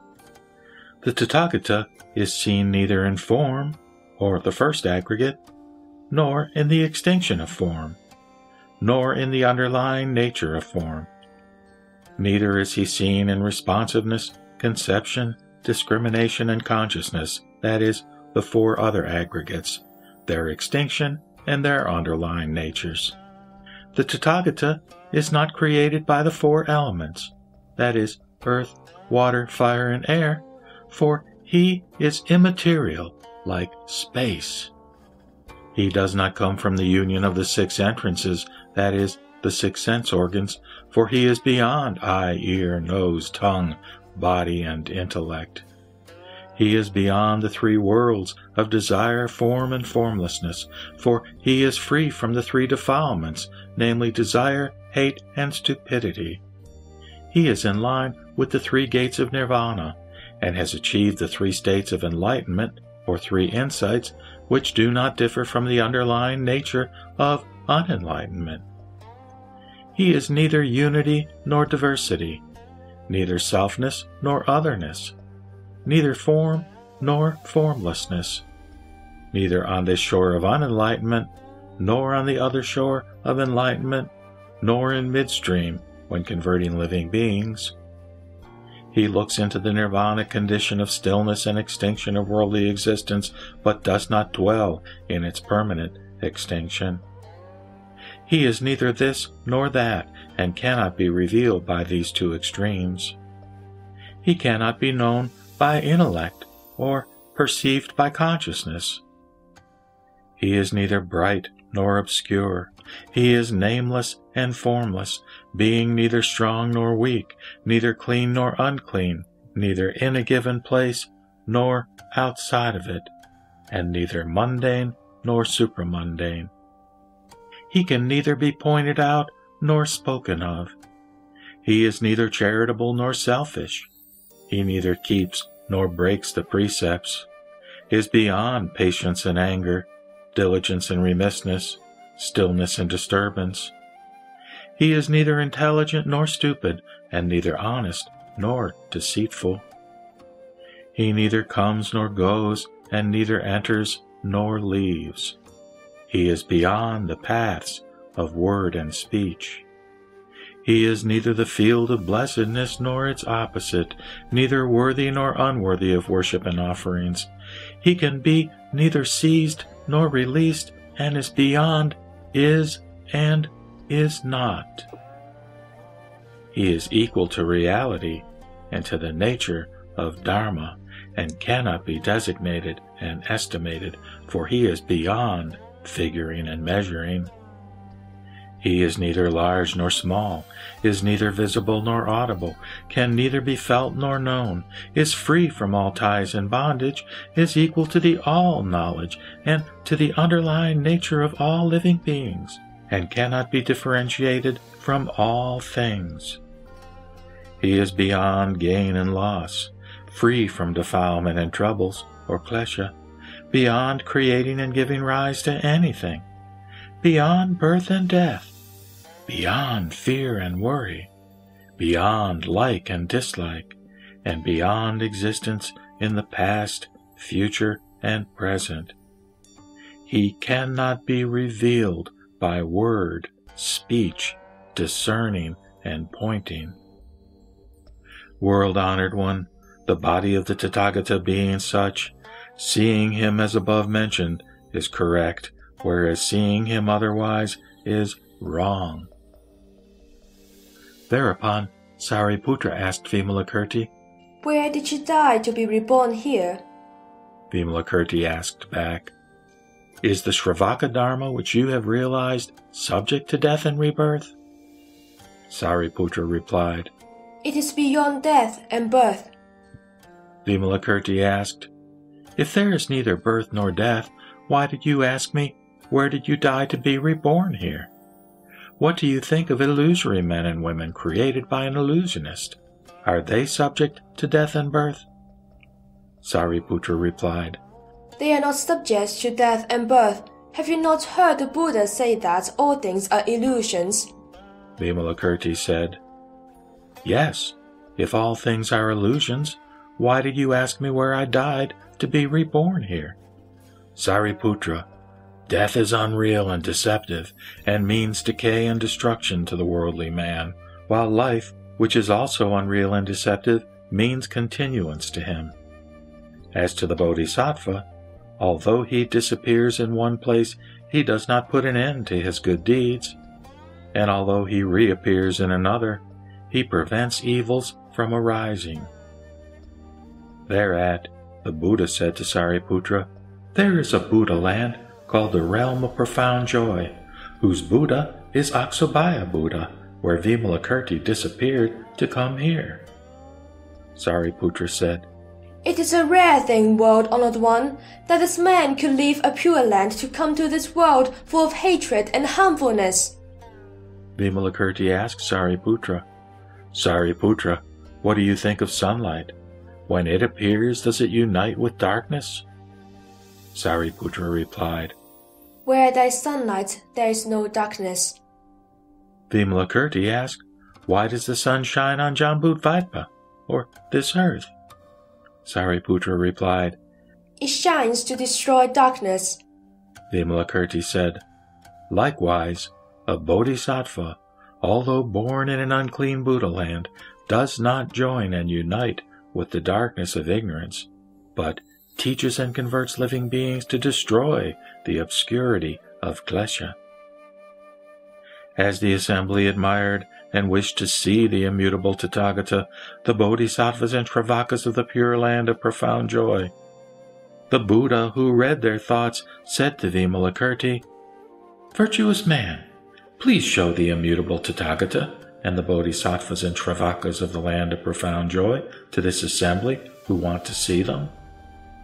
Vimalakirti thought that he should, while remaining seated, take with his hand the world of profound joy, with its iron enclosing mountains, hills, rivers, streams, ravines, springs, seas, sumerus, sun, moon, stars, planets, palaces of heavenly dragons, ghosts, spirits and devas, bodhisattvas, shravakas, towns, hamlets, men and women of all ages, the immutable Tathagata, his Bo tree, and beautiful lotus blossoms, which were used to perform the Buddha work of salvation in the ten directions, as well as the three flights of gemmed steps linking Jambudvipa, or our earth, with Trayastrimsas, by which the devas descended to earth to pay reverence to the immutable Tathagata and to listen to his Dharma, and by which men ascended to Trayastrimsas to see the devas. All this was the product of countless merits of the realm of profound joy, from the Akanistha heaven above to the seas below, and was lifted by Vimalakirti with his right hand with the same ease with which a potter raises his wheel, taking everything to earth to show it to the assembly as if showing his own headdress. Vimalakirti then entered the state of samadhi and used his supramundane power to take with his right hand the world of profound joy which he placed on earth.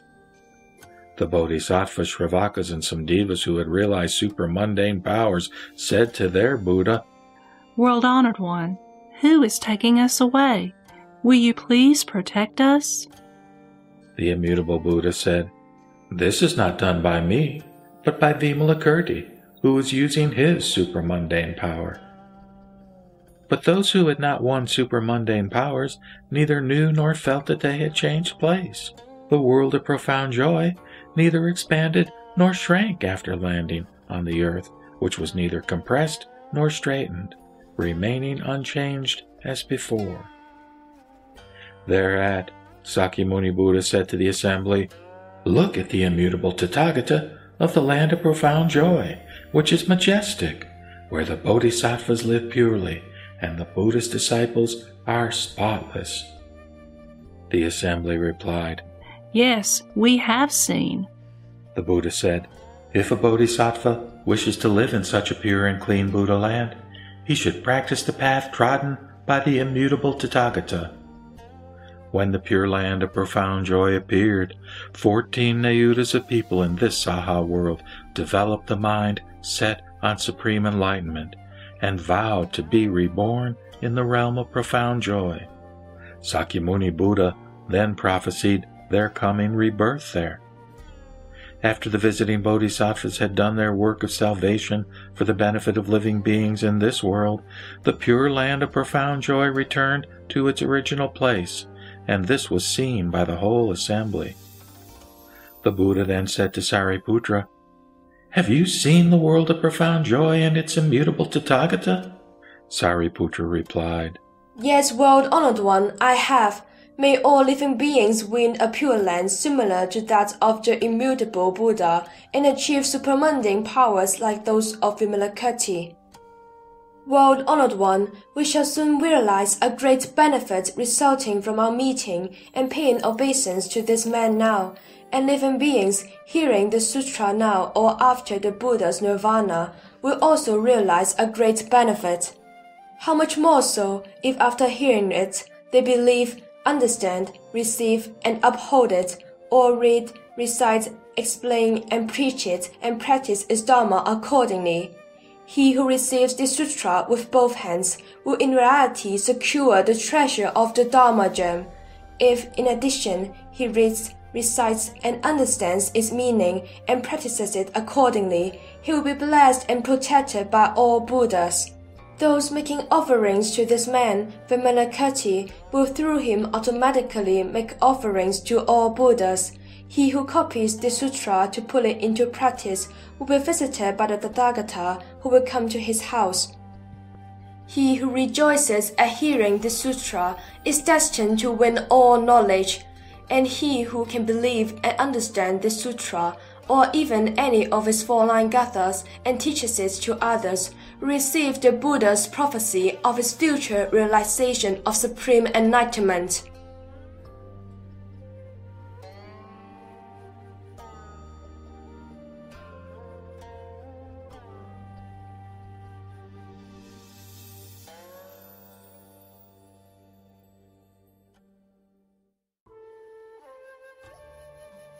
The Vimalakirti Nirdesa Sutra, Chapter 13 The Offering of Dharma.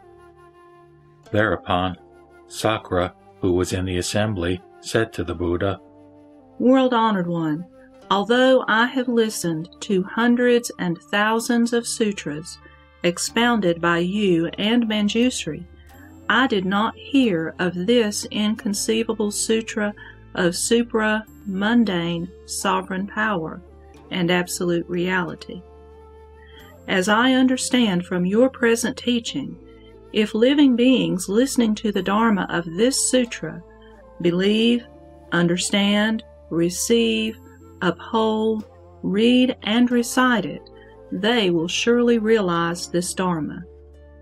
How much more so if someone practices it as expounded?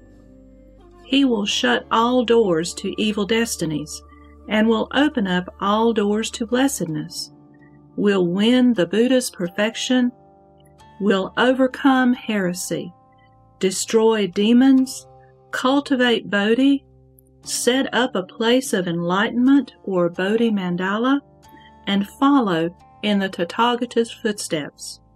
World honored one, if there are people who receive, uphold, read, recite, and practice this sutra, I and my followers will provide them with all the necessities of life.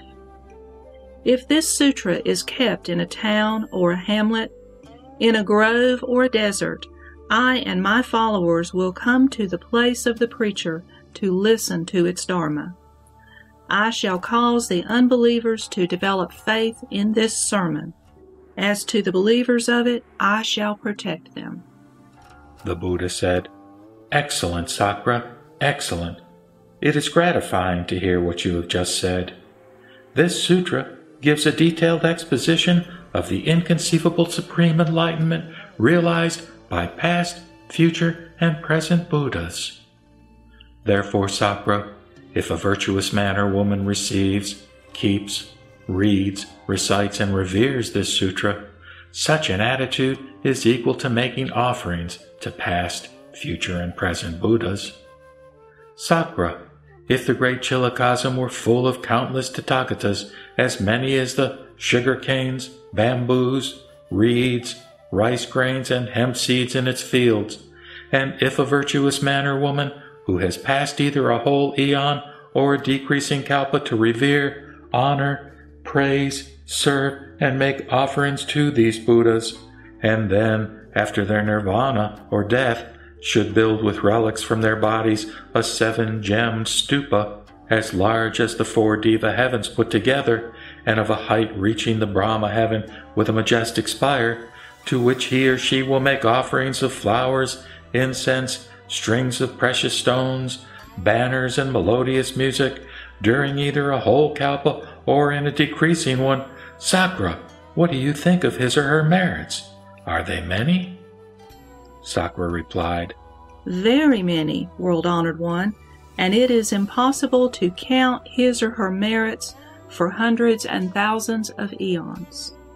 The Buddha said, Sakra, you should know that if another virtuous man or woman, after hearing this sutra of inconceivable liberation, believes, understands, receives, keeps, reads, recites, and practices this sutra, his or her merits will surpass those of the former man or woman. Why? Because the Bodhi, or enlightenment, of all Buddhas originates from this Dharma, and since enlightenment is beyond all measuring, the merits of this sutra cannot be estimated. The Buddha continued. Long before an uncountable number of eons in the past, there was a Buddha called Bhaisajyaraja, whose titles are Tathagata, Arhat, Samyak Sambuddha, Vidyacarana Sampanna, Sugata, Lokavid, Anuttara, Purusadamya Sarathi, Sasta Diva Manusanyam, and Buddha Lokanatha or Bhagavan. His world was called Mahavyuha, and the then Eon Alamkara Kakalpa. The Buddha Bhaisajyaraja lived for 20 small kalpas. The number of Shravakas reached 36 Nayutas, and that of Bodhisattvas 12 lakhs. There, Sakra was a heavenly ruler, or Cakravarti called Precious Canopy, who possessed all the seven treasures and was the guardian of four heavens. He had a thousand sons who were respectable and brave and had overcome all opposition. At the time, Precious Canopy and his retinue had worshipped and made offerings to the Tathagata Bhaisajyaraja for five eons, after which he said to his thousand sons, you should respectfully make offerings to the Buddha as I have done. Obeying their father's order, they made offerings to the Tathagata Bhaisajya for five eons, after which one of the sons called Lunar Canopy, while alone, thought, Is there some other form of offering surpassing what we have made up to now? Under the influence of the Buddha's transcendental powers, a deva in the sky said, Virtuous man, the offering of Dharma surpasses all other forms of offering. Lunar Canopy asked, What is this offering of Dharma? The deva replied, Go and ask the Tathagata Bhaisajya who will explain it fully. Thereupon, Lunar Canopy came to the Tathagata Bhaisajya bowed his head at his feet, and stood at his side, asking, World honored one, I have heard that the offering of Dharma surpasses all other forms of offering. What is the offering of Dharma? The Tathagata replied, Virtuous one, The offering of Dharma is preached by all Buddhas in profound sutras, but it is hard for worldly men to believe and accept it, as its meaning is subtle and not easily detected, for it is spotless in its purity and cleanness. It is beyond the reach of thinking and discriminating. It contains the treasury of the Bodhisattva's Dharma store and is sealed by the Dharani symbol.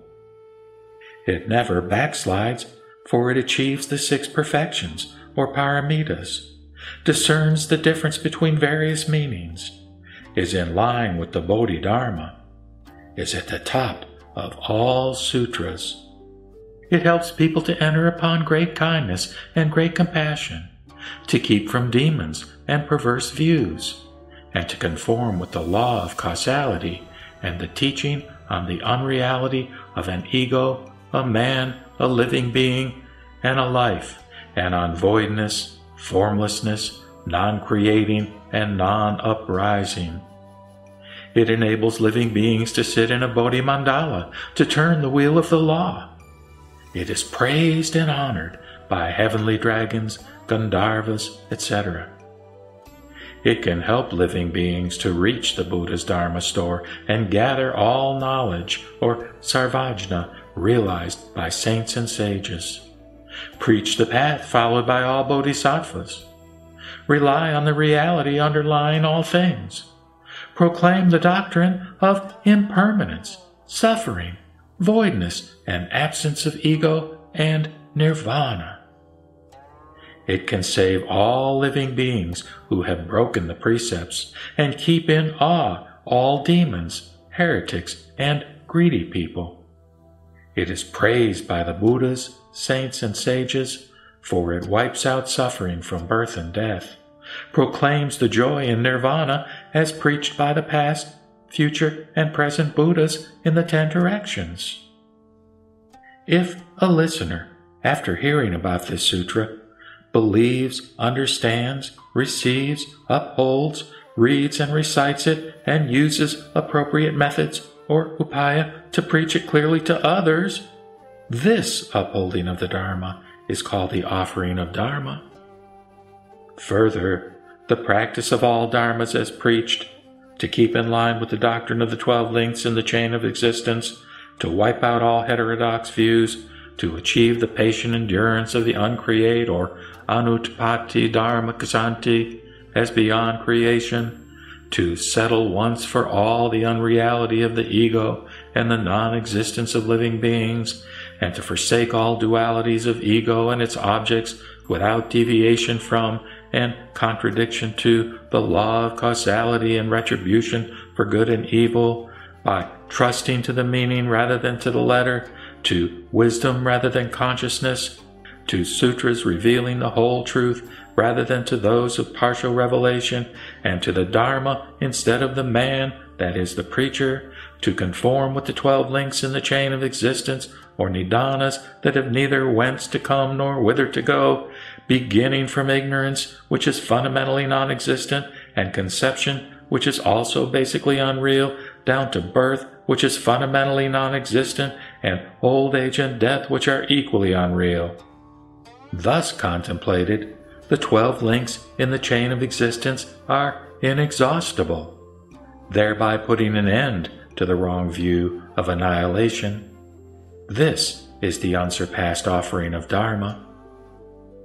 The Buddha then said to Sakra, Lunar Canopy, after hearing the Dharma from the Buddha Bhaisajya, or the Buddha of medicine, realized only the patience of meekness and took off his precious robe to offer it to that Buddha, saying, World honored one, after your nirvana, I shall make offerings of Dharma to uphold the right doctrine. Will your awe inspiring majesty help me to overcome the demons and to practice the Bodhisattva line of conduct? The Buddha, Bhaisajya, knew of his deep thought and prophesied, Until the last moment, you will guard the Dharma protecting citadel. Sakra, at that time, lunar canopy, perceived the pure and clean Dharma, and after receiving the Buddha's prophecy, believed it, and left his home to join the order. He practiced the Dharma so diligently that he soon realized the five transcendental powers. In his bodhisattva development, he won the endless power of speech through his perfect control, or dharani, of all external influences. After the nirvana of the Buddha Bhaisajya, he used this power of speech to turn the wheel of the law, spreading the Dharma widely for ten small eons. Lunar Canopy was indefatigable in his preaching of the Dharma and converted a million lakhs of people who stood firm in their quest of supreme enlightenment. Fourteen Nayutas of people who set their minds on achieving the Sravaka and Pratyeka Buddha stages, and countless living beings who were reborn in the heavens. Sakra, who was that royal precious canopy? He is now a Buddha called the Tathagata precious flame, and his one thousand sons are the thousand Buddhas of the present Bhadrakalpa, the virtuous eon, whose first Buddha was Krakuchanda, and last Buddha was Ruchika. Bhikshu Lunar Canopy was myself. Sakra, you should know that the offering of Dharma is the highest form of offering. Therefore, Sakra, you should make offering of Dharma as an offering to all Buddhas.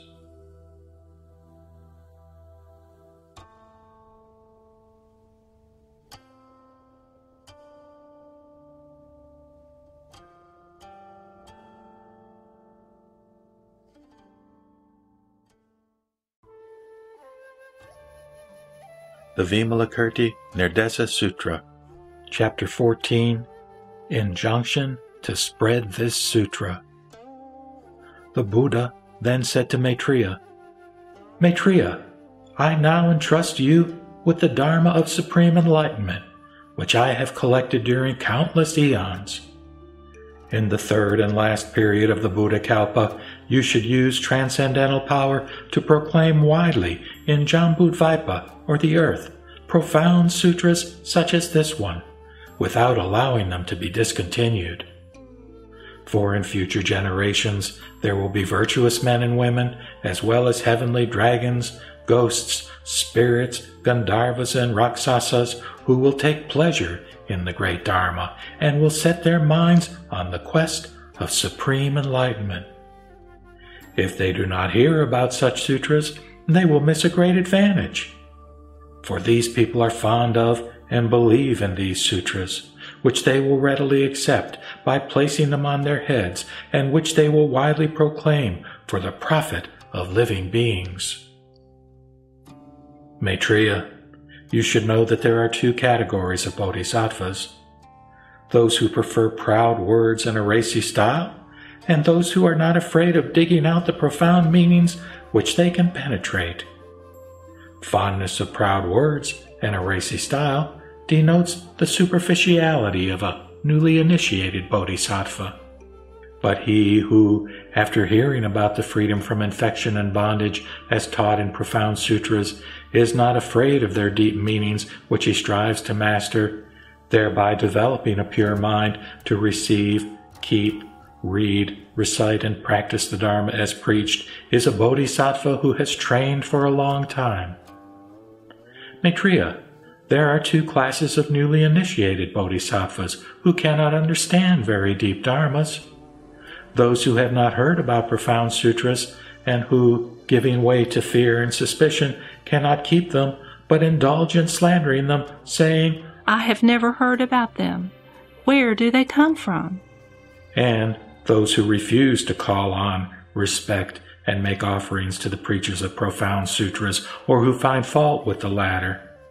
These are two classes of newly initiated bodhisattvas who cannot control their minds when hearing the deep Dharma, thereby harming themselves. Maitreya, further, there are two categories of bodhisattvas who harm themselves and fail to realize the patient endurance of the uncreate in spite of their belief and understanding of the deep Dharma. They are, firstly, those who belittle newly initiated bodhisattvas and do not teach and guide them. and secondly, those who, despite their faith in the deep Dharma, still give rise to discrimination between form and formlessness. After hearing the Buddha expound the Dharma, Maitreya said, World honored one, I have not heard all this before. As you have said, I shall keep from these evils and uphold the Dharma of supreme enlightenment which the Tathagata has collected during countless eons. In future, if there are virtuous men and women who seek for Mahayana, I shall see to it that this sutra will be placed in their hands, and shall use transcendental power to make them remember it, so that they can receive, keep, read, recite, and proclaim it widely. World honored one, in the coming Dharma ending age, if there are those who can receive, keep, read, and recite this sutra and expound it widely, they will do so under the influence of my transcendental power. The Buddha said, Excellent, Maitreya, excellent. As you have said, I will help you achieve this great joy. At that, all the bodhisattvas in the assembly brought their palms together and said to the Buddha, After your nirvana, we will also proclaim this Dharma of supreme enlightenment widely in the ten directions and will guide preachers of Dharma to obtain this sutra. The four kings of Devas said to the Buddha, World honored one, in all towns and villages, in the groves and wilderness, and where there is this sutra and people reading, reciting, explaining, and proclaiming it, I will lead local officials to go to their places to listen to the Dharma and to protect them, so that no one dares to come within 100 yojanas of their places to trouble them. The Buddha then said to Ananda, Ananda, you too should receive, keep, and spread this sutra widely. Ananda said, Yes, world honored one, I have received this sutra and will keep it. What is its title? The Buddha said, Ananda, its title is The Sutra Spoken by Vimalakirti, or The Inconceivable Door to Liberation, under which you should receive and keep it. After the Buddha had expounded this sutra, the old Upasaka Vimalakirti, Manjushri, Sariputra, Ananda, and others, as well as devas, asuras, and all those present, were filled with joy, believed, received, and kept it, paid reverence, and went away.